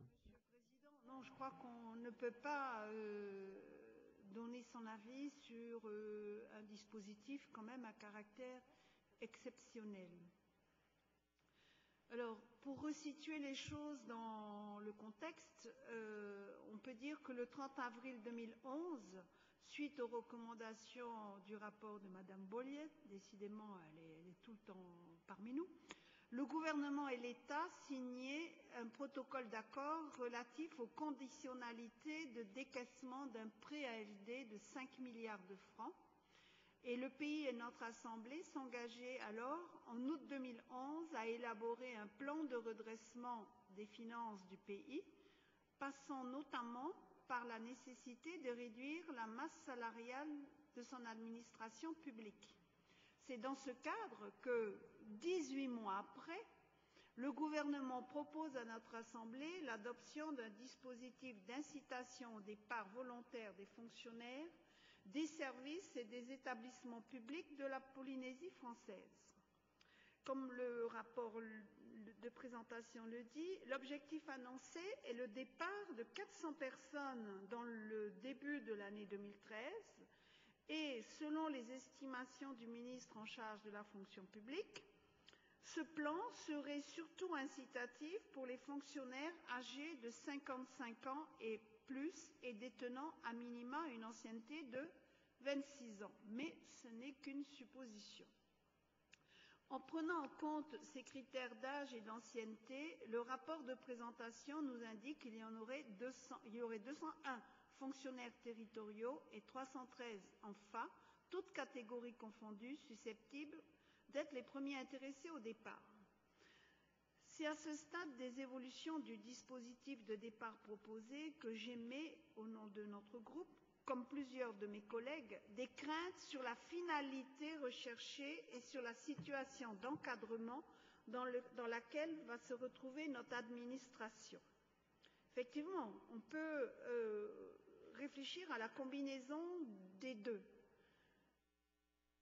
Réduire les effectifs de l'administration pour faire des économies, mais en même temps se poser des questions sur et après, que se passera-t-il quand euh, les gens seront partis? C'est vrai que le rapport Bollier et le, plan de redressement euh, entraînent l'obligation de réduction des dépenses et nécessitent de revoir le fonctionnement de notre administration. Mais il me semble qu'on met un peu la charrue avant les bœufs. On ne doit pas faire des coupes de manière aveugle, supprimant des postes vitaux pour la continuité de nos missions fondamentales du service public, euh, avant même d'avoir réfléchi à la réorganisation de l'administration. Quand une entreprise est placée devant une situation comme celle-là, euh, qu'elle a besoin d'être plus efficiente et de faire des économies, elle réfléchit d'abord à, à l'esquisse de ce qu'elle souhaite être après réorganisation. Et en fonction de cela, elle bâtit un plan. Mais nous, on a l'impression qu'on fait à l'envers. On fait partir les gens, et puis on verra après ce qui, va rester. Et je pense que c'est une erreur. Euh, dans notre administration, ce sont surtout des agents de catégorie C et D qui sont en nombre important. Et avec euh, cette annexe, j'ai fait quelques calculs, parce qu'il faut toujours se baser sur des réalités. Euh, sur les 5 458 postes budgétaires recensés rien que dans les services, hein, pas dans les EPA, qu'est-ce que l'on trouve? On trouve 900 enfants et sur ces 900 enfants, il y en a 576 qui sont des CC5, c'est-à-dire niveau certificat d'études au départ. Je ne dis pas qu'ils n'ont pas acquis des compétences euh, en cours de, de, carrière professionnelle. Ça veut dire donc que les CC5 représentent 64% des enfants et 69% si on ajoute les CC4 qui sont d'un niveau euh, CAP, je pense, euh, peut-être BEP.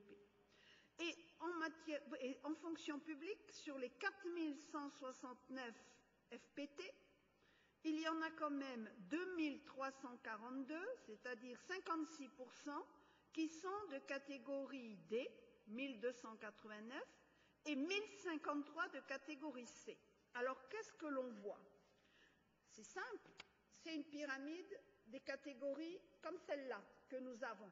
Une base très large, avec beaucoup de D, beaucoup de C, beaucoup de CC4, beaucoup de CC5.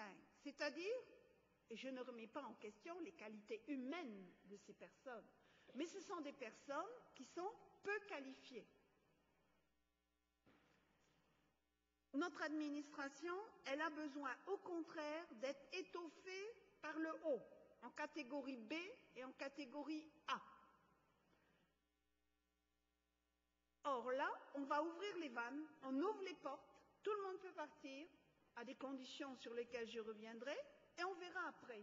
Donc le risque est évidemment de voir que notre administration soit ététée, que les gens qualifiés, les gens qui ont des qui, sont à même de travailler sur des actions, sur de, la, conception, euh, eh bien, partent et on va se trouver en difficulté. D'autant qu'on ne pourra même pas embaucher, puisque normalement il y a un gel.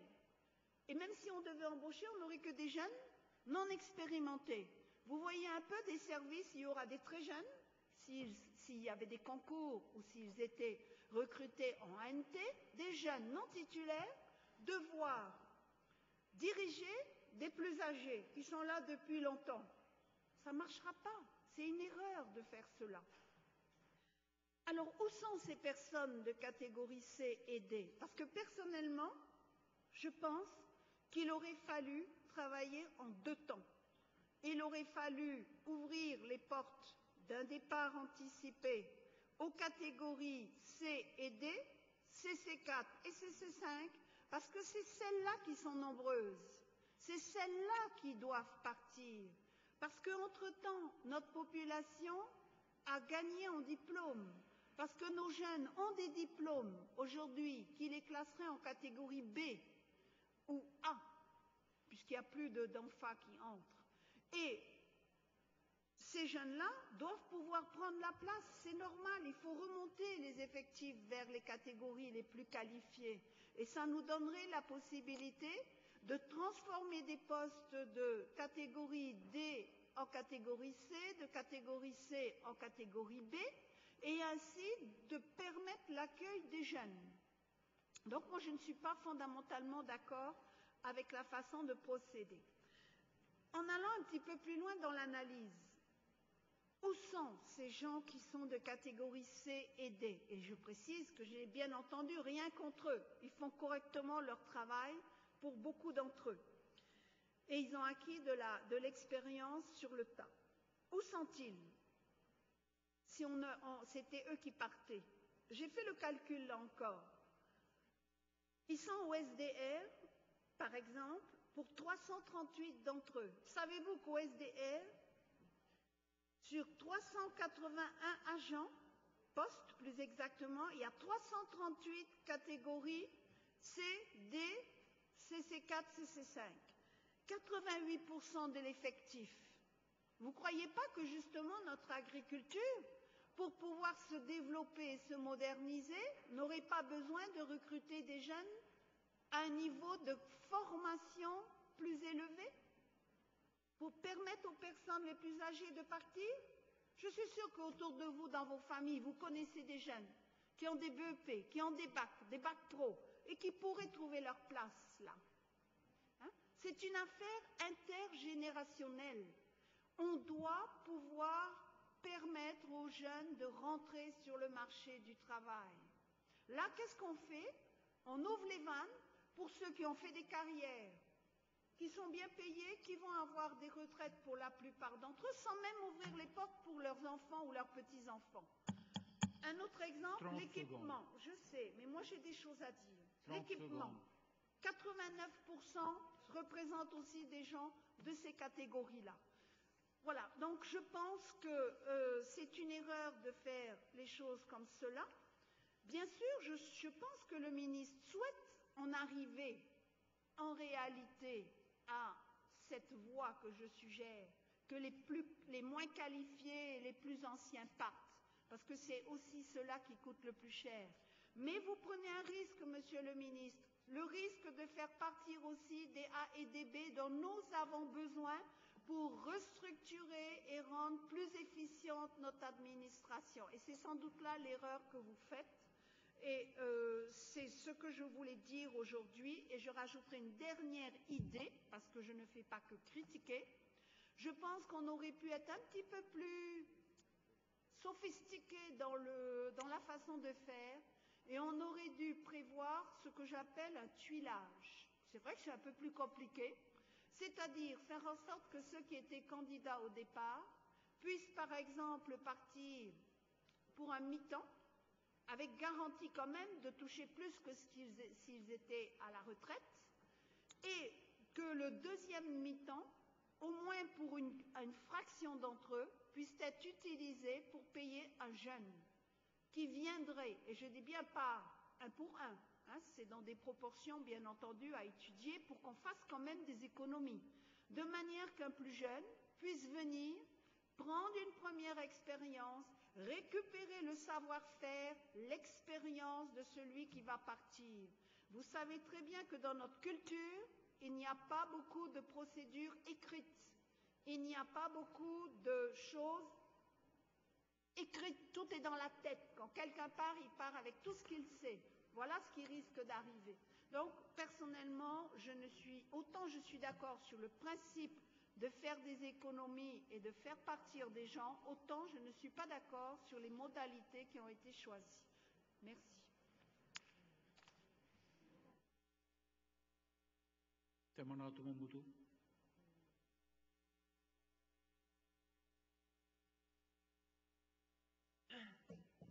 Oui, Monsieur le Président. le redressement des comptes du pays passe immanquablement par une euh, restructuration de ses services et établissements publics de la Polynésie française.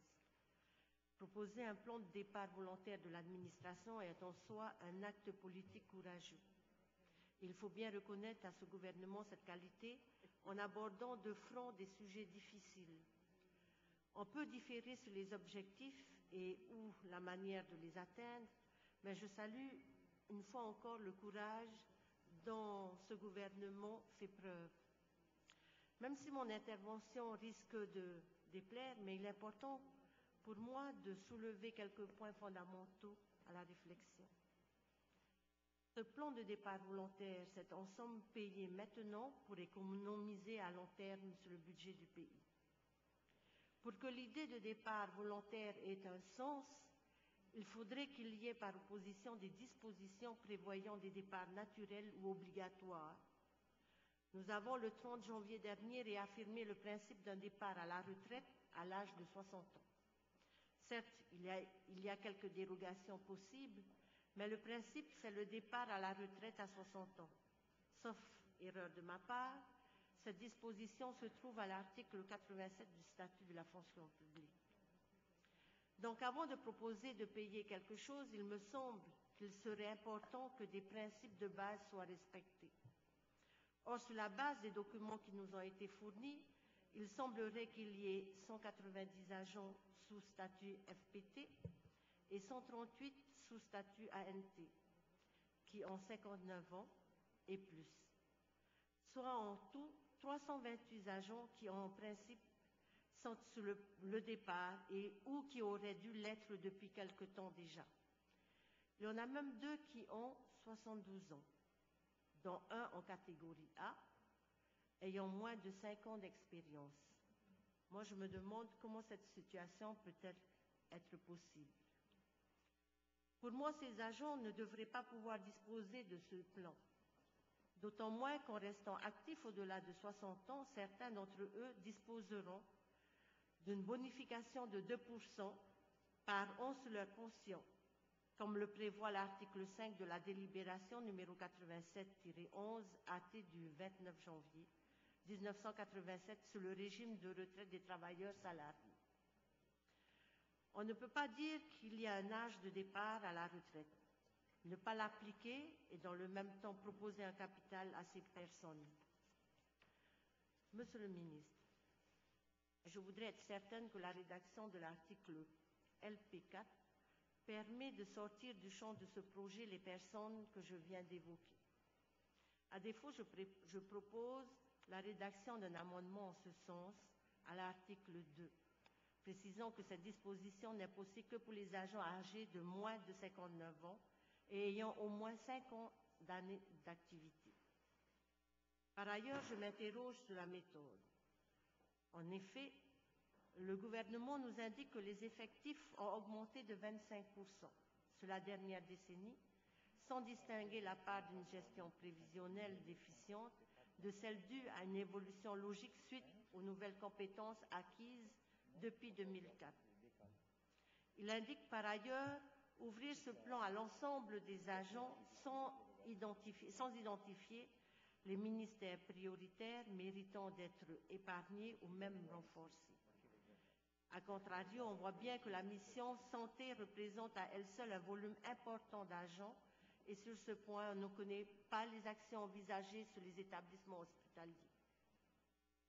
A-t-il par exemple la volonté de revenir aux effectifs d'avant 2000 Souhaitons-nous par exemple rajeunir les effectifs de la catégorie A vieillissante et sous-représentée, comme nous disait notre collègue Armel Toutes choses égales par ailleurs, Connaissons-nous les besoins actuels et futurs de notre administration qui devraient être calibrés en fonction des objectifs de politique publique que nous nous fixons? J'ai l'impression que nous produisons les mêmes travers que par le passé, mais en sens inverse, comme nous disait toujours notre, notre collègue Armel. D'une embauche sans discernement, on passe à un dégraissage sans distinction. On sait pourtant que certains ministères sont sous-dotés. pourrait donc aimer que ce plan de départ s'inscrive dans une véritable vision de ce que devrait être notre administration dans cinq ans, tant en effectif qu'en enveloppe budgétaire. Enfin, c'est pour ce texte un sujet annexe, mais c'est pour le pays un sujet central. Ces personnes vont partir à la retraite sans que tous les postes ne soient remplacés. Cela va donc augmenter le nombre de pensionnaires et diminuer le volume de cotisants à la CPS. En un mot, cette politique aura pour conséquence de reporter sur les comptes sociaux déjà en difficulté le point indu de cette politique. Or, nous savons tous l'état déplorable des comptes sociaux. C'est une manière de renvoyer la patate chaude à la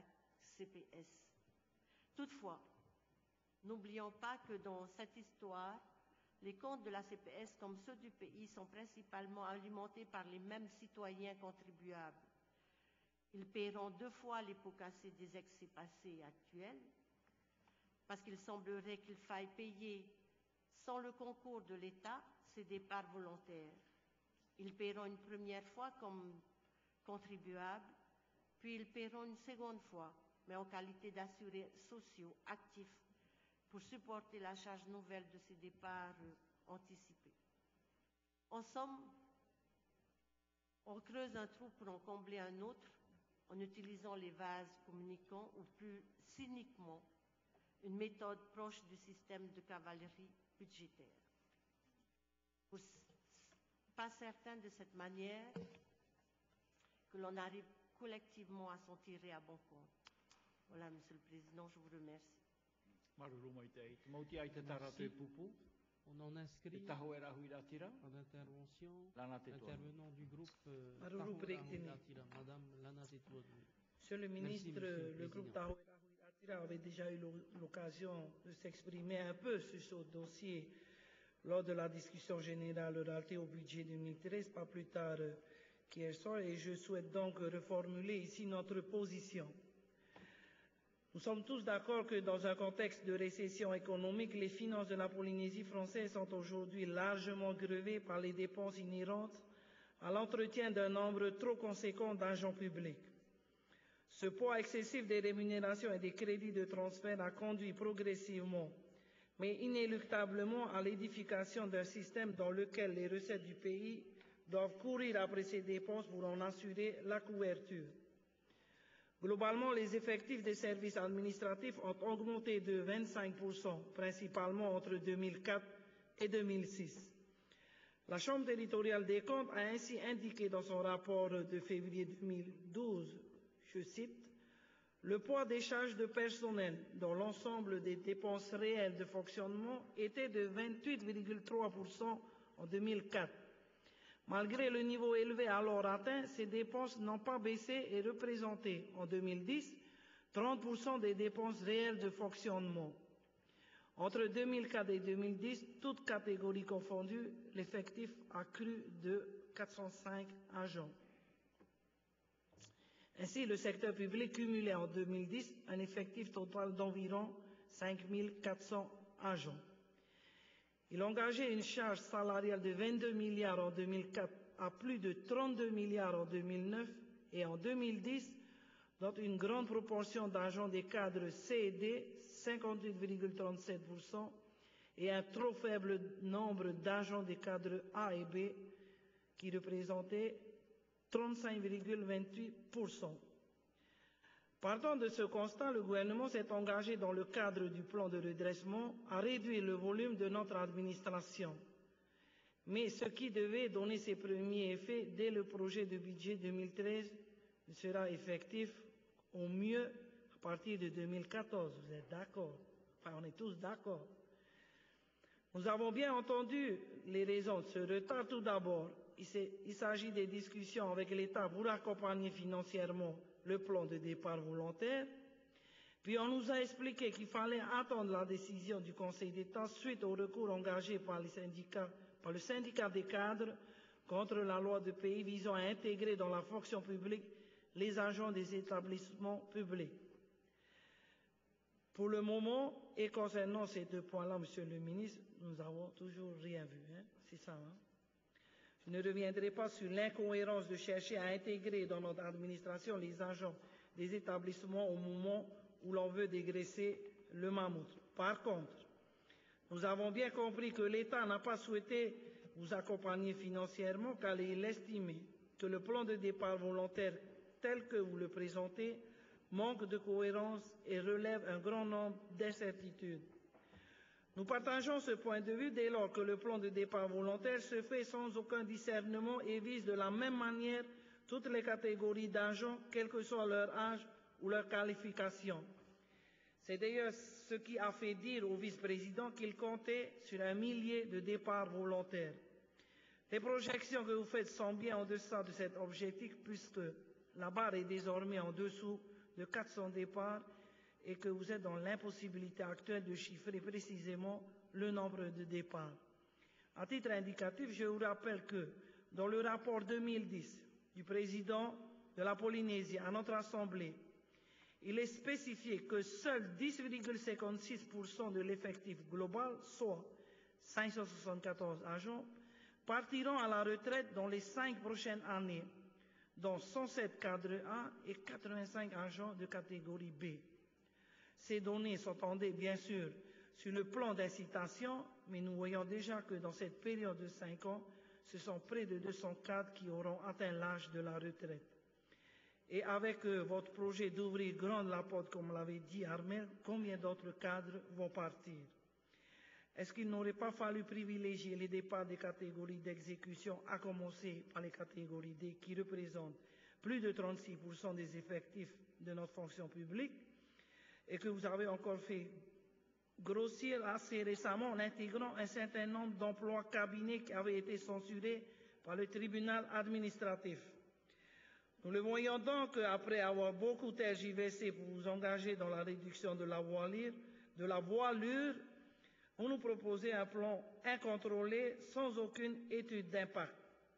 Tout ça n'est absolument pas sérieux, d'autant qu'au final, vous serez obligé de réembaucher de nouveaux fonctionnaires pour pallier au manque de cadres, surtout dans l'organisation administrative du pays. Je vous remercie. Merci. Donc, nous en avons fini avec la discussion générale. Que le ministre des Bien, merci, Monsieur le Président. Je vais essayer d'être très court. Beaucoup de d'orientations, de critiques, y compris au sein de la majorité, mais qui démontrent également une méconnaissance de nos structures, une totale méconnaissance. Savez-vous qu'un agent public, qui soit enfant ou fonctionnaire, peut rester jusqu'à 65 ans? Vous savez la règle des 60 ans? Elle n'est pas systématique. 65 ans. Qu'on a même créé une dérogation pour rajouter encore pour les personnels médicaux c'est vous dire que vous vous retrouvez avec des gens au-delà de cet âge-là. Bien sûr, quand j'ai demandé les statistiques, j'ai dit vérifions. Est-ce qu'ils rentrent dans ce cadre? Oui. C'est la règle qui a été adoptée. Ce n'est pas systématique, 60 ans. Celui qui a 60 ans n'a pas atteint la durée totale de cotisation de 35 ans, il peut rester 5 ans de plus. C'est un droit. Alors tout de suite, les critères que vous avez sont complètement dépassés faut le savoir.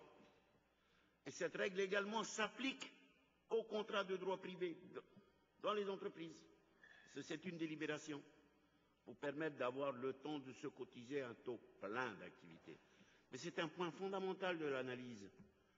Celui qui vous a écrit ce discours a complètement raté son analyse, parce que partant de là, il démontre l'absence, l'incohérence des chiffres. Et vous dites, il y a même des gens qui ont au-delà de cet âge-là, bien sûr, dérogation donnée dans tout euh, le personnel médical, parce que c'est une dérogation de droit. Alors il faut faire très attention.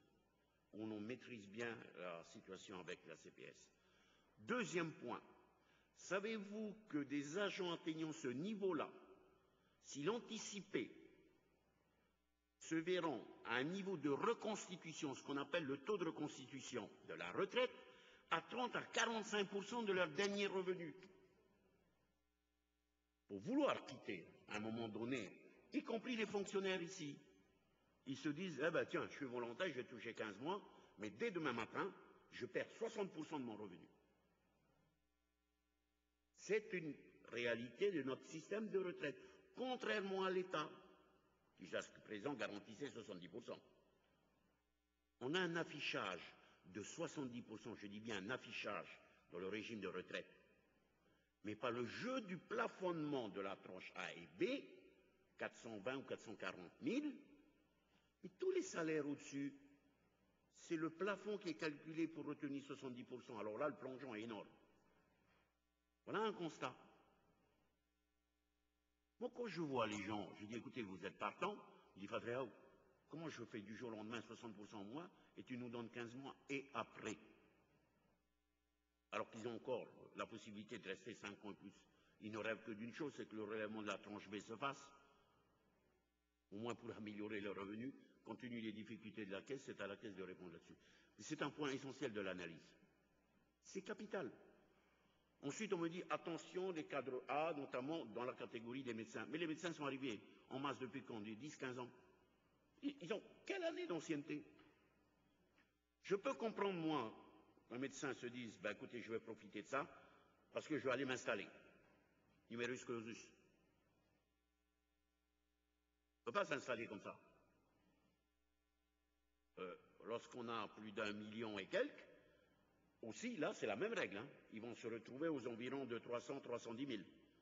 Alors qu'aujourd'hui, ils émargent peut-être avec leur indemnité et tout leur cadre, 1,5 million, 1 million. Le plongeon est énorme. Bon, si demain matin ils peuvent ouvrir un cabinet médical parce que sans demander l'agrément à la CPS, pourquoi pas La réalité du terrain est là.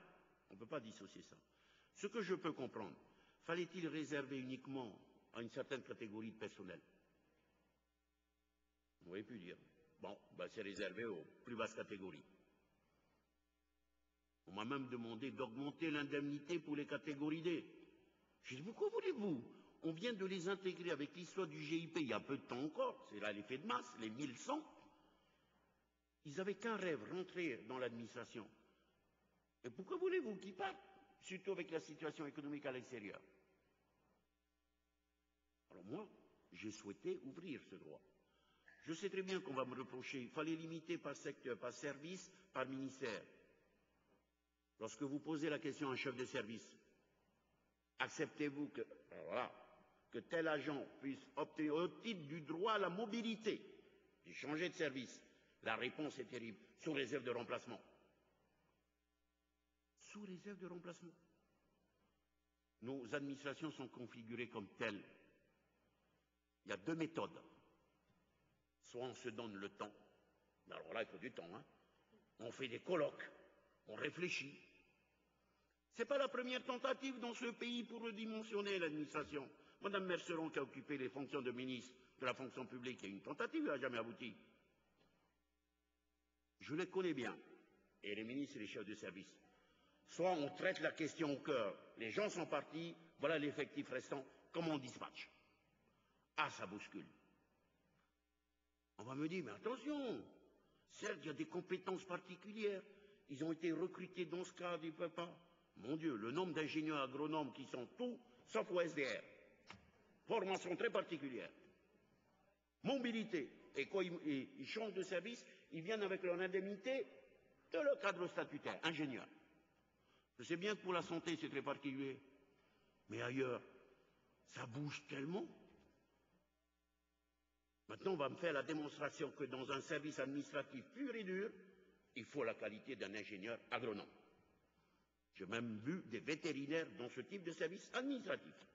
Et on m'a fait la démonstration qu'il faut absolument qu'il soit là, alors qu'il a une formation de vétérinaire. Je connais bien. Moi, j'ai choisi de bousculer de l'intérieur. Il faut bousculer de l'intérieur. Voilà, les effectifs, qu'est-ce qu'on fait? Ah oui, on ne peut pas transposer. Et la mobilité, mon Dieu, ça existe. Je ne dis pas qu'on va servir tous les postes à technicité. Je n'ai pas la prétention de faire d'un comptable un médecin, non. On a un comptable de structure. On a le choix. Moi, je dis, il faut y aller. Effectivement, dans cette mesure que je propose, c'est ouvert. La fenêtre de tir est limitée. Mais il ne faut pas que j'annonce dans la loi qu'il y aura une autre étape. Ah, je connais nos agents. Je on va attendre la prochaine. Ce n'est pas la première fois qu'on fait des débats. Tous commencent à dire, ah, peut-être qu'à la prochaine vague, ce sera plus élevé l'indemnité. On les connaît, hein Ils ont demandé 15 mois et ah c'est allez, 18 mois. On reste à 15. Mais il y en a déjà qui pensent que, à la prochaine vague, si ça ne marche pas bien, ils seront obligés d'augmenter l'indemnité. Moi, je dis, il n'y a pas de prochaine vague. Il faut se décider et de manière très. Il est vrai qu'au mois de mars, c'est pour ça qu'on a fixé au 28 février, quand on aura le, les candidats partants, il va falloir, en urgence, on a prévu au niveau de l'IGA, comment redispatcher. Bien sûr, les postes importants de la santé et sécurité des biens des personnes, c'est la première des priorités. Alors que le plan, le projet est déposé à l'Assemblée, mes collègues ministres déjà annoncent la couleur. Attention, s'il y a des gens qui partent de chez moi, il faut absolument les remplacer. Moi, à un moment donné, j'ai dit, je vais arrêter, hein, je vais retirer tout ça aussi. Il faut oser. Il faut oser. Et plus on va traîner, plus la revendication sera forte. Alors je sais comment on va y arriver. Si ça passe pas, ok, vous voulez les catégories C et D, il faut pousser un peu plus l'indemnité. Et ainsi de suite. Ça va se terminer comme ça. Moi, je vous propose, en l'état actuel, c'est vrai que j'ai attendu l'État, je le reconnais. On m'a même reproché 18 mois de retard, mais Madame Merceron, à chaque fois que je propose quelque chose, vous êtes la première à me rappeler le retard. Combien de réformes avez-vous menées depuis que vous avez occupé le poste de ministre en l'an 2000 Combien? J'ai cherché, hein Pas trouvé beaucoup. Hein Ou alors ça ne m'a pas marqué. Ça ne m'a pas marqué. Bon. Je sais qu'il y a du retard là-dessus. C'est vrai que j'attendais l'État. J'ai eu des discussions, mais affolantes avec l'État. Ils sont allés jusqu'à me dire non, pas ce poste. Je dis, mais comment je vais rendre obligatoire C'est volontaire, c'est quoi? Et au final, l'État me dit, ben, on ne peut pas vous financer. Il dit, un chapeau, hein. Alors là, je me suis dit, qu'est-ce que je fais? Eh ben, Il a fallu revenir sur ses propres deniers. Voilà. Maintenant, je vous le soumets. Ça va bousculer l'ordonnancement de l'administration et vous aurez le résultat au mois de février. Voilà les effectifs au départ et l'administration devra se redispatcher. Se redispatcher. Et à partir de là, on est bien obligé de traiter au cœur la question, non pas en faisant des colloques et des séminaires, sinon on va y passer l'année.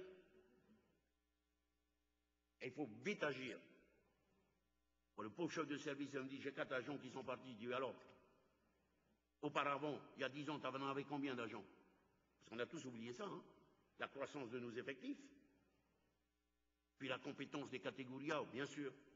Mais mon Dieu, cette administration s'est créée sur la catégorie B et C. Pendant 35 ans, 40 ans. L'État n'était pas très chaud pour donner des catégories A aux Polynésiens. Hein N'oubliez pas le statut de ce APF catégorie B. Cette administration s'est construite là-dessus eh ben, on a tenu les engagements de l'époque.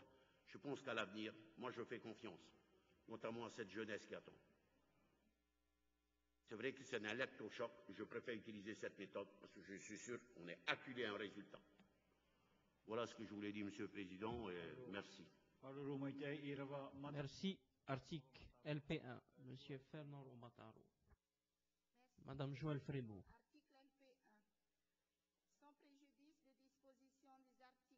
p 87 à 92 de la délibération numéro 95-215 AT du 14 décembre 95 modifié, portant statut général de la fonction publique de la Polynésie française, la présente loi du pays fixe les conditions dans lesquelles les fonctionnaires de la Polynésie française peuvent bénéficier d'un départ volontaire.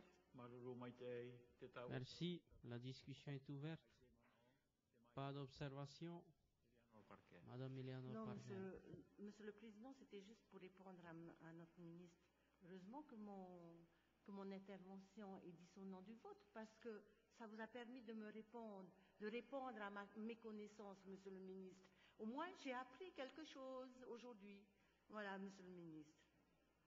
Mais j'ai bien souligné que le gouvernement actuel est courageux parce qu'il il fait preuve de courage par rapport à toutes ces, ces positions qu'il est en train de mettre. Merci, Madame Théa Merci, Monsieur le Président. Je remarque quand même que certains d'entre nous ici euh, ont du mal à, accepter les réformes qui, que vous êtes en train de, proposer ou ont, certaines craintes euh, par rapport à un départ des, élites de l'administration et comment on ferait.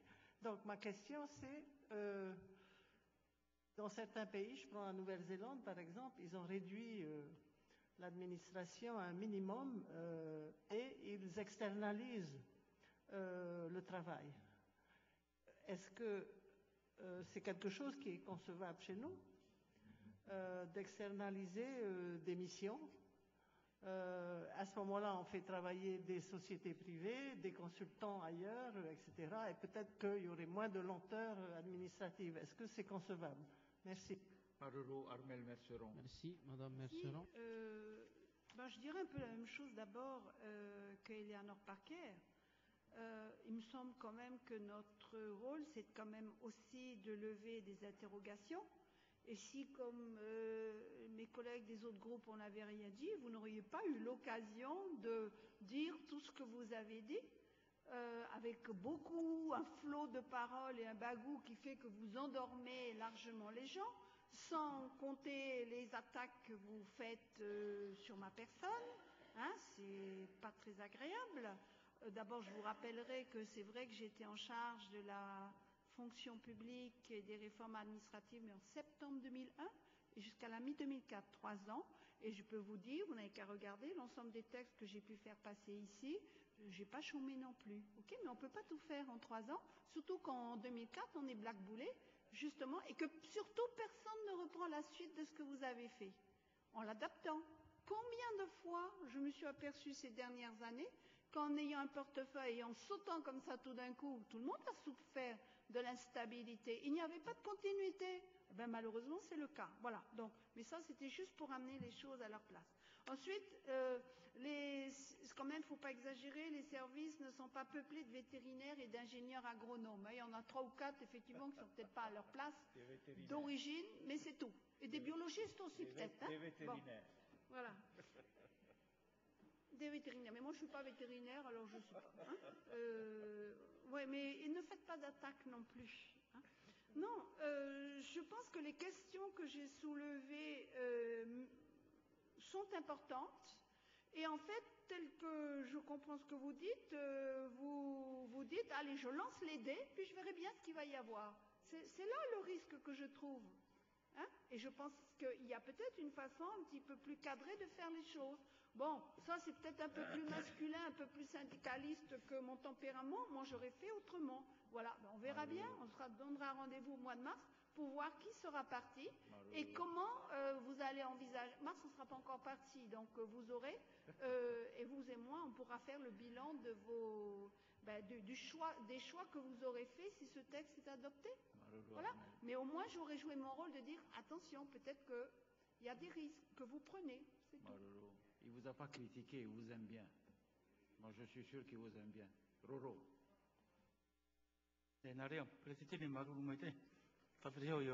Monsieur le ministre, bonjour. Avis, ça doit être le troisième dispositif euh, comme ça que vous nous présentez. Sauf erreur de ma part. La dernière fois, c'était en 2007, il me semble pour la dernière, non? Oui, c'est ça. Et donc, c'est la quatrième fois ici, là Ou troisième? Ça doit être troisième?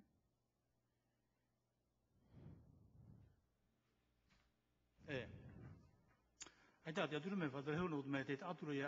Ben non, eh ben là je comprends euh, l'essentiel de ce dispositif, mais parce qu'on vient de là, mais je ne sais pas si ce que vous nous proposez dans cette loi, euh, c'est ce que nous avons également bénéficié en 2007, non? Ah. Eh bien, ma question, parce que je vois combien c'est sévère, hein, ce que vous nous proposez, c'est bien, et donc euh, je soutiens votre dispositif parce que si nous voulons euh, effectivement alléger la charge des personnels, Maintenant, il revient au chef de service. Hein. de bien analyser la situation. Et bien, et pour ce qui nous concerne, en 2007, nous avions 12 mois, nous bénéficions de 12 mois, et là, je vois 15 mois. Et vous dites qu'il y a eu des demandes et certains ont, certains ont demandé à 18 mois. Et ce qui m'inquiète, c'est que comme nous sommes en crise, en 2007, nous avions bénéficié de ce dispositif. Et il y a eu une augmentation un peu de, de l'enveloppe que l'on donnait à ces personnes-là. Mais là, nous sommes en crise. Je ne suis pas contre, mais c'est un, un, avis que je vous donne, n'est-ce pas Et donc, euh, je vous souhaite bon courage, Monsieur le ministre, parce que je sais que à votre place, quand on est ministre, eh bien c'est sûr qu'on est beaucoup critiqué. Merci. Oui, je vais essayer d'être bref. Pas que je m'emporte. J'aime bien Madame Merceron, c'est vrai. C'est la seule qui me rappelle à chaque fois les délais de retard que je prends. Hein, 18 mois, 16 mois. Euh... Ben justement, alors je l'assume. J'ai en charge. J'ai compris le message. Euh, Roro, Hein? Ne nous méprenons pas. Hein. En 2007, c'est vrai, c'était 12 mois. Et ici, vous lisez que c'est 15. Donc ça fait une différence de 3 mois, n'est-ce pas? En plus. Souvenez-vous qu'en 2007, eh bien, cela concernait que euh, les fonctionnaires, les enfants. Et donc, quand on lit le document, eh cela concerne trois mois aussi, si, c'est dans le document. La délibération du Code du travail prévoit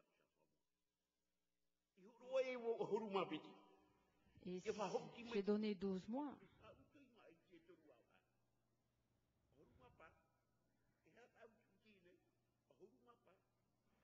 Et quand on lit le, votre texte à vous, eh c'était 15 mois. Et ici, c'est 15 mois. C'est ce que j'ai mis. Parce que ici, eh c'est la première fois qu'on propose un plan de départ volontaire pour les fonctionnaires. Jusqu'à présent, seuls les enfants de droit privé pouvaient en bénéficier. Jamais les fonctionnaires. Jamais. Bon, ça remonte à 86-97 avec Posselier, les premiers plans. Reporte qu'on était à 24 mois, avec des dispositions bien plus importantes. Donc c'est la première fois pour les fonctionnaires qu'on va faire un alignement strict. C'est ce qui est prévu d'ailleurs. Voilà donc ce qui est proposé là. Nous passons au vote sur l'article LP1 qui est pour unanimité.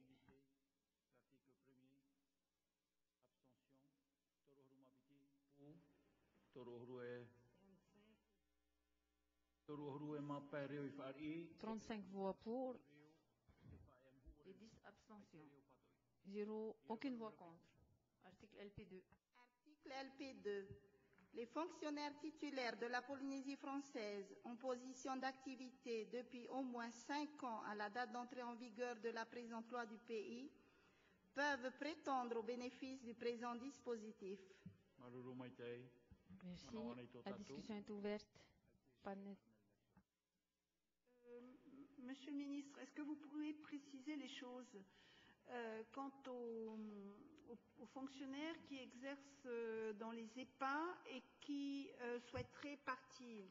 Vous nous avez dit euh, en commission que s'ils étaient affectés dans les EHPAD, ils pourraient bénéficier du départ et de la prise en charge par le budget du pays. Mais euh, est-ce que c'est la totalité de la prime ou uniquement celle que l'EPA ne serait pas en mesure éventuellement de payer? Parce que euh, j'ai posé quand même quelques questions dans, les, dans, dans des EPA et il semble quand même que ça pourra coûter cher. Si, même si on cible les gens qui, euh, ont déjà 55 ans ou euh, des catégories B, par exemple, à 55 ans, ont quand même des rémunérations qui sont euh, relativement élevées. Donc, pour les EHPAD, on est certain, tout sera pris en charge pour les FPT. Après, vous nous avez dit que dès lors que l'Assemblée aurait voté ce texte, vous allez proposer aux syndicats un avenant à la convention collective pour l'appliquer, euh, appliquer exactement les mêmes conditions, enfin proposer en tous les cas euh, aux syndicats d'adopter le principe d'appliquer les mêmes méthodes. Dans ce cas-là, pour les enfants, est-ce que là aussi, euh, l'établissement n'aura pas à prendre en charge euh, les, les, les, les indemnités? Ce n'est pas le même statut. Pardon. Merci, Monsieur le Président. Non, je voulais juste euh, demander au ministre de répondre à ma, à ma question ou vous voulez que je la repose? Oui, alors rapidement, euh, s'agissant des missions externalisées à l'administration, il me semble que depuis ces dernières 20 années, c'est toute la création des structures annexes, satellites. Mais c'était au départ des missions de l'administration. On a sorti, et ainsi de suite. Bon, d'autres missions sont venues. Oui, c'est possible, encore dit définir lesquelles. Tout est, à fait possible. Mais déjà, le démantèlement de l'administration par les structures annexes, c'était déjà une partie au départ des missions de l'administration qu'on a, parce que dans une structure privée, externalisée. Mais ce que vous voyez, vous, c'est véritablement du privé, quoi. Pourquoi pas? Mais pourquoi pas? Mais maintenant, il faut définir lesquelles de missions. Pourquoi pas? Oui. Je laisse le soin. En ce qui concerne les interrogations portées par euh, Mme Messon, je confirme, si un fonctionnaire est affecté en position d'affectation, il reste du ressort de son statut de fonctionnaire. Donc c'est ce texte qui va totalement s'appliquer pour son départ. L'établissement n'a rien d'autre à payer. Celui-là. En détachement, il n'est plus en activité. C'est pas pareil. Ensuite, pour les enfants, la convention collective être aménagée par l'avenant. Ça s'applique bien entendu aux enfants du pays, dans les services, dans les EPA, qui ont repris normalement une délibération du conseil d'administration pour leur permettre justement d'adopter euh, la convention collective des enfants du pays. C'est donc à leur décision, à leur charge, les modalités. C'est pas pareil. Il faut que dans ces établissements, par une délibération, ils adoptent également la modification de leur convention collective des enfants. Ce n'est pas l'acte du pays qui peut leur imposer ça. Ils sont autonomes, ils ont leur conseil d'administration. Donc si c'est un fonctionnaire affecté, il est toujours du ressort. Et on les a intégrés dans le calcul. Tous les fonctionnaires en position d'affectation, quand bien même ils ne seraient pas dans un service territorial. Les effectifs ont été retenus et chiffrés en la matière. C'est ça que je disais, s'ils sont dans cette situation-là, ils prennent le départ volontaire. Ce n'est pas la structure qui paye, c'est le pays. Ça a été identifié. Nous passons au vote sur l'article LP2, même vote adopté. Article LP3. Article LP3. La demande est adressée au ministre en charge de la fonction publique avant le 28 février 2013 qui en accuse réception. Une copie de la demande est adressée au chef du service d'affectation de l'agent ou au directeur d'établissement public. La radiation des cadres de l'administration pour bénéficier du dispositif intervient entre le 1er avril 2013 et le 30 avril 2013. Les demandes sont instruites dans l'ordre d'arrivée et dans la limite des crédits disponibles. Merci. Béatrice Vernodon. Monsieur, Monsieur le Président, euh, donc, Monsieur le Ministre, euh, ce que vous prévoyez, c'est le départ de 400 euh, agents en 2013. Et c'est les premiers arrivés qui verront leur dossier validé.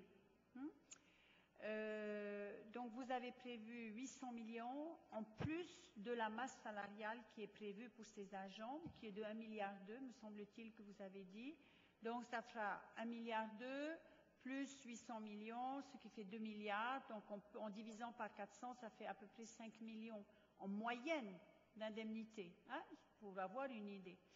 Alors, euh, ma question est la suivante, Monsieur le ministre. Ce sera l'occasion pour vous vraiment, de, auprès de vos collègues et auprès des agents de l'administration, d'affirmer une politique des ressources humaines pour l'administration. Donc je voudrais que vous nous parliez de votre vision de la politique des ressources humaines en fonction des priorités de votre gouvernement.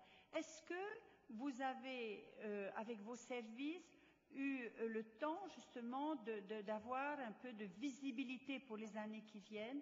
Est-ce que dans le domaine, on va dire, euh, de la santé, nos jeunes ont été orientés dans les bonnes formations professionnelles ou alors il nous manquerait ça euh, donc, euh, est-ce que dans le domaine du social, on a les formations, on a suffisamment de monde ici ou en France En Calédonie, ils se sont attachés parce que le Fonds européen, ils ont choisi avec le Fonds européen de développement, pour nous c'est l'assainissement, pour eux c'est la formation professionnelle. Donc ils sont très très à la pointe en Calédonie, ils ont fait une étude autant pour le public que pour le privé, des secteurs qui devront se développer dans les 10, 20 ans qui viennent en fonction des priorités. Certes, eux, chez eux, c'est plus facile parce que c'est la mine avant tout, hein, mais également dans le secteur public. Ils ont donc créé tout un outil d'adaptation de, la formation aux besoins de la Calédonie pour les 10-20 ans qui viennent. Alors, ce n'est pas facile, hein, et, certainement, mais il faut tendre à cela. Mais là, le départ et votre position vis-à-vis de vos collègues euh, qui vont venir vous demander de remplacer, ce sera pour vous l'occasion d'affirmer au nom du gouvernement une politique des ressources humaines. Donc ma question, est-ce que vous pouvez nous en parler? Est-ce que c'est en construction? Est-ce que c'est déjà construit? Est-ce que vous avez de la visibilité? Et quels sont les secteurs, justement, où, de votre point de vue, il faudra euh, mettre euh, plus d'efforts? Et est-ce que vous avez, euh, justement, dans ces secteurs, mis en place des partenariats pour faciliter les formations dans ces secteurs? Je ne sais plus si les bourses majorées existent encore, si les bourses de formation professionnelle. Alors, quels sont les secteurs? Vraiment, ce serait intéressant, Monsieur le ministre, que, avec simplicité, je veux dire qu'on ne vous demande pas de nous, de nous sortir de, de, de, votre chapeau euh, quelque chose de, très sophistiqué, mais il faut que notre pays, qui a moins d'argent et qui doit faire mieux avec moins, puisse disposer de cet outil d'adéquation et surtout que nos jeunes aujourd'hui puissent être un peu orientés dans des secteurs où ils auront un peu de chance, tant dans le privé que dans le public, de trouver du travail.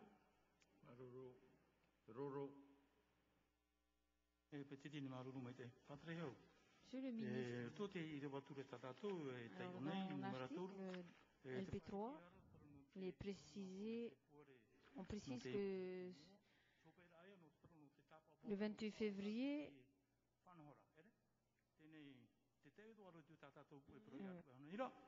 e miturura ia mana te e ture whenua e whanau o e tarimara e para sandika para upupuro pa no te teia mō tuhoa i au whanau toa ia whanau toa rato te opuara ere ai te te te o mhana te on mapo no whepore cette date du 28 février, est-ce que c'est pas trop court comme délai? Hei tau ia pia hia te whea. Te puture tatatou te whea o te whenua? au journal officiel du pays, eh bien, je ne sais pas, est-ce que vous êtes rencontrés Y a-t-il un échange Y a-t-il une réunion de prévu Oui, simplement rappeler que c'est les mêmes partenaires qui siègent au Conseil supérieur de la fonction publique. Ils ont tous la qualité de pratiquement secrétaires généraux de syndicats. Et c'est eux qui sont appelés à venir signer l'extension de ça sur la convention collective.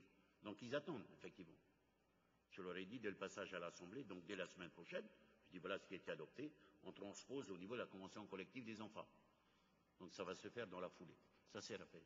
Alors, Voilà, effectivement, il y a donc... Euh, d'abord, je, dois vous rappeler qu'il y a une délibération que vous avez adoptée ici pour la définition et, des métiers avec l'accompagnement du CNFPT.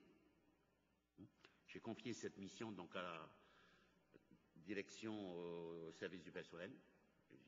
C'est en cours. On est en train de répertorier, parce que jusqu'à présent, on avait conçu ce qu'on appelait des organigrammes, un document unifié d'organisation des services. Et on s'est dit, mais alors c'est vrai qu'il faut remettre à jour. Certains services le sont, d'autres ne le sont pas. Lorsque jusqu'à présent ils demandaient des postes à remplacer, on demandait euh, l'organigramme ou le diog, l'organisation. On s'apercevait qu'ils étaient complètement dépassés. Et les missions qui étaient mises ne correspondaient plus. Alors avec euh, la Liga, on s'est attelé à remettre à jour ça. Puis on s'est dit, il faut quand même qu'on définisse exactement les métiers nécessaires dans ces structures. Et donc les formations qui sont attelées. C'est ça aussi l'engagement. C'est à partir de là, de ce document qui, se fait, il y a des réunions qui se tiennent là-dessus, hebdomadairement, il y a des formations qui sont organisées. Et je sais bien que ce n'est pas la formation qu'on va y arriver, à la condition qu'on identifie bien et les missions et les métiers qui sont rattachés. Je voudrais vous dire qu'à la suite de ce travail, il y a certes l'organisation de nos services pour compétences pour dispatcher le personnel, mais à la suite de ce travail, la définition des métiers, la technicité qu'il faut retenir, c'est le débat des primes et indemnités. Ça va aller jusque-là. Est-ce qu'il faut qu'on continue un service qu'on a connu jusqu'à présent, service financier ayant droit à temps? Et, et c'est l'histoire qui nous a appris ça telle revendication-là, ben on dégage telle situation. Moi, je veux engager véritablement sur tout ce qui est prime, indemnité, caractère particulier, sur la nature même du métier.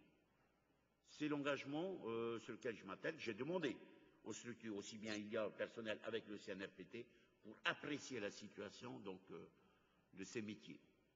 Donc il y a un, c'est vrai, la réorganisation, les définitions des missions, et donc se projeter à l'avenir, quels sont les besoins de formation, est-ce que telle mission va être encore conservée ou est-ce qu'on confie plutôt au privé, mais également pour ceux qui seront présents, l'appréciation du niveau de technicité et de la définition de ce cadre indemnitaire particulier.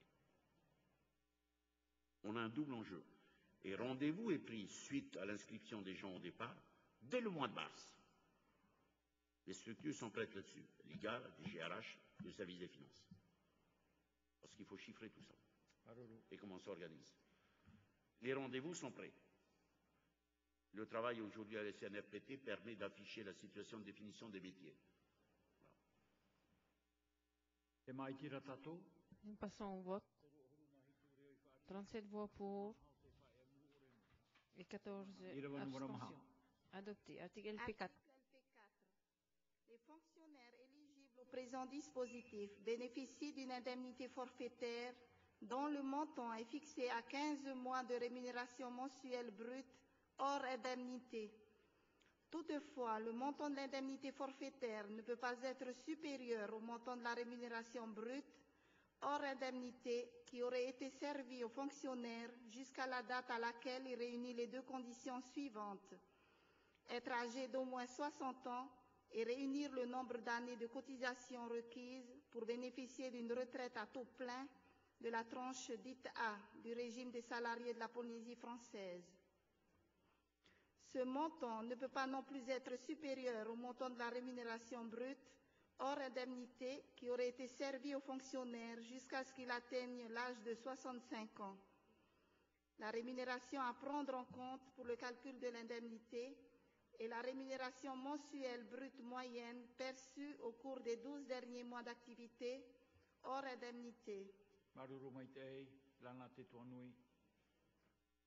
Merci, Monsieur le Président. Moi, je voulais juste dire au ministre, j'avais levé mon don pour l'article LP3, mais c'est juste une précision.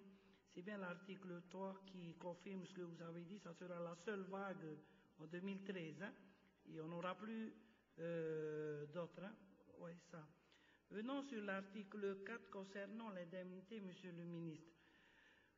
En continuité de ce qui a été dit par euh, euh, notre collègue 1, la moyenne d'indemnité, hein, je viens sur l'indemnité qui sera versée. elle sera versée totalement en une fois, l'indemnité de départ volontaire. Est-ce qu'elle sera versée euh, totalement et en, un seul versement? Je j'interviens, j'ai envie de partager avec vous une, expérience hein, que nous avions eue concernant les départs volontaires. Hein. C'est juste un sujet de réflexion. La commune de Toumara, je vais prendre exemple, je sais de quoi je parle alors. Départ volontaire. Les premiers départs ont versé totalement l'indemnité.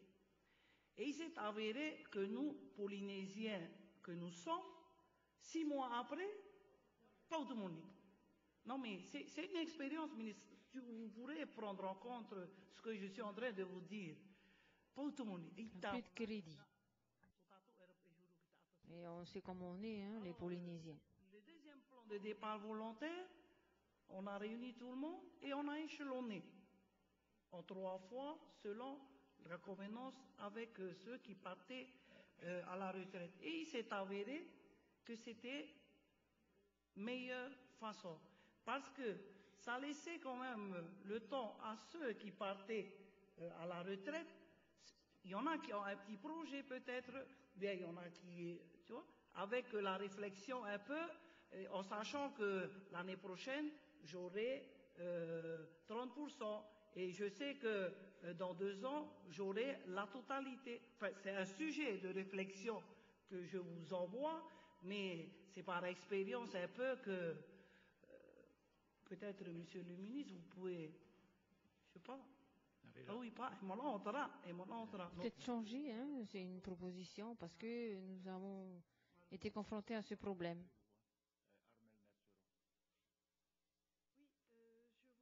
avoir des précisions sur le dernier alinéa. Euh, il s'agit de la rémunération mensuelle brute moyenne perçue au cours des 12 derniers mois d'activité hors indemnité. Ça veut aussi dire donc hors prime et hors heures supplémentaires. Maruru Beatrice Vernodo. Aita, aita to mono. Fatre heuki awe. Les aides supplémentaires sont de la rémunération, c'est le temps de travail. Hein. On parle bien des indemnités, suggestions euh, particulières. Non, euh, les heures supplémentaires, c'est du temps d'activité rémunéré. Hein. Donc ça fait partie de la rémunération. Euh, ce que dit Mme Lana Titoni, bien sûr. Maintenant, je, connais mes fonctionnaires. Je vais aller leur dire, écoutez, c'est mieux pour vous, pour vous protéger, dit Vadre, mais je vais. Euh, Peut-être en deux vagues. Mais on le sait bien, euh, vous avez tout à fait raison. Il y en a qui, trois mois après, au bout il n'y a plus rien. Quoi.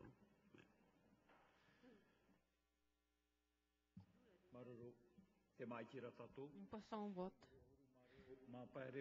35 voix pour, 13 abstentions, adopté. Article LP5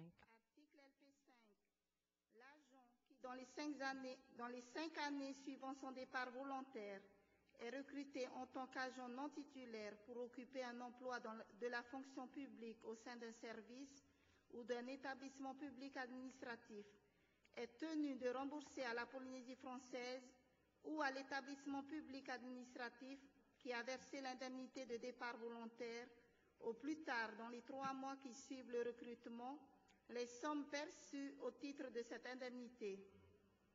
Cette disposition est également applicable à tout agent qui, après avoir bénéficié du présent dispositif, est recruté dans les cinq années suivant son départ volontaire dans un cabinet du président de la Polynésie française ou d'un cabinet d'un des ministres du gouvernement de la Polynésie française.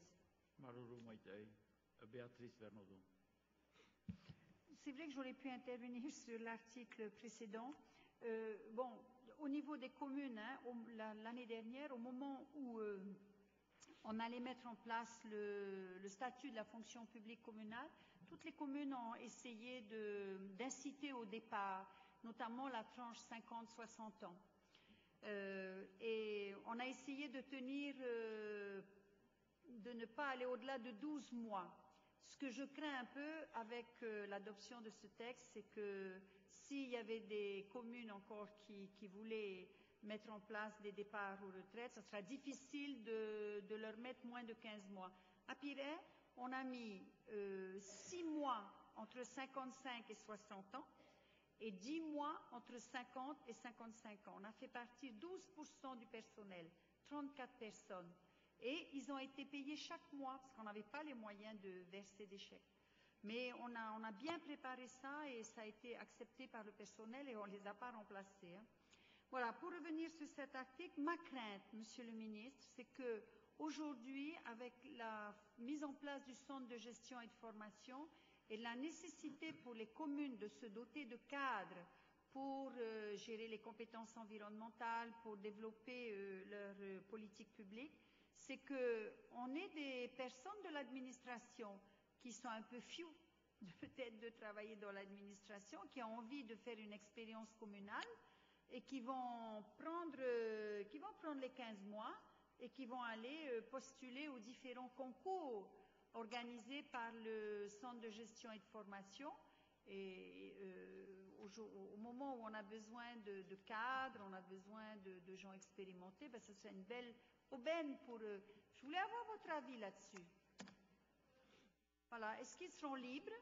Euh, Et à ce moment-là, ils ont toute leur chance, hein, franchement. Parce qu'il y a, là, en 2013, on va organiser de nombreux concours. Voilà. Je savais que vous vouliez prendre la parole.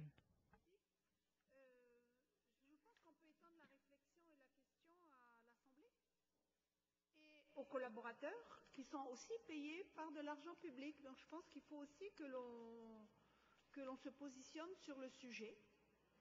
Euh, et je vais étendre ma question. En revenant à l'article P3, il est dit que les demandes sont instruites dans l'ordre d'arrivée dans la limite des crédits disponibles. Alors, deux aspects. Un, que se passera-t-il si vous êtes inondé de demandes et que vous ayez une pression pour que le, le, le énième qui malheureusement arrive trop tard pour avoir le dernier franc, euh, et puis tous les autres qui suivent vous disent mais nous aussi on veut partir. Alors est-ce que vous allez revenir, est-ce que vous aurez le temps de revenir à un collectif euh, au mois d'avril pour venir nous demander plus d'argent pour satisfaire? Parce que c'est quand même euh, en avril et avril-mai quoi. Hein voilà, c'est quand même une période particulière. Hein Ils vont recevoir l'indemnité au mois d'avril, entre le 1er et le 30 avril. Voilà. Et j'ai une deuxième question. Quelle est euh, finalement la position de l'État euh, sur euh, la participation ou pas à ce financement? Parce que justement, c'est une façon d'étendre euh, les possibilités. Oh, avec vos amis. Maruro. Maïna. Oui, merci. Rapidement pour dire que il me semble euh, que c'est un peu dommage quand même qu'il y ait un délai de 5 ans euh, d'interdiction pour travailler, euh, pas forcément sur le même poste, mais travailler au sein des cabinets. Je ne pense pas que ce soit le même travail, c'est pas forcément le, même engagement non plus. Bon, je trouve ça dommage. Juste pour terminer sur ce dossier, vous dire que faire un petit comparatif, puisqu'on parlait de politique de ressources humaines, avec, je dirais, ce qui se pratique en général dans le privé. Quand on est chef d'entreprise, qu'on commence à avoir des difficultés, on commence à réduire un peu les dépenses de fonctionnement, à faire des économies, puis il arrive que ben, voilà, l'activité n'est pas assez bonne pour garder tout le monde. Alors qu'est-ce qu'on fait? On n'ouvre pas un guichet en disant euh, qui veut partir? On analyse la situation de l'entreprise, on analyse les besoins de l'entreprise, les postes vitaux, là où on ne peut pas se séparer de certaines compétences. On regarde malheureusement les personnes qui peuvent être remplacées ou pas, qui peuvent faire doublon, qui sont en baisse d'activité. Il y a tout ce travail qui est mené avant de proposer, avant de proposer une restructuration, une redéfinition de l'entreprise. Aujourd'hui, on, se dit, on est dans la même situation, on n'a plus les moyens de se payer cette fonction publique. Et donc, on, on, dit on va faire un plan de départ volontaire. Alors, vous allez peut-être me répondre que la loi nous oblige à ouvrir à tout le monde. Euh, je pense que c'est à nous de faire évoluer les textes parce que ça peut vraiment être contre-productif. Voyez, si demain une entreprise a des personnes clés au sein de cette entreprise et que ces personnes se présentent pour partir, mais voyez, le chef d'entreprise, il se met un pied, il se met un, une balle dans le pied.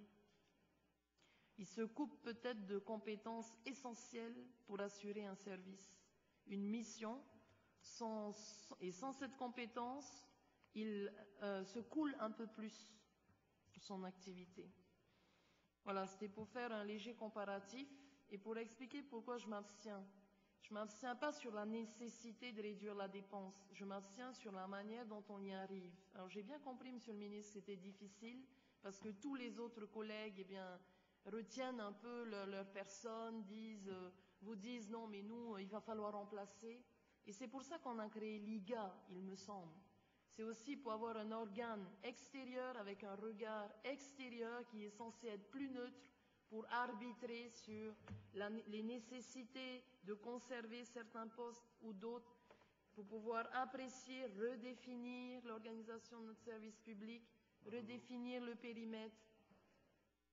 Aujourd'hui, ma crainte, c'est, je, je l'ai exprimé en commission, c'est que l'on perde en qualité au passage. Voilà, alors vous allez me dire, on va peut-être rouvrir des postes. Enfin, si c'est organiser un plan de départ pour que demain il va falloir aller recruter, je trouve que c'est un peu dommage. Maruru. Merci. Vous parliez de l'IGA, on y retrouve les vétérinaires, les ingénieurs agronomes, peut-être qu'ils ne sont pas à être là, de mon point de vue. Euh, Roro. Monsieur le ministre, alors là, on comprend dans l'article LP5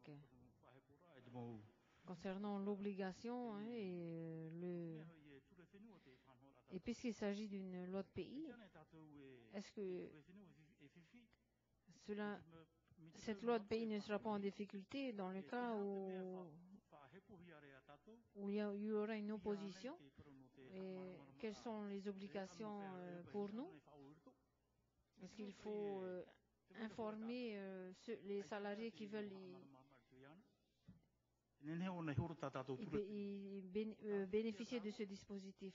Et donc, si un, un, agent du personnel souhaite bénéficier de ce dispositif et qu'il n'est pas au courant, il peut intenter un recours en justice. Non.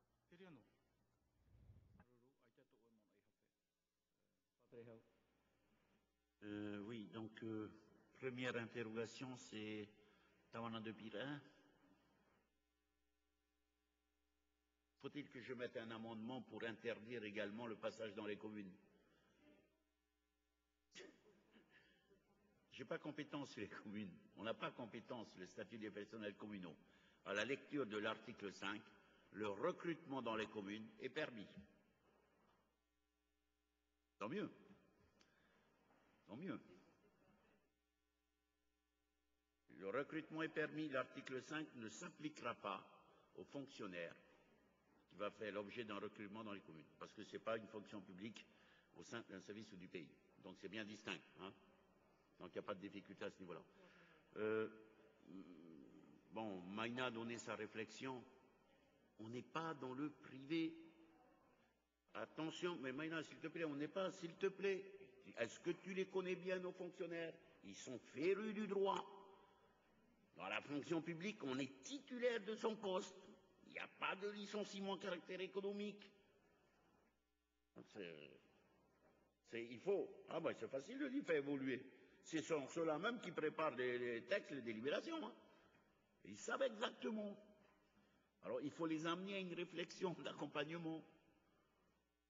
C'est ça. Et je trouve que depuis quelques années, on les forme très bien. Pour qu'ils portent eux-mêmes les recours contre nous-mêmes, contre vos décisions. Je fais en plus. Il se trouve c'est une partie de leurs collègues qui écrivent les textes et l'autre partie qui attaque. Bon, je sais comment ça se passe dans les services. Hein. Donc ils ont les deux points de vue. Ils sont bien formés.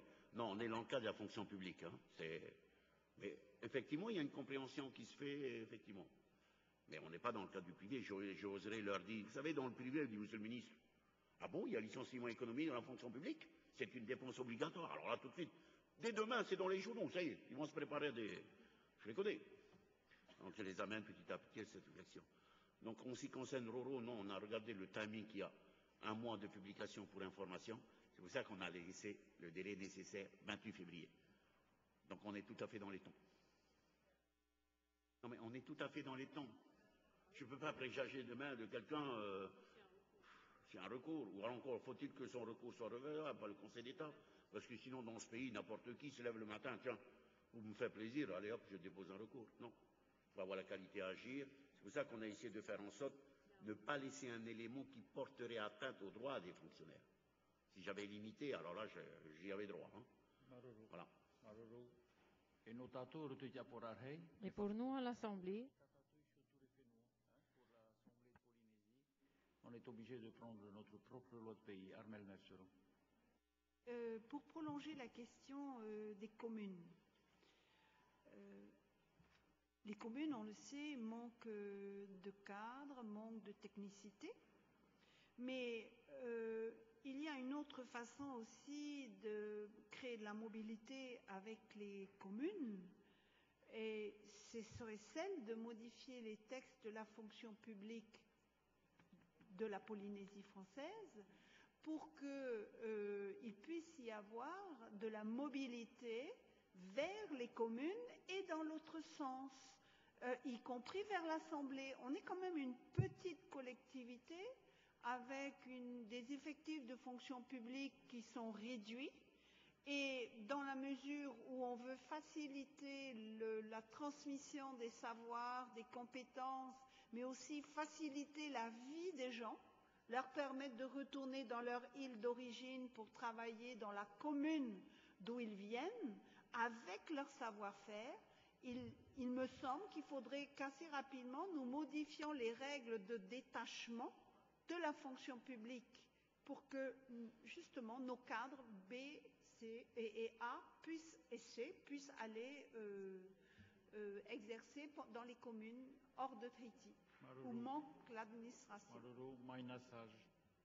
Oui, rapidement, Monsieur le ministre, je ne vous ai pas dit qu'on était dans le secteur privé. Je suis bien consciente que ce n'est pas la même donne.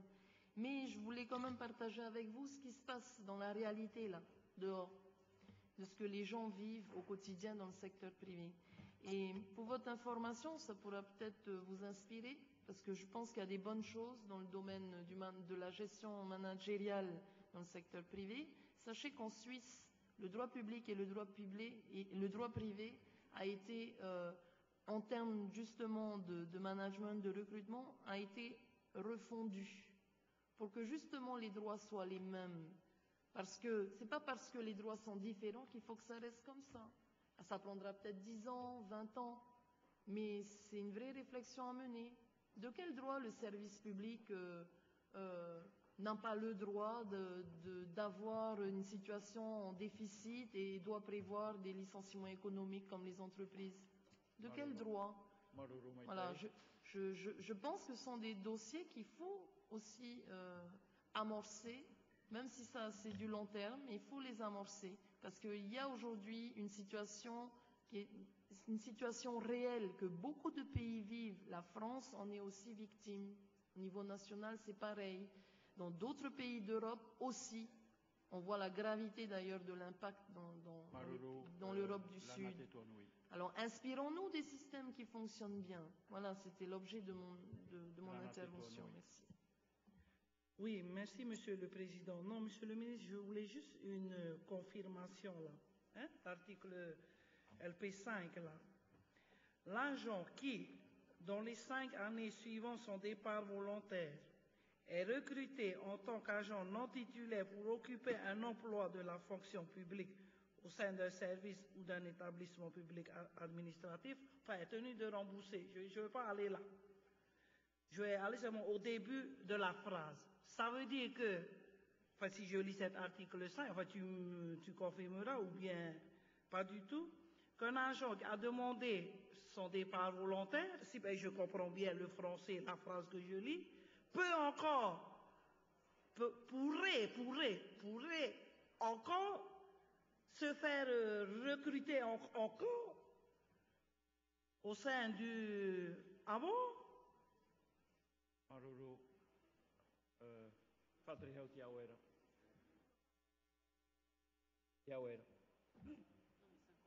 Mais, bien sûr, aujourd'hui, la faculté, c'est d'être ANT, agent non titulaire, ou d'aller dans un cabinet. là, ce qu'on oblige, c'est que si pendant les cinq ans de son départ où il a eu l'indemnité, il doit rembourser.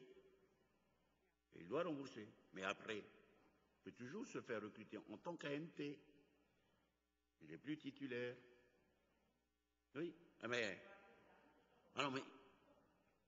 Qui, qui, je ne sais pas si à l'avenir il y a quelqu'un qui dit bah, tu es parti, tu as eu un départ volontaire, je te recrute quand même. Bah, voilà un peu bizarre. Mais le droit, il est tel quel. C'est pour ça qu'on a voulu cette précaution pour éviter les tentations. Hmm? Voilà.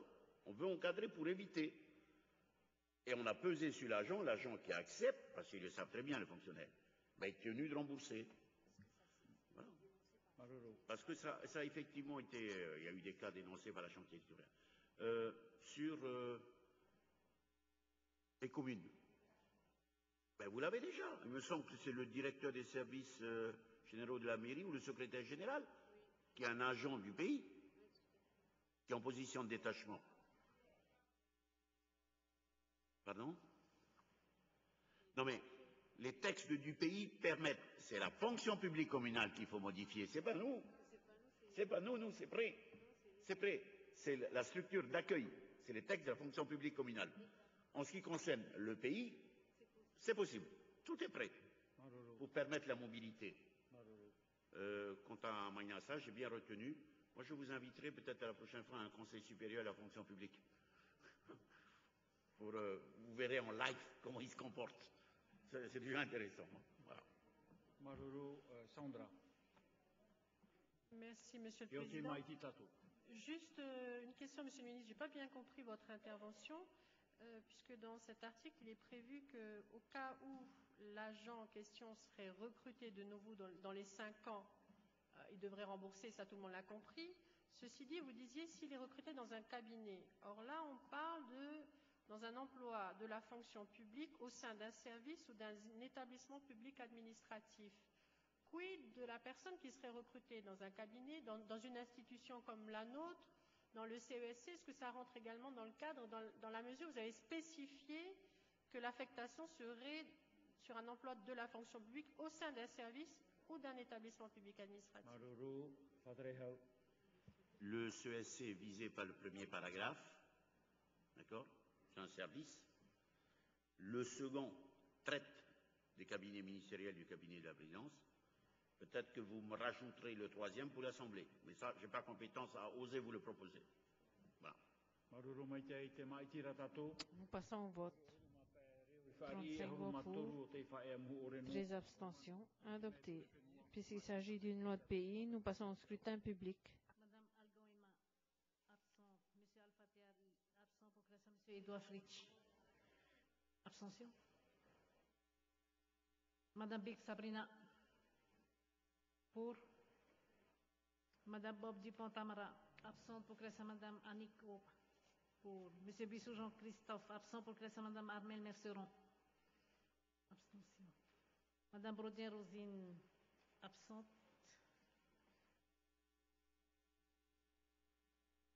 Absent pour Cressa Monsieur Abstention. Madame Chavé Daphné. Absente. Madame Cross Valentina. Absente pour grâce à Madame Sabrina Birk? Monsieur Jacques Hidrolet. Pour. Monsieur Floss Gaston. Absent pour grâce à Monsieur Floss Gaston? Euh, Monsieur Floss. Absent pour grâce à Monsieur Théharo René? Abstention. Madame Frébeau-Joël. Pour. Monsieur Fritsch Edouard. Abstention. Madame Galnon Minari. Pour. Monsieur Anderson Georges. Pour. Madame Irchon Noutea. Pour. Madame Iriti Teura. Absente. Madame Isalé Farah absente pour Madame Juliana Mati. Pour. Madame Jennings Setourné Patricia. Pour. Monsieur Cauté Benoît. Pour. Monsieur Comotini René. Abstention. Madame, Monsieur Lisan Marcelin. Absent. Monsieur Mamata pour Victor. Pour Madame Levi Agami Sandra. Abstention. Madame Maria Emma, absente. Monsieur Maria Brateina, absent. Procuration Madame Joël Frébeau. Pour Madame Marie-Thérèse Guimairoto Liliane. Pour Madame Matawa Leoni. Pour Monsieur Matawa Mayron. Pour Madame Mati Juliana. Pour Madame Ersuron Armel. Abstention. Madame Olivier Marise. Absent. Procuration Monsieur Ismaël Pour Madame Opa Afouanik. Pour Madame Parker Eleanor. Pour Monsieur Paul Etekinoui. Abstention. Monsieur rapporteur Jean-Marius. Pour Madame Richton Monique. Absente pour classer Monsieur Comitini René. Abstention. Monsieur Rivetta Frédéric. Absent. Monsieur Romataro Fernand. Pour Madame Sage Maina. Abstention. Monsieur Chil Philippe. Absent. Madame Tama Françoise. Pour Madame Tani Thérèse. Pour Monsieur Tanso Robert. Abstention. Monsieur Junturoro. Abstention. Monsieur Defaré de Hiroiti. Absent pour classer Monsieur Georges Anderson. Pour Monsieur Temeharo René. Abstention. Monsieur Termaté Ruben. Pour Monsieur Terry Payamita. Absent pour classer Monsieur Robert Tanso. Pour. Euh, pour ou abstention Pour. Pour. Euh, Madame Teroatia Sylviane. Absente. Madame Tétonou Lana. Madame Théodore Justine. Monsieur Tongson Gaston. Absent. Pour Ah oui, procuration à Monsieur Tongson Robert. Monsieur Touahou Ismaël. Pour Madame Tichoubière Catherine. Absente. Procuration Madame Thérèse Tani. Pour Monsieur Ouchadamas. Absent. Procuration Monsieur Fernand Romatarwa. Pour Madame Vernodon Béatrice. Abstention. Monsieur Vernodon Clarence, absent pour classer Madame Tahir Chon pour. Donc 35 et 35 voix pour, 13 abstentions et aucune voix contre. L'autre pays est adopté. Notre ministre doit nous quitter et puisque nous devons terminer à 18 heures, il nous reste un rapport assez court donc, je vous propose d'examiner de, l'avis concernant Parea et Apu dans la commune de Huahine.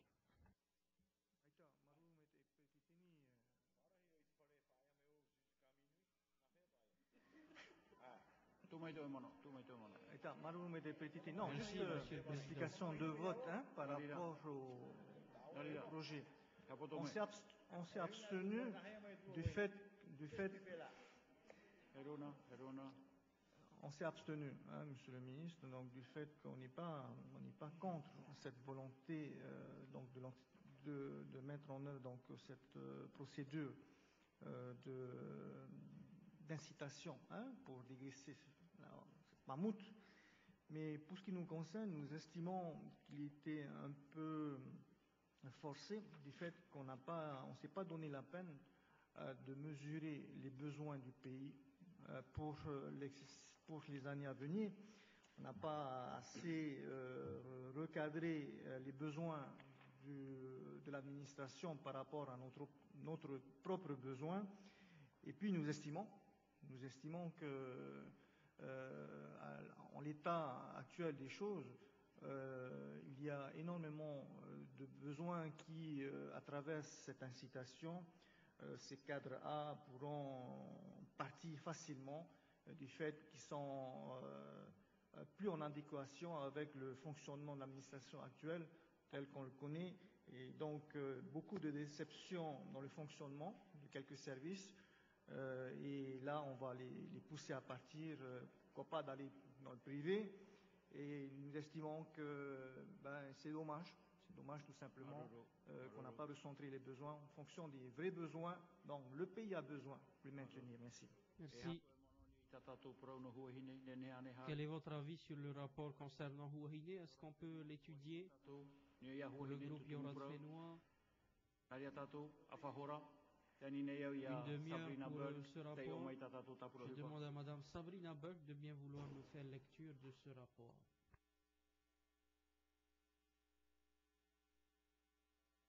Sabrina Burke, Madame Sabrina Burke, vous pouvez nous lire euh, le rapport.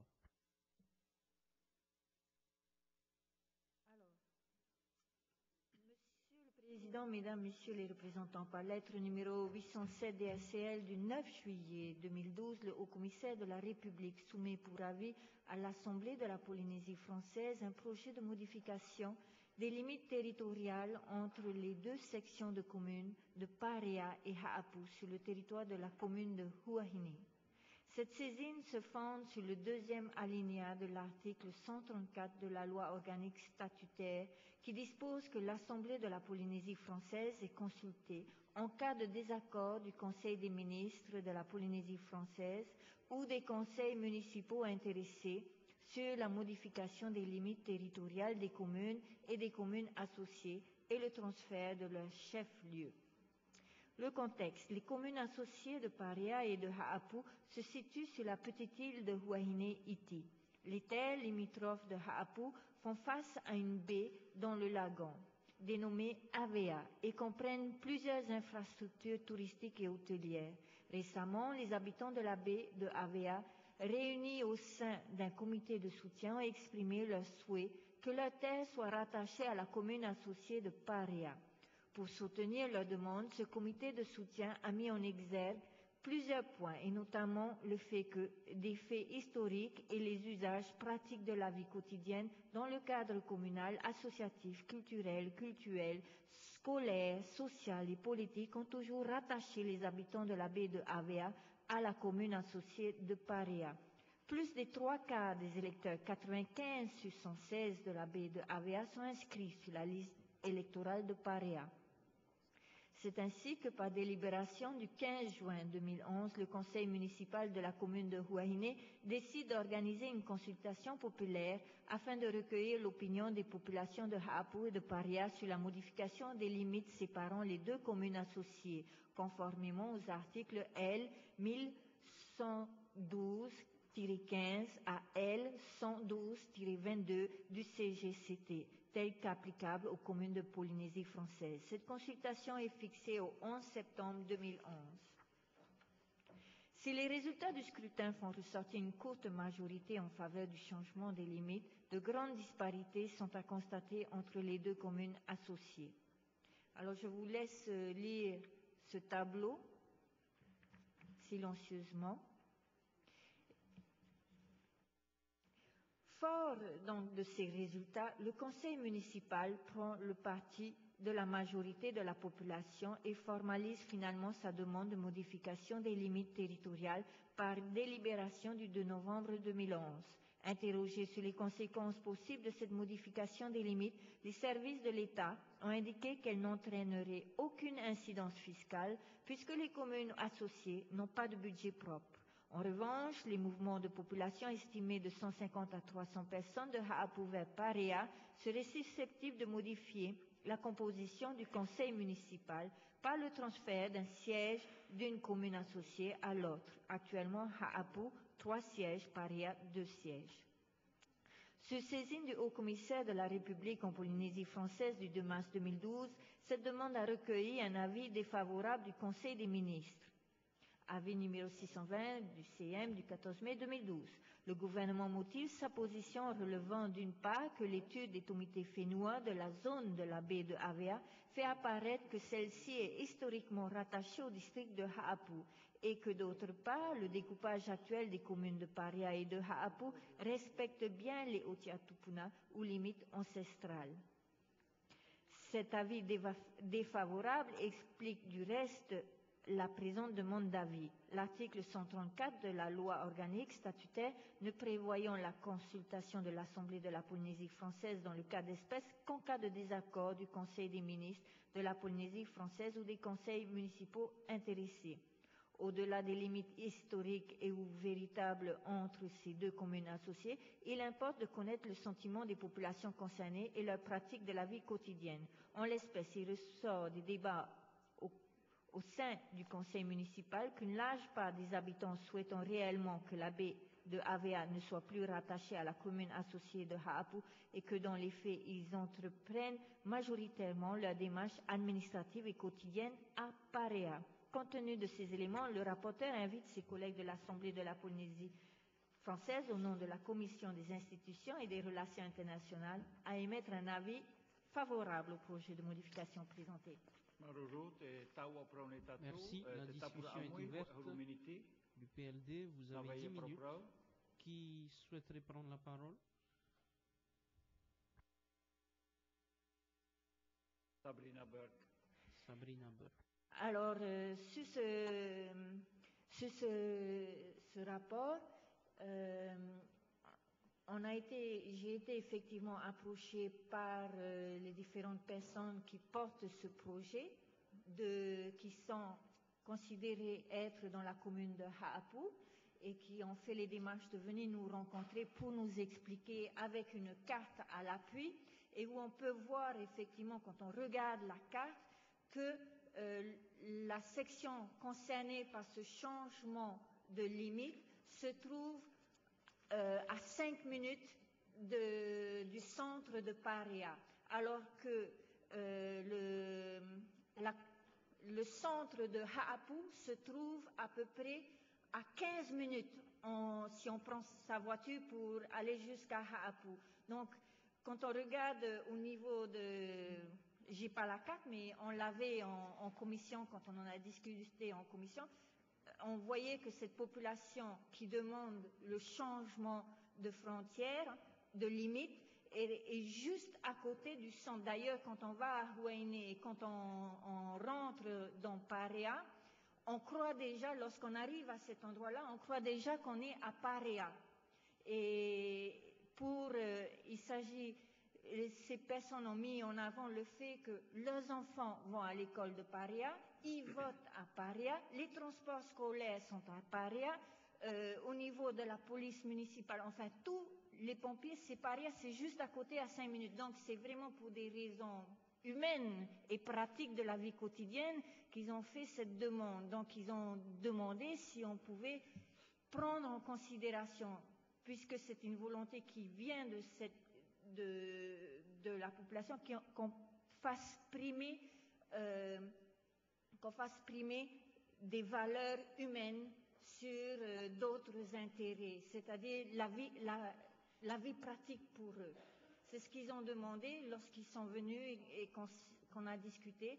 Donc j'ai défendu, effectivement, lorsque j'ai reçu euh, ce rapport, l'avis était d'émettre un avis défavorable mais à l'écoute de la population et, du fait que j'y habite à Huayne et que je les rencontre quotidiennement, j'ai pensé que pour des raisons humaines, ils avaient raison, ils habitaient juste à côté je ne vois pas pourquoi on va obliger ces personnes de dépendre de, de qui est à 15 minutes. J'imagine s'il y a une femme qui se fait taper dessus, elle ne va pas appeler la police de Hapu plutôt que celui de, Papara, que, que de Paria. Et idem quand il s'agit d'envoyer les enfants à l'école on pense à les amener à l'école qui est juste à côté. Donc c'est pour ça que j'ai fait j'ai proposé un avis favorable. Maruru. Merci. Merci, Monsieur le euh, Président. Rano était euh, Mon intervention sera assez courte. Wa Je me suis rendu à Wahine. e J'ai rencontré euh, le conseil municipal et, E euh, tu se sont e ma rendus ici eux aussi. Alors un référendum a été organisé à Parea et à Apu et la majorité euh, eh bien, consent à, modifier les limites de ces deux communes. Uniquement la limite euh, géographique, mais pas euh, euh, les, les terres. Merci. Totato Aïa, est-ce qu'il y a une intervention Pas d'intervention. Yorat Fenoua. Monsieur Teki Porlier. Merci, Monsieur le Président. Bonjour. Euh, C'est pas pour que l'Assemblée a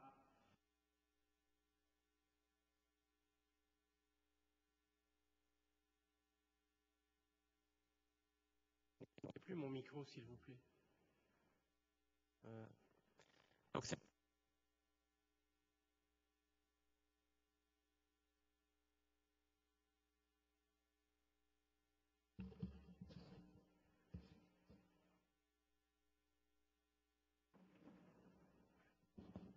souhaitant que celui-là marche. Euh, voilà, c'est pas régulier d'avoir euh, ici des dossiers comme celui-là, des modifications de limites, même pour des sections de communes.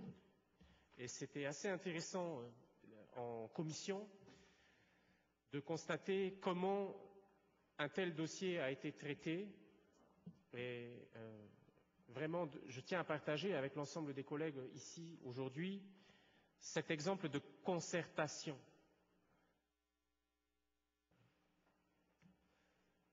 Peut-être parce que c'est de la compétence de l'État, on fait cet exercice, mais on a bien vu que l'exercice de la concertation, quand il est fait, eh bien, tous les doutes sont levés, toutes les questions sont posées, toutes les réponses sont apportées. Et ensuite, nous, on nous demande de valider ou de ne pas valider mais c'est un travail qui se fait en transparence, de façon sereine, et c'est vraiment intéressant de voir que euh, les populations, elles sont pleines de bon sens, et combien de fois ici on a des interventions qui sont très loin du bon sens des, des populations. Mais faut-il peut-être souhaiter qu'il n'y ait pas une boîte d'archives quelque part qui vienne remettre en question ce travail? Hein, je, pense, je repense là à l'expérience récente d'une demande de modification entre deux communes de l'île de Tréty. Euh, voilà, c'est une boîte d'archives qui a remis les pendules à l'heure avant même que la concertation ne puisse être engagée. Voilà, j'espère qu'à Rouariné, il n'y a pas euh, quelque part, tel un toritou sous la main d'un gardien encore inconnus des éléments qui remettraient tout ce travail en cause. Merci. pas d'intervention.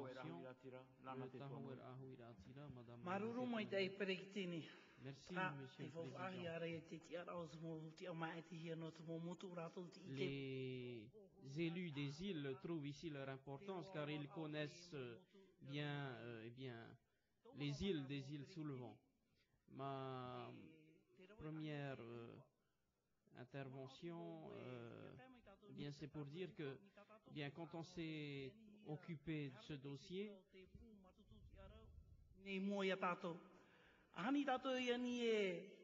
bien je, je et il aurait été bien qu'on ait un intervenant euh, face à nous, par exemple le, le maire de cette commune, pour qu'il nous expose son avis sur le sujet. Il est vrai que, comme Vito l'a dit, nous sommes allés dans, cette île et nous avons entendu l'avis de la population sur euh, la modification de ses limites territoriales. Euh, ce qui m'inquiète, eh bien, c'est bien notre culture. Nos ancêtres ont fait les choses telles qu'elles sont aujourd'hui. Ils ont placé Haapula et ils euh, savent donc la raison pour laquelle ils ont fait ça. C'est vrai qu'aujourd'hui, euh, bien, on est à une époque où c'est le code civil qui régit euh, notre vie et les limitations euh, territoriales. Pour ma part, je ne vais pas donner d'avis favorable ou défavorable, je vais m'abstenir. Car si euh, c'est vous qui venez décider de changer une limite territoriale dans mon île, eh bien, je peux vous dire que euh, nous n'allons pas être, nous n'allons pas nous entendre là-dessus. Hein. Merci.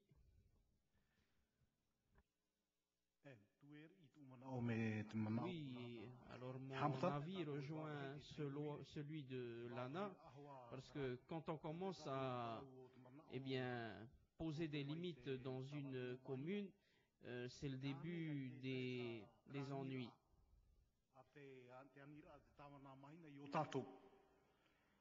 Euh, concernant euh, ben, la même situation qui se pose à Mahina, eh bien, euh, est-ce que notre avis nous a été demandé? Non, il, ça concerne le maire, mais à mon avis, il faut laisser les limites qui ont été établies par les ancêtres. Voilà. Merci. René, vous avez la parole. Merci, Monsieur le Président. Mon avis est un peu différent que celui de l'ANA sous le vent.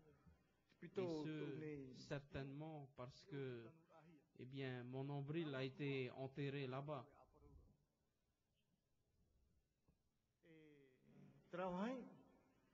Et vous savez, cet endroit, eh bien, dans mon enfance, c'était un lieu euh, fait pour l'agriculture. Et nous avions l'habitude de dire qu'il s'agissait de la section de commune de Parea. Nos, nos aïeux euh, qui étaient là-bas n'avaient certainement pas compris qu'à l'époque, ils avaient été un petit peu entourloupés par les, les géomètres à l'époque. Hein, tous ces experts qui s'occupaient de euh, leurs affaires et qui euh, eh bien, sont venus les régler ici à, à Tahiti. En 1995, eh bien, un ancien de chez nous bien s'était demandé comment est-ce que ça s'était effectué tout ça. Peut-être qu'il faudrait faire appel à un expert comme Monsieur Regnault pour savoir, eh bien, comment est-ce que ça s'était passé. Et au moment où eh bien, ce dossier a été remis entre les mains des membres de notre commission législative, eh bien, au moment où j'ai entendu euh, le maire de cette section de commune, eh bien, euh, les demandes qui émanaient de tous ces anciens de là-bas et qui avaient été signées m'a fait penser à mes ancêtres qui eux aussi avaient signé ce papier pour demander la rectification des limites territoriales de ces deux communes. Et aujourd'hui, nous voilà euh, à donner un avis sur ce sujet. Pour ma part, eh bien, je soutiens ce projet et mon avis est donc favorable car mon nombril a été enterré là-bas à Huahine, à Parea. Merci. Vito. Merci, Monsieur le Président. Euh, je serai bref. Donc il y a eu un débat entre eux. Il y a eu un référendum et la majorité a décidé que, eh bien, soit rectifier cette limite territoriale.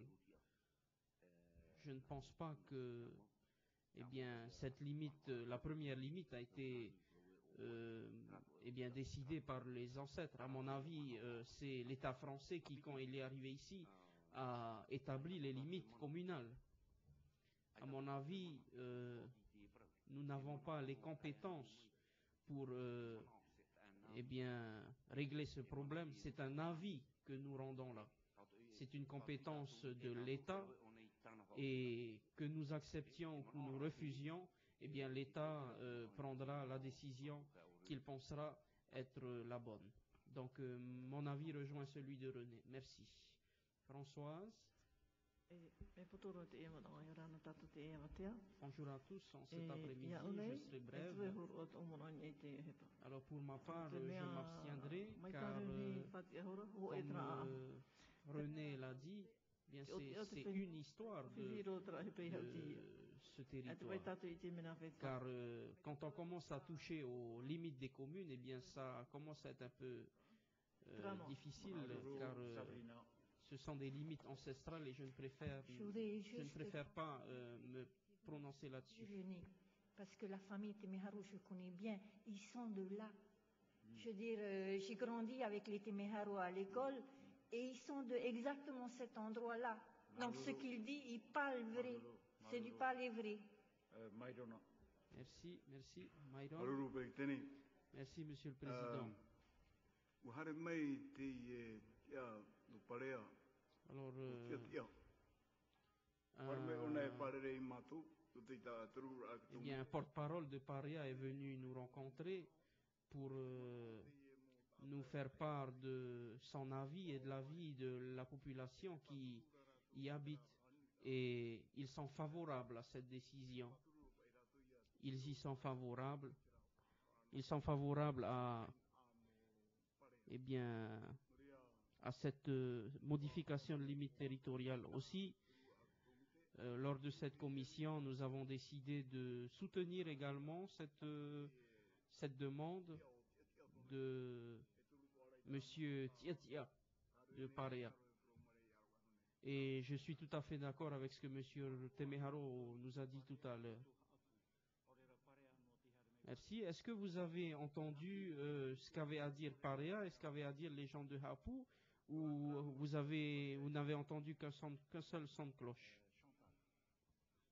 Merci. Chantal Merci, Monsieur le Président. Alors, quand j'ai lu que le Conseil, conseil des ministres euh, avait rendu un avis défavorable, je n'ai pas voulu euh, me prononcer là-dessus. Cependant, euh, j'aimerais remercier René car il nous a dit qu'il est né là-bas et qu'il connaît bien ces terres. Et c'est la raison pour laquelle je vais me prononcer favorablement pour cette décision. Merci. Annick. Dernière intervention avant que nous passions au vote. Merci, Monsieur le Président. Au sujet de ce rapport qui concerne Houahine, il est vrai que le maire de cette région est venu, mais il aurait fallu également que le maire de Hapou soit lui aussi là pour qu'on entende ce qu'il avait à dire. Je remercie René de nous avoir dit qu'il était né là-bas. Oui, c'est vrai qu'il y est né. Nous aussi, nous connaissons Paréa. Mais il faut euh, eh bien, que les populations de ces deux territoires eh bien, soient entendues.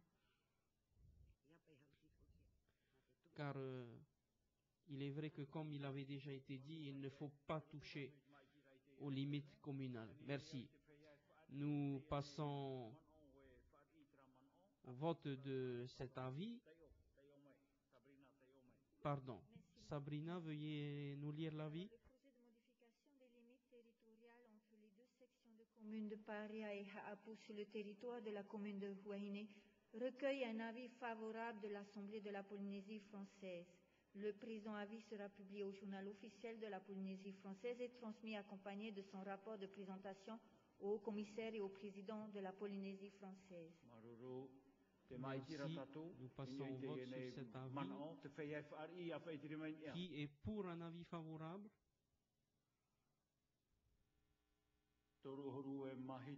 37 voix pour, ceux qui sont contre, aucune voix contre, ceux qui s'abstiennent.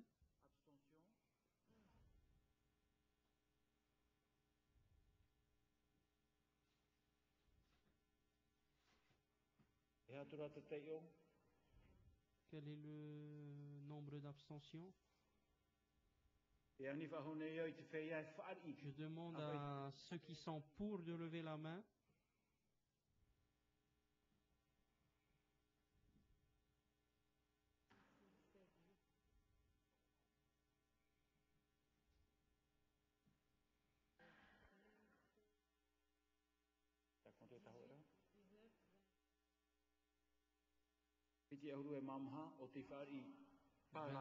Quatre voix pour. 23 voix pour. Ceux qui sont contre, aucune voix contre. Et ceux qui s'abstiennent, veuillez lever la main.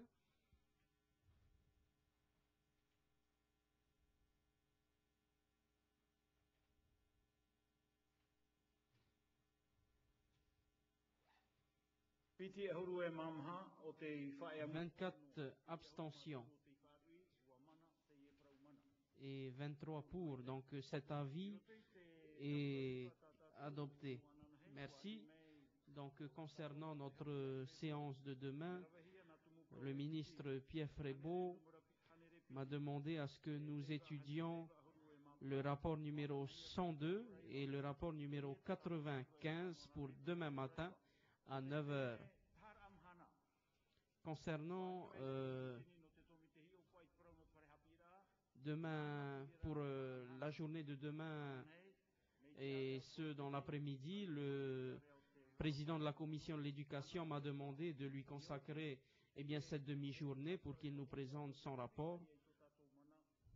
Et le dernier, le dernier rapport, eh bien, ça sera la délégation euh, à la commission permanente. Merci. Donc, je suspends notre séance et je, nous la reprendrons demain à 9 heures.